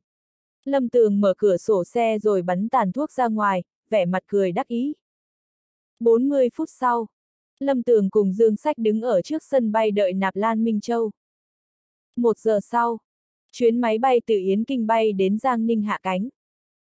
Sau khi máy bay hạ xuống, Nạp Lan Minh Châu giống như mà một con trích cần giữa bầy gà, vẻ mặt không coi ai ra gì, cùng với một tên nam tử mặc áo màu đen đi ra. Đã tới. Mắt thấy Nạp Lan Minh Châu bước ra, Lâm Tường liền nhắc. Trên thực tế, không cần Lâm Tường nhắc, Nạp Lan Minh Châu vừa mới bước ra thì Dương Sách cũng đã thấy. Tất cả mọi chuyện là do Nạp Lan Minh Châu quá nổi bật. Ngày hôm nay, Nạp Lan Minh Châu thân mang theo một bộ trang phục được thiết kế ở Milan, trên cổ tay là một chiếc đồng hồ có giá trị 8 số, ngoài ra trên tay nàng là một túi LV được sản xuất có hạn trên thế giới. Mà đối với người thường thì tiền chính là biện pháp để giúp con người tự tin nhất. Đối với những người đã ở trong vòng luẩn quẩn thì quyền thế chính là vật tốt nhất. Bởi vì đã bù vào Diệp tranh vanh cho nên ở Yến Kinh, Nạp Lan Minh Châu đã được nhiều tên hoàn khố lấy lòng, nhưng mà ánh mắt nhìn cao của nàng đã khiến những tên kia ngay cả dũng khí cũng không dám đến gần nàng. Không riêng gì người thường mà ngay cả Dương Sách khi thấy Nạp Lan Minh Châu thì hắn cũng cảm nhận được một cỗ áp lực. Trực giác cùng lý trí nói cho hắn biết, đây là nữ nhân không phải người như Dương Sách hắn có thể chinh phục. Mà Lâm Tường đã từng gặp qua Nạp Lan Minh Châu một lần, thậm chí hắn còn muốn giáo huấn Nạp Lan Minh Châu, muốn đuổi Nạp Lan Minh Châu cút ra khỏi Yến Kinh. Ở trong mắt người thường, Nạp Lan Minh Châu là đại tiểu thư của Nạp Lan gia ở Đông Bắc tuyệt đối là một con phượng hoàng. Nhưng đối với Lâm Tường, thì đó chẳng qua chỉ là một con ma tước mà thôi. Hiện giờ, thấy Nạp Lan Minh Châu đã đổi đời, so với Nạp Lan Minh Châu một năm về trước đã thay đổi rất nhiều, từ ánh mắt, cách ăn mặc đến cách đi đứng thì không riêng gì dương sách mà ngay cả Lâm Tường cũng đã biết. Xa nhau ba ngày, khi gặp lại sẽ thấy bằng cặp mắt khác. Ma tước biến thành Phượng Hoàng. Nạp Lan Minh Châu, xưa đâu bằng nay. Biệt thự tử đàn, sáng sớm khi mặt trời vừa ló ra khỏi dạng núi, Quý Hồng đã thức dậy, bắt đầu luyện công buổi sáng. Từ sau khi Bùi Đông Lai vào Đông Hải thì mỗi sáng hắn sẽ rời giường, luyện quyền. Mà còn Quý Hồng thì sáng sớm nàng đều luyện kiếm. Năm năm như một ngày, chưa dừng bao giờ. Thân là cận vệ của Quý Hồng thì ân ly đứng ở phía sau, trong tay mang theo một thanh kiếm màu trắng. Đây chính là thanh kiếm mà trước khi trở về Thiên Sơn, cô độc phong ảnh đã giao lại cho Quý Hồng, thanh kiếm này có giá trị vô giá hơn nữa chém sắt như chém bùn. Hô! Nương theo một tiếng xé gió, Quý Hồng truyền ám kình vào thanh kiếm, nàng nhảy lên chém vào một thân cây phía trước. Rắc! Ám kình bùng nổ, phát ra một tiếng vang. Dầm! Thanh kiếm trực tiếp chém thân cây thành hai đoạn, ngã xuống đất. Muốn bước thêm bước nữa thật sự là quá khó khăn. Một kiếm chặt gãy thân cây, Quý Hồng đã luyện kiếm xong, trên mặt nàng không tìm thấy vẻ vui sướng mà nàng thở dài một tiếng, đột nhiên nàng nhớ lại cái gì đó, trong đôi mắt hiện lên vẻ hiếu kỳ. Thật không biết tên tiểu tử Bùi Đông Lai kia làm thế nào mà trong một thời gian ngắn như vậy đã đạt đến cảnh giới như thế, hôm nào cần phải thỉnh giáo hắn. Sau đó, Quý Hồng cười khổ một tiếng, đem thanh kiếm đưa cho ân ly rồi lấy khăn lau mồ hôi. 8 giờ. Quý Hồng đi chiếc Rolls Royce Phantom tới dưới lầu của tập đoàn Thiên Tường. Hai tên bảo vệ thấy chiếc Rolls Royce Phantom cùng với Quý Hồng thì lập tức hai mắt tỏa sáng. Hai, thật không ngờ liễu lão đại lại có thể bại một cách nhanh chóng như vậy. Đưa mắt nhìn Quý Hồng và Ân Ly vào tập đoàn Thiên Tường, hai gã bảo vệ thổn thức không thôi. Bọn hắn không cam lòng. Lúc này, trong phòng hội nghị của tập đoàn Thiên Tường, sắc mặt của mấy vị cổ đông ở trong này vô cùng khó coi. Ngoài những tên cổ đông cùng với CEO của tập đoàn Thiên Tường ra thì có thêm vài vị nguyên lão của Đông Nguyệt Bang. Mặc dù Liễu Nguyệt đã giải thích, trước mắt Quý Hồng đã có Bạch Gia làm chỗ dựa cho nên không thể đối chọi, đành phải khuất phục. Để mãnh hổ bang thâu tóm Đông Nguyệt Bang, đồng thời hai tập đoàn Hồng Hải và Thiên Tường cũng sáp nhập thành một. Tiểu Nguyệt, chẳng lẽ không còn biện pháp nào khác sao? Rốt cuộc cũng có người phá tan không khí trầm mặc ở trong phòng, người mở miệng là một người có dáng mập mạp, đầu tóc đã bạc không ít, là một trong những người lớn tuổi nhất trong phòng, mọi người thường gọi là Giang Thúc. Đúng vậy, Liễu Tiểu Thư, chúng ta không thể đem Giang Sơn mà Phương Đại ca đánh đuổi cả đời mà giao lại cho Quý Hồng kia được. Đúng vậy, như thế thật sự quá ủy khuất, thật sự không được, ta không tin Quý Hồng có thể tiêu diệt sạch chúng ta. Chấm. Giang Thúc vừa mới mở miệng ra nói thì tất cả các cổ đông khác liền mở miệng phụ họa. Nghe mọi người nói như vậy lại thấy vẻ mặt bất mãn của mọi người thì trong lòng Liễu Nguyệt rất rõ. Từ sau khi Đông Phương Thần chết đi thì rất có nhiều người phản đối việc đầu nhập Quý Hồng là vì không ít người nhớ đến tình cũ của Đông Phương Thần nhưng cũng có nhiều người sự sau khi đầu nhập Quý Hồng thì lợi ích sẽ bị mất đi thậm chí là bị Quý Hồng chiếm đoạt hết. Còn về đám trung lập, chẳng qua vì lợi ích của bản thân nên mới mở miệng nói. Nếu mọi người muốn giống như Phương Chấn thì ta không phản đối. Cuối cùng Liễu Nguyệt mở miệng. Liễu Nguyệt vừa nói xong thì tất cả mọi người đều im lặng. Tuy rằng mọi người không muốn ích lợi của bản thân bị hao tổn nhưng mà bọn hắn cũng rõ bạch ra trong thời gian ngắn nhất có thể tiêu diệt phương ra thì bọn hắn cũng chỉ là đám tép tôm mà thôi. Vừa rồi là ai mới mắng ta đó? Đột nhiên, một giọng nói vang lên. Quý Hồng và Ân Ly xuất hiện trước cửa phòng. Bá! Nghe được Quý Hồng nói như vậy, theo bản năng tất cả mọi người đều quay đầu lại nhìn. Thấy nụ cười trên mặt Quý Hồng, tất cả mọi người không rét mà run. Trong đó, tên vừa mới mắng Quý Hồng lại phản ứng kịch liệt nhất, cả người hắn lộ ra vẻ sợ hãi, trên trán còn chảy rất nhiều mồ hôi. Trong phút chốc, cả phòng họp lặng ngắt như tờ. Thấy Quý Hồng đi tới, Liễu Nguyệt vẫn giữ im lặng, sắc mặt vẫn bình tĩnh. Chư vị, nói vậy thì Liễu Tiểu Thư đã đem tình huống cụ thể nói cho mọi người. Thản nhiên ngồi xuống vị trí chủ tọa, nụ cười trên mặt Quý Hồng vẫn không giảm, giọng nói vẫn hấp dẫn như ngày thường. Ta nhắc lại một lần nữa, từ nay về sau, tập đoàn Thiên Tường không còn tồn tại, nó với tập đoàn Hồng Hải sẽ hợp lại trở thành tập đoàn Đông Hải. Mà ta cũng đã đáp ứng liễu tiểu thư, để tỏ lòng tôn trọng đối với chư vị, sau khi hai đại tập đoàn hợp lại, mọi người vẫn như cũ, vẫn dựa theo cổ phần mà nhận hoa hồng. Quý Hồng nói tới đây, đột nhiên cười híp mắt nhìn một vòng. Đương nhiên, nếu có người nào không tin Quý Hồng ta thì có thể đem cổ phần trong tay bán lại cho ta. Ân. Nghe được Quý Hồng nói vậy, không ít cổ đông dục dịch. Chư vị yên tâm, giá cả sẽ không thấp. Quý Hồng thấy vậy thì cười nói. Đồng thời, tất cả đều mua bằng tiền mặt. Tiền mặt. Hai chữ này giống như một vở nhạc hay nhất trên trời, mấy tên cổ đông này liền cảm thấy vui vẻ. Quý, quý tiểu thư, cô xác định rằng sẽ lấy tiền mặt để mua lại cổ phần của chúng ta. Đột nhiên có một gã cổ đông không nhịn được mà mở miệng hỏi. Không riêng gì hắn, tất cả mọi người đều lộ ra vẻ chờ mong. Tất cả chuyện này, chỉ bởi vì tiền mặt là vua thời đại. Tầm quan trọng của tiền mặt đối với thương nhân thì không cần nói cũng biết. Mọi người cảm thấy rằng ta rảnh quá không? Thân thể quý hồng khẽ nghiêng qua một bên, hỏi. Nếu chư vị đã có ý định muốn bán thì chiều hôm nay, Mã tiên sinh của tập đoàn Hồng Hải sẽ đến đây để ký hợp đồng với chư vị. Quý Hồng nói xong thì liền khẽ cười, đột nhiên giọng nói của nàng trở nên lạnh như băng. Nhưng mà, ta nhắc nhở mọi người một chút, nếu đã lựa chọn bán ra thì phải bán ra toàn bộ. Bên tai vang lên lời nói của Quý Hồng, nhìn thấy bộ dạng như nắm chắc đại cục trong tay. Mặc dù Liễu Nguyệt đã biết rõ mọi chuyện nhưng mà nàng không thể không thừa nhận, năng lực của Quý Hồng rõ ràng là vượt xa bản thân nàng. 10 phút sau, trừ Liễu Nguyệt ra thì tất cả các cổ đông đã ra khỏi phòng.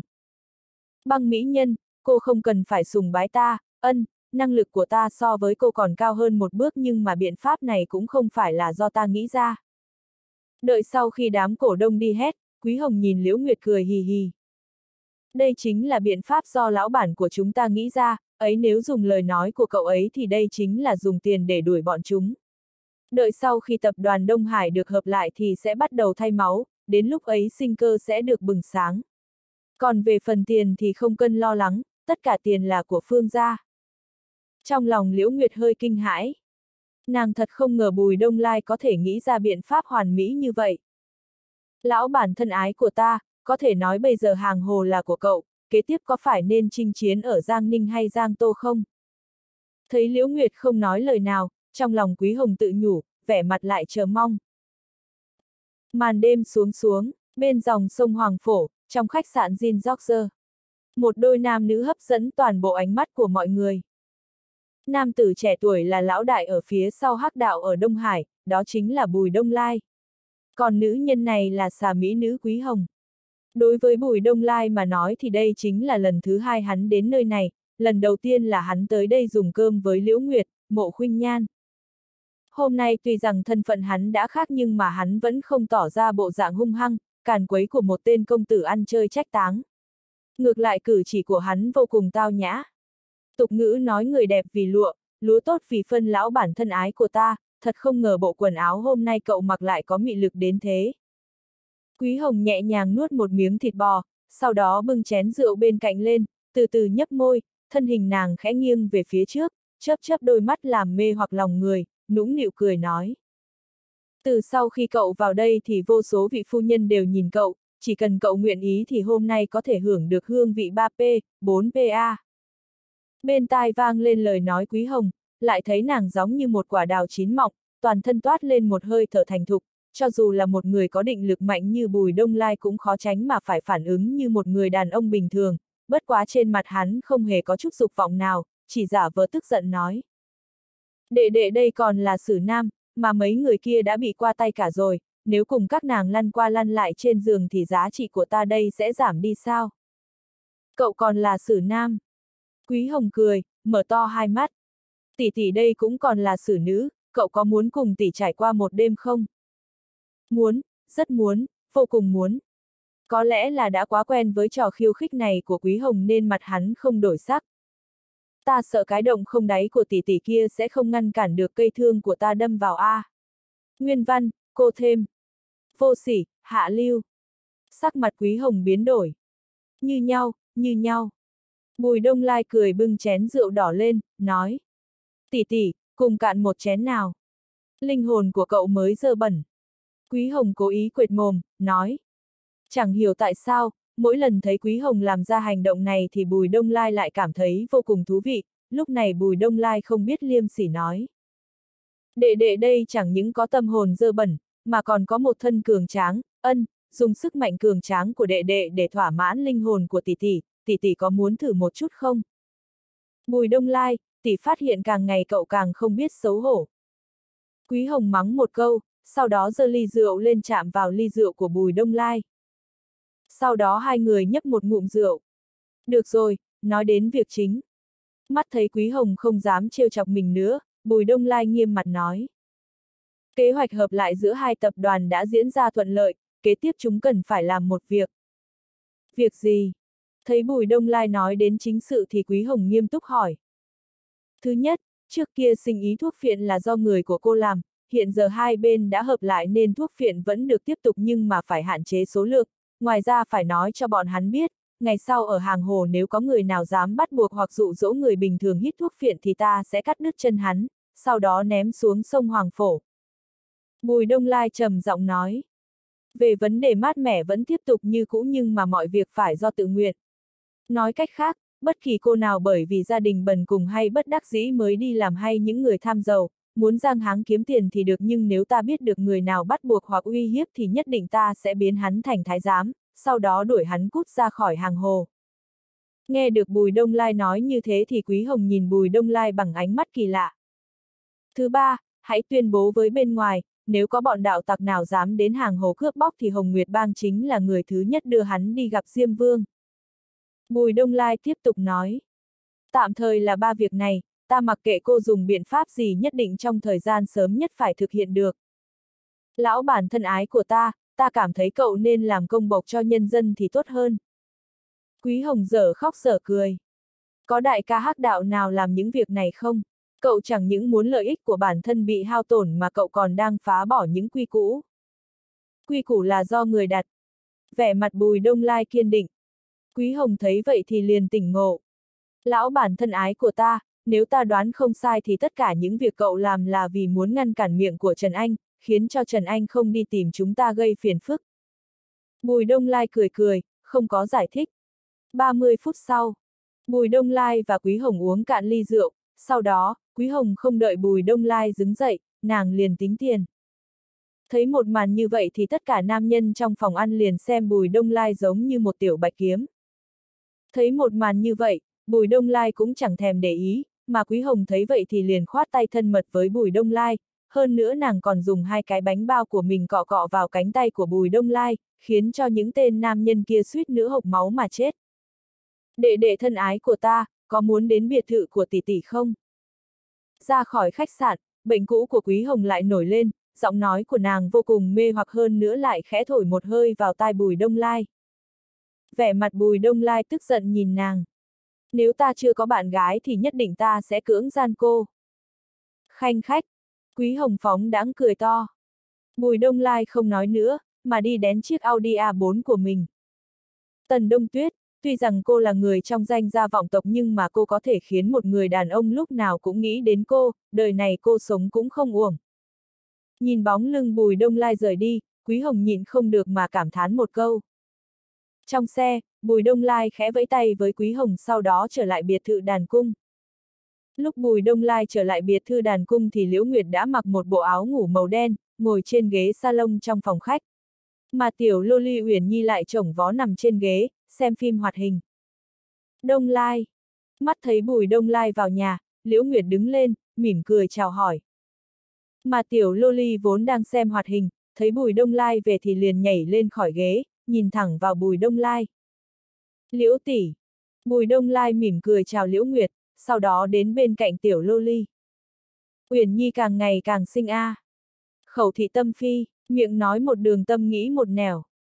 Tiểu la lị rất khinh thường chừng mắt liếc bùi đông lai một cái. Đông lai ca, trên người ca chẳng những có mùi rượu hơn nữa lại có mùi nước hoa của nữ nhân, khẳng định lúc này ca ra ngoài đi chơi với nữ nhân, có phải là hồ ly tinh quý hồng không? Ách!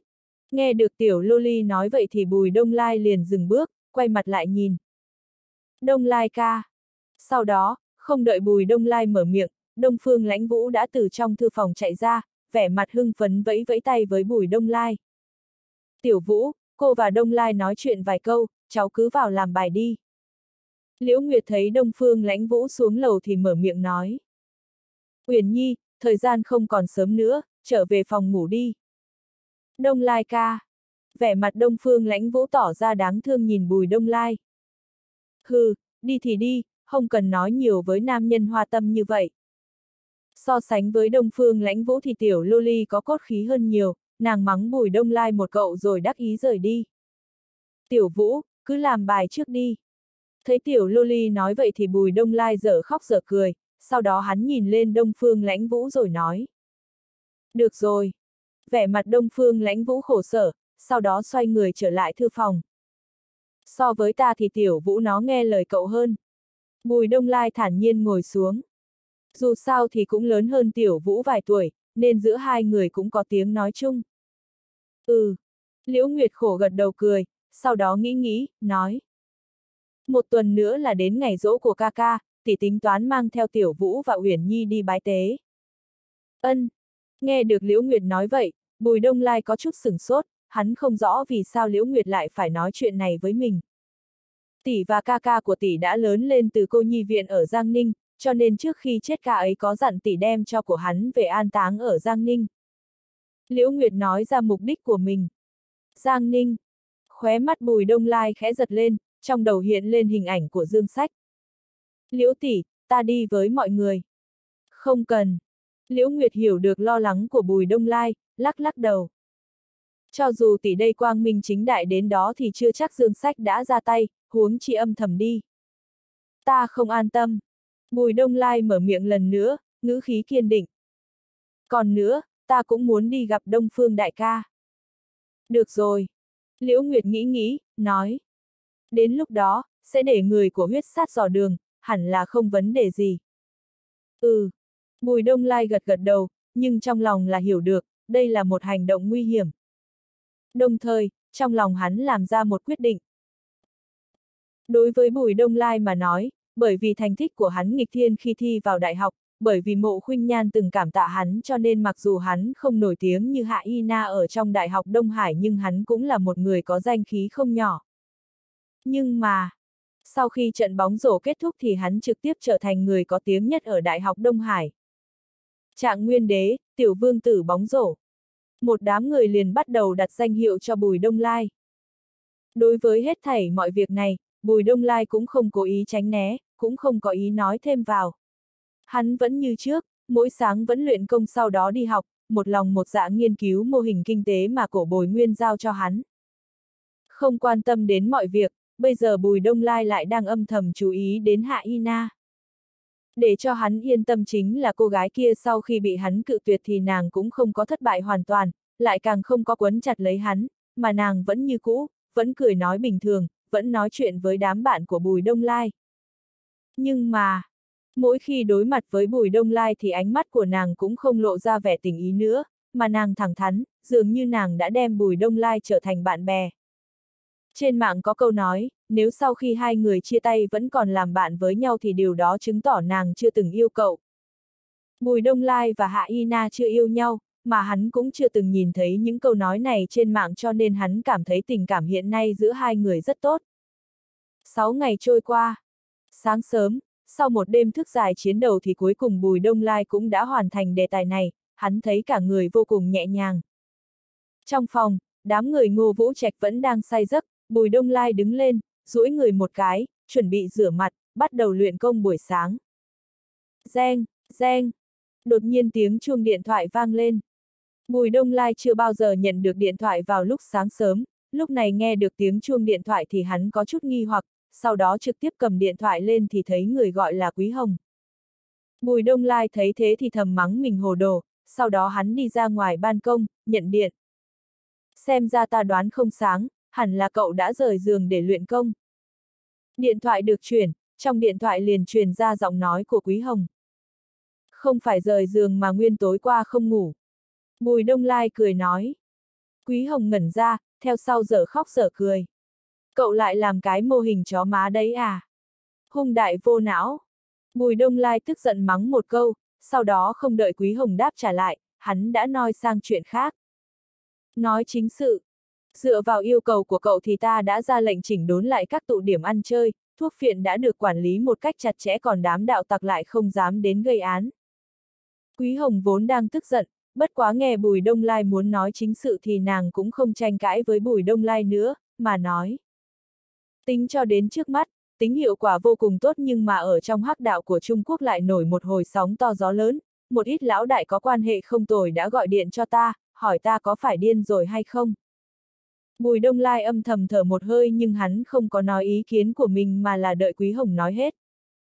Lão bản thân ái của ta, ta thấy được hẳn là cảnh sát Đông Hải phải tặng cho chúng ta một lá cờ, trên lá cờ ấy có ghi dòng chữ hắc đạo có cuộc sống giống như lôi phong. Quý Hồng nhìn không được trêu ghẹo nói. Bởi vì một câu của cậu mà chị An của Đông Hải đã trở nên tốt hơn, trừ bỏ bọn trộm cắp ở bên ngoài thì các án kiện đều đã giảm hơn phân nữa. Nếu không cậu hãy đem người bắt hết bọn trộm cắp đi. Đến lúc đó sẽ trở nên thái bình A. Trộm cướp mặc dù có tạo ra ảnh hưởng đến cuộc sống của mọi người nhưng mà lại không nguy hiểm đến tính mạng, hơn nữa cũng không có thể tiêu diệt hoàn toàn. Bùi Đông Lai nói. Lão bản thân ái, cậu thật âm hiểm. Quý Hồng nói móc một câu, sau đó lại nói. Phía bên Giang Ninh, đúng như suy đoán của cậu, đám người dương sách đã tính toán lợi dụng cơ hội lần này để trả thù. Căn cứ vào tin tức ta tìm được thì Dương Sách đã triệu tập toàn bộ mọi người ở Đông Hải trở về Giang Ninh. Xem ra lần này đến Giang Ninh, huyết chiến không thể tránh được rồi. Đối với lời nói của Quý Hồng, Bùi Đông Lai cũng không có cảm thấy kinh ngạc, mà là cười lạnh nói. Ta cũng cho rằng như vậy. Quý Hồng nói. Bất quá, lấy tính cách của băng mỹ nhân, kêu ngày rỗ của Đông Phương Thần mà không để cho nàng đi cúng bái thì quả thật còn khó chịu hơn so với giết chết nàng. Để người phong diệp chuẩn bị nhanh một chút, đêm nay lẻn vào Giang Ninh. Bùi Đông Lai trầm mặc vài giây đồng hồ, nói.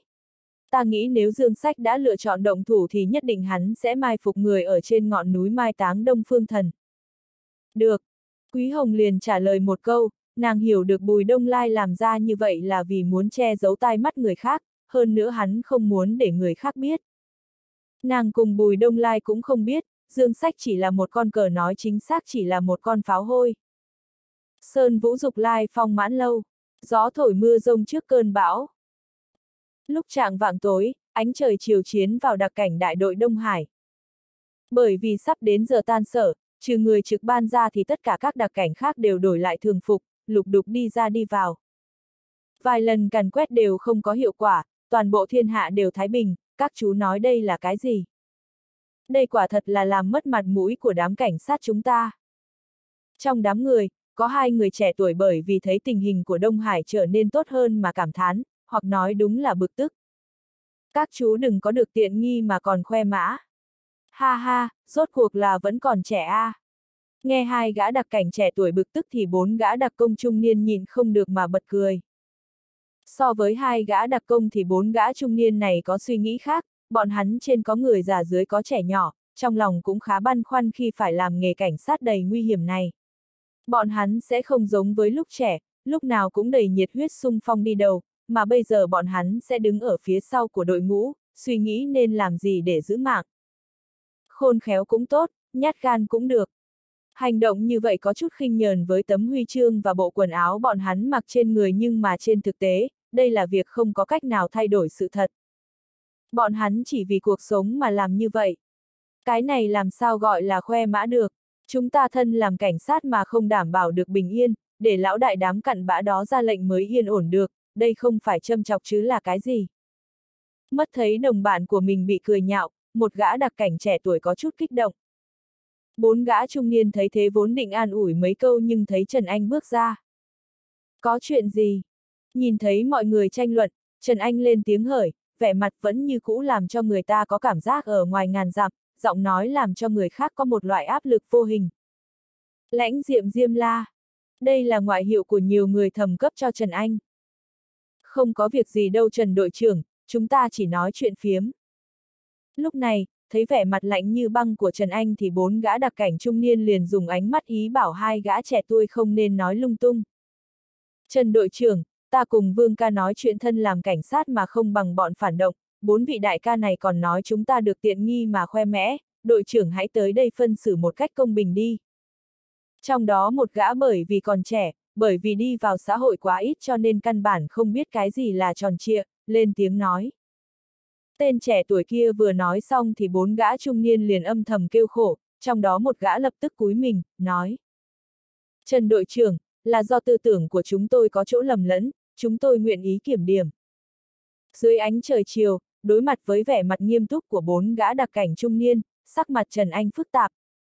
Cuối cùng, nàng không mở miệng mà là xoay người trở về phòng làm việc của mình. Ta đánh chết hai tên nhóc nhà ngươi. Mắt thấy Trần Anh vào phòng, bốn gã trung niên liền tức giận mắng rồi đuổi theo hai gã trẻ tuổi kia, tiếng cười mắng vang vọng của sở. Trở lại văn phòng, Trần Anh ngồi ở trên ghế làm việc, bên tai nghĩ lại lời nói lúc nãy của gã trẻ tuổi kia, nghĩ lại trong thời gian này trị an của Đông Hải vô cùng tốt đẹp, các loại án kiện đã giảm xuống hơn một nửa. Trong đầu nàng không khỏi hiện lên vẻ mặt của Bùi Đông Lai, vẻ mặt non nớt, không ánh tuấn nhưng đầy kiên nghị. Nhưng mà Trần Tỷ, Tỷ có nghĩ tới chưa, từ xưa đến nay, bất kỳ thời đạo nào, bất kỳ nơi nào, hắc đạo đều luôn tồn tại. Thế giới này, có trắng cũng có đen. Nếu hắc đạo không thể bị tiêu diệt thì cách tốt nhất là hãy khống chế nó, đem ảnh hưởng nguy hại xã hội của nó hạ xuống mức thấp nhất. Trần Tỷ, ta không dám nói ta bước trên con đường hắc đạo này sẽ tạo phúc cho xã hội bởi vì việc ngay cả bản thân ta cũng không tin. Nhưng mà ta dám cam đoan, ở địa bàn của ta, ta sẽ đem ảnh hưởng của hắc đạo đối với xã hội hạ đến mức thấp nhất. Trong đầu hiện ra thân ảnh của Bùi Đông Lai, Trần Anh nhịn không được mà nhớ lại những lời ngày đó Bùi Đông Lai nói với mình, tâm tình nàng trở nên phức tạp. Bởi vì Bùi Đông Lai đã làm được lời hứa ngày hôm đó. Đông Lai, có lẽ cậu nói không sai. Thật lâu sau đó, Trần Anh nhịn không được mà thở dài. Nhưng mà, cậu đã quên, cho dù như vậy thì cậu vẫn là đại ca hắc bang, thân phận này vĩnh viễn không thể thay đổi, đồng thời, đợi đến thời cơ chính mùi chắc chắn bên trên sẽ không vì tất cả những việc cậu làm mà bỏ qua cho cậu. Nói xong, trong lòng Trần Anh vừa động, khuôn mặt lạnh lùng hiện lên một vẻ kích động. Sau đó, nàng cắn chặt răng, cầm lấy điện thoại bấm một dãy số. Khoảng 10 giây sau, trong điện thoại truyền ra một giọng nói. Alo, là ai? Tôi là Trần Anh, giúp tôi nói lại cho ông nội một tiếng, ngày mai tôi sẽ trở lại Giang Ninh. Trần Anh nói. Đầu bên kia điện thoại, một gã cảnh vệ viên quân khu Giang Kinh ngạc nhiên nghe được Trần Anh nói vậy, sau đó vui vẻ. Là Tiểu Anh sao? Ừ. Được, ta sẽ báo lại cho thủ trưởng. Cảnh vệ viên cười nói. Cảm ơn. Trần Anh lễ phép nói cảm tạ một câu, sau đó cúp điện thoại. Đô, đô. Đầu bên kia điện thoại thấy Trần Anh cúp máy thì tên cảnh vệ viên cảm thấy tò mò.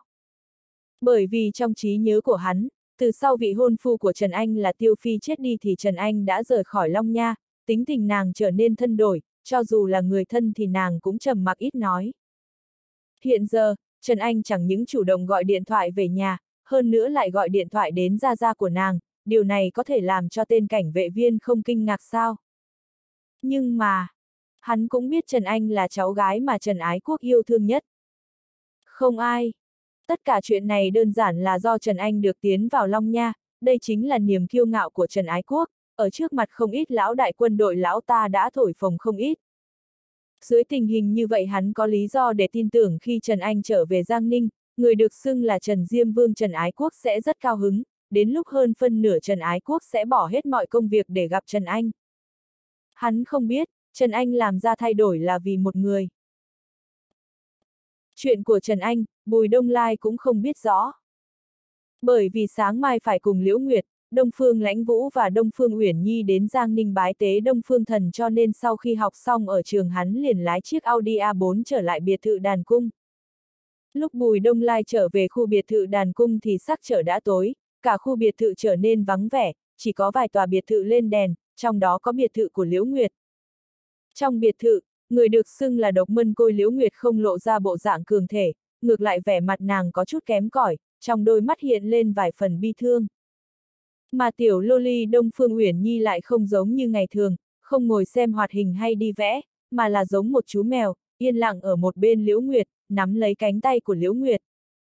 Liễu tỷ, đi vào biệt thự, Bùi Đông Lai chứng kiến tất cả chuyện này, nhịn không được ở trong lòng ngầm thở dài. Bùi Đông Lai hiểu được, Liễu Nguyệt biết rõ ở Giang Ninh sẽ gặp nhiều nguy hiểm nhưng lại muốn đi là bởi vì tình cảm giữa nàng và Đông Phương Thần. Hai người từ nhỏ không có cha mẹ, dựa nhau mà sống, tình cảm anh em giữa hai người khó có thể so sánh được. Nếu không phải như thế, Liễu Nguyệt cũng sẽ không tự bắt mình làm chủ nhân của Đông Nguyệt Bang cùng với tập đoàn Thiên Tường. Đông Lai, đến đây. Thấy Bùi Đông Lai, Liễu Nguyệt cười gượng nói. Mà tiểu Loli cũng không giống với ngày thường, không tranh cãi với Bùi Đông Lai nữa mà là gắt gao nắm lấy cánh tay của Liễu Nguyệt, muốn dùng phương thức này để an ủi Liễu Nguyệt. Bùi Đông Lai thấy thế, đi đến trước, vươn tay vuốt nhẹ đầu tiểu Lô Ly, sau đó hỏi. Uyển Nhi, tiểu Vũ ca đâu rồi? Tâm tình lãnh Vũ ca ca hôm nay không tốt, nhật xuất Đông Lai, ca lên nói chuyện với ca ấy đi. Vẻ mặt tiểu Lô Ly buồn bã nói. Bùi Đông Lai nghe vậy, trong lòng vừa động, trầm ngâm một chút, nói. Liễu tỷ, ta lên nói chuyện với tiểu vũ một lát. Ừ. Liễu Nguyệt cảm kích nhìn Bùi Đông Lai một cái. Trên lầu 2, trong phòng, Đông Phương Lãnh Vũ không có giống như thường ngày, không có ngồi đọc sách mà là nằm ở trên giường, miệng ngậm một điếu xì gà, đôi mắt phiếm hồng nhìn lên trần nhà. Dưới ánh đèn, xì gã đã sớm tắt nhưng mà dường như hắn không có thấy được, chỉ ngẩn ngơ nhìn lên trần nhà. Két! Nương theo một tiếng vang nhỏ, Bùi Đông Lai đẩy cửa đi vào, đi thẳng tới trước mặt Đông Phương Lãnh Vũ. Xì gà đã hết, còn ngậm làm gì? Bùi Đông Lai cười cười, lấy điếu xì gà trong miệng Đông Phương Lãnh Vũ xuống. Đông Lai ca. Thấy Bùi Đông Lai, trên mặt Đông Phương Lãnh Vũ hiện lên một tia vui mừng. Nhưng mà, cùng ngày thường bất đồng, tia vui mừng ấy chỉ thoáng hiện ra, sau đó hắn lại khôi phục lại bộ dạng giống như lúc trước. Tâm tình không tốt ư. Bùi đông lai châm xì gà, hút một hơi rồi đưa đến trước mặt Đông Phương Lãnh Vũ. Đông Phương Lãnh Vũ tiếp nhận xì gà, hung hăng hút một hơi, phun ra một ngụm khói, giữ im lặng gật gật đầu. Tinh thần cũng không cần phải xa suốt đến như vậy. Bùi Đông Lai vỗ vỗ bả vai Đông Phương Lãnh Vũ. Đông Phương Lãnh Vũ trầm mặc không nói, chỉ là hút điếu xì gà. Nếu trong lòng không thoải mái, cứ nói ra. Bùi Đông Lai nghĩ nghĩ, nói. Nói ra sẽ dễ chịu một ít.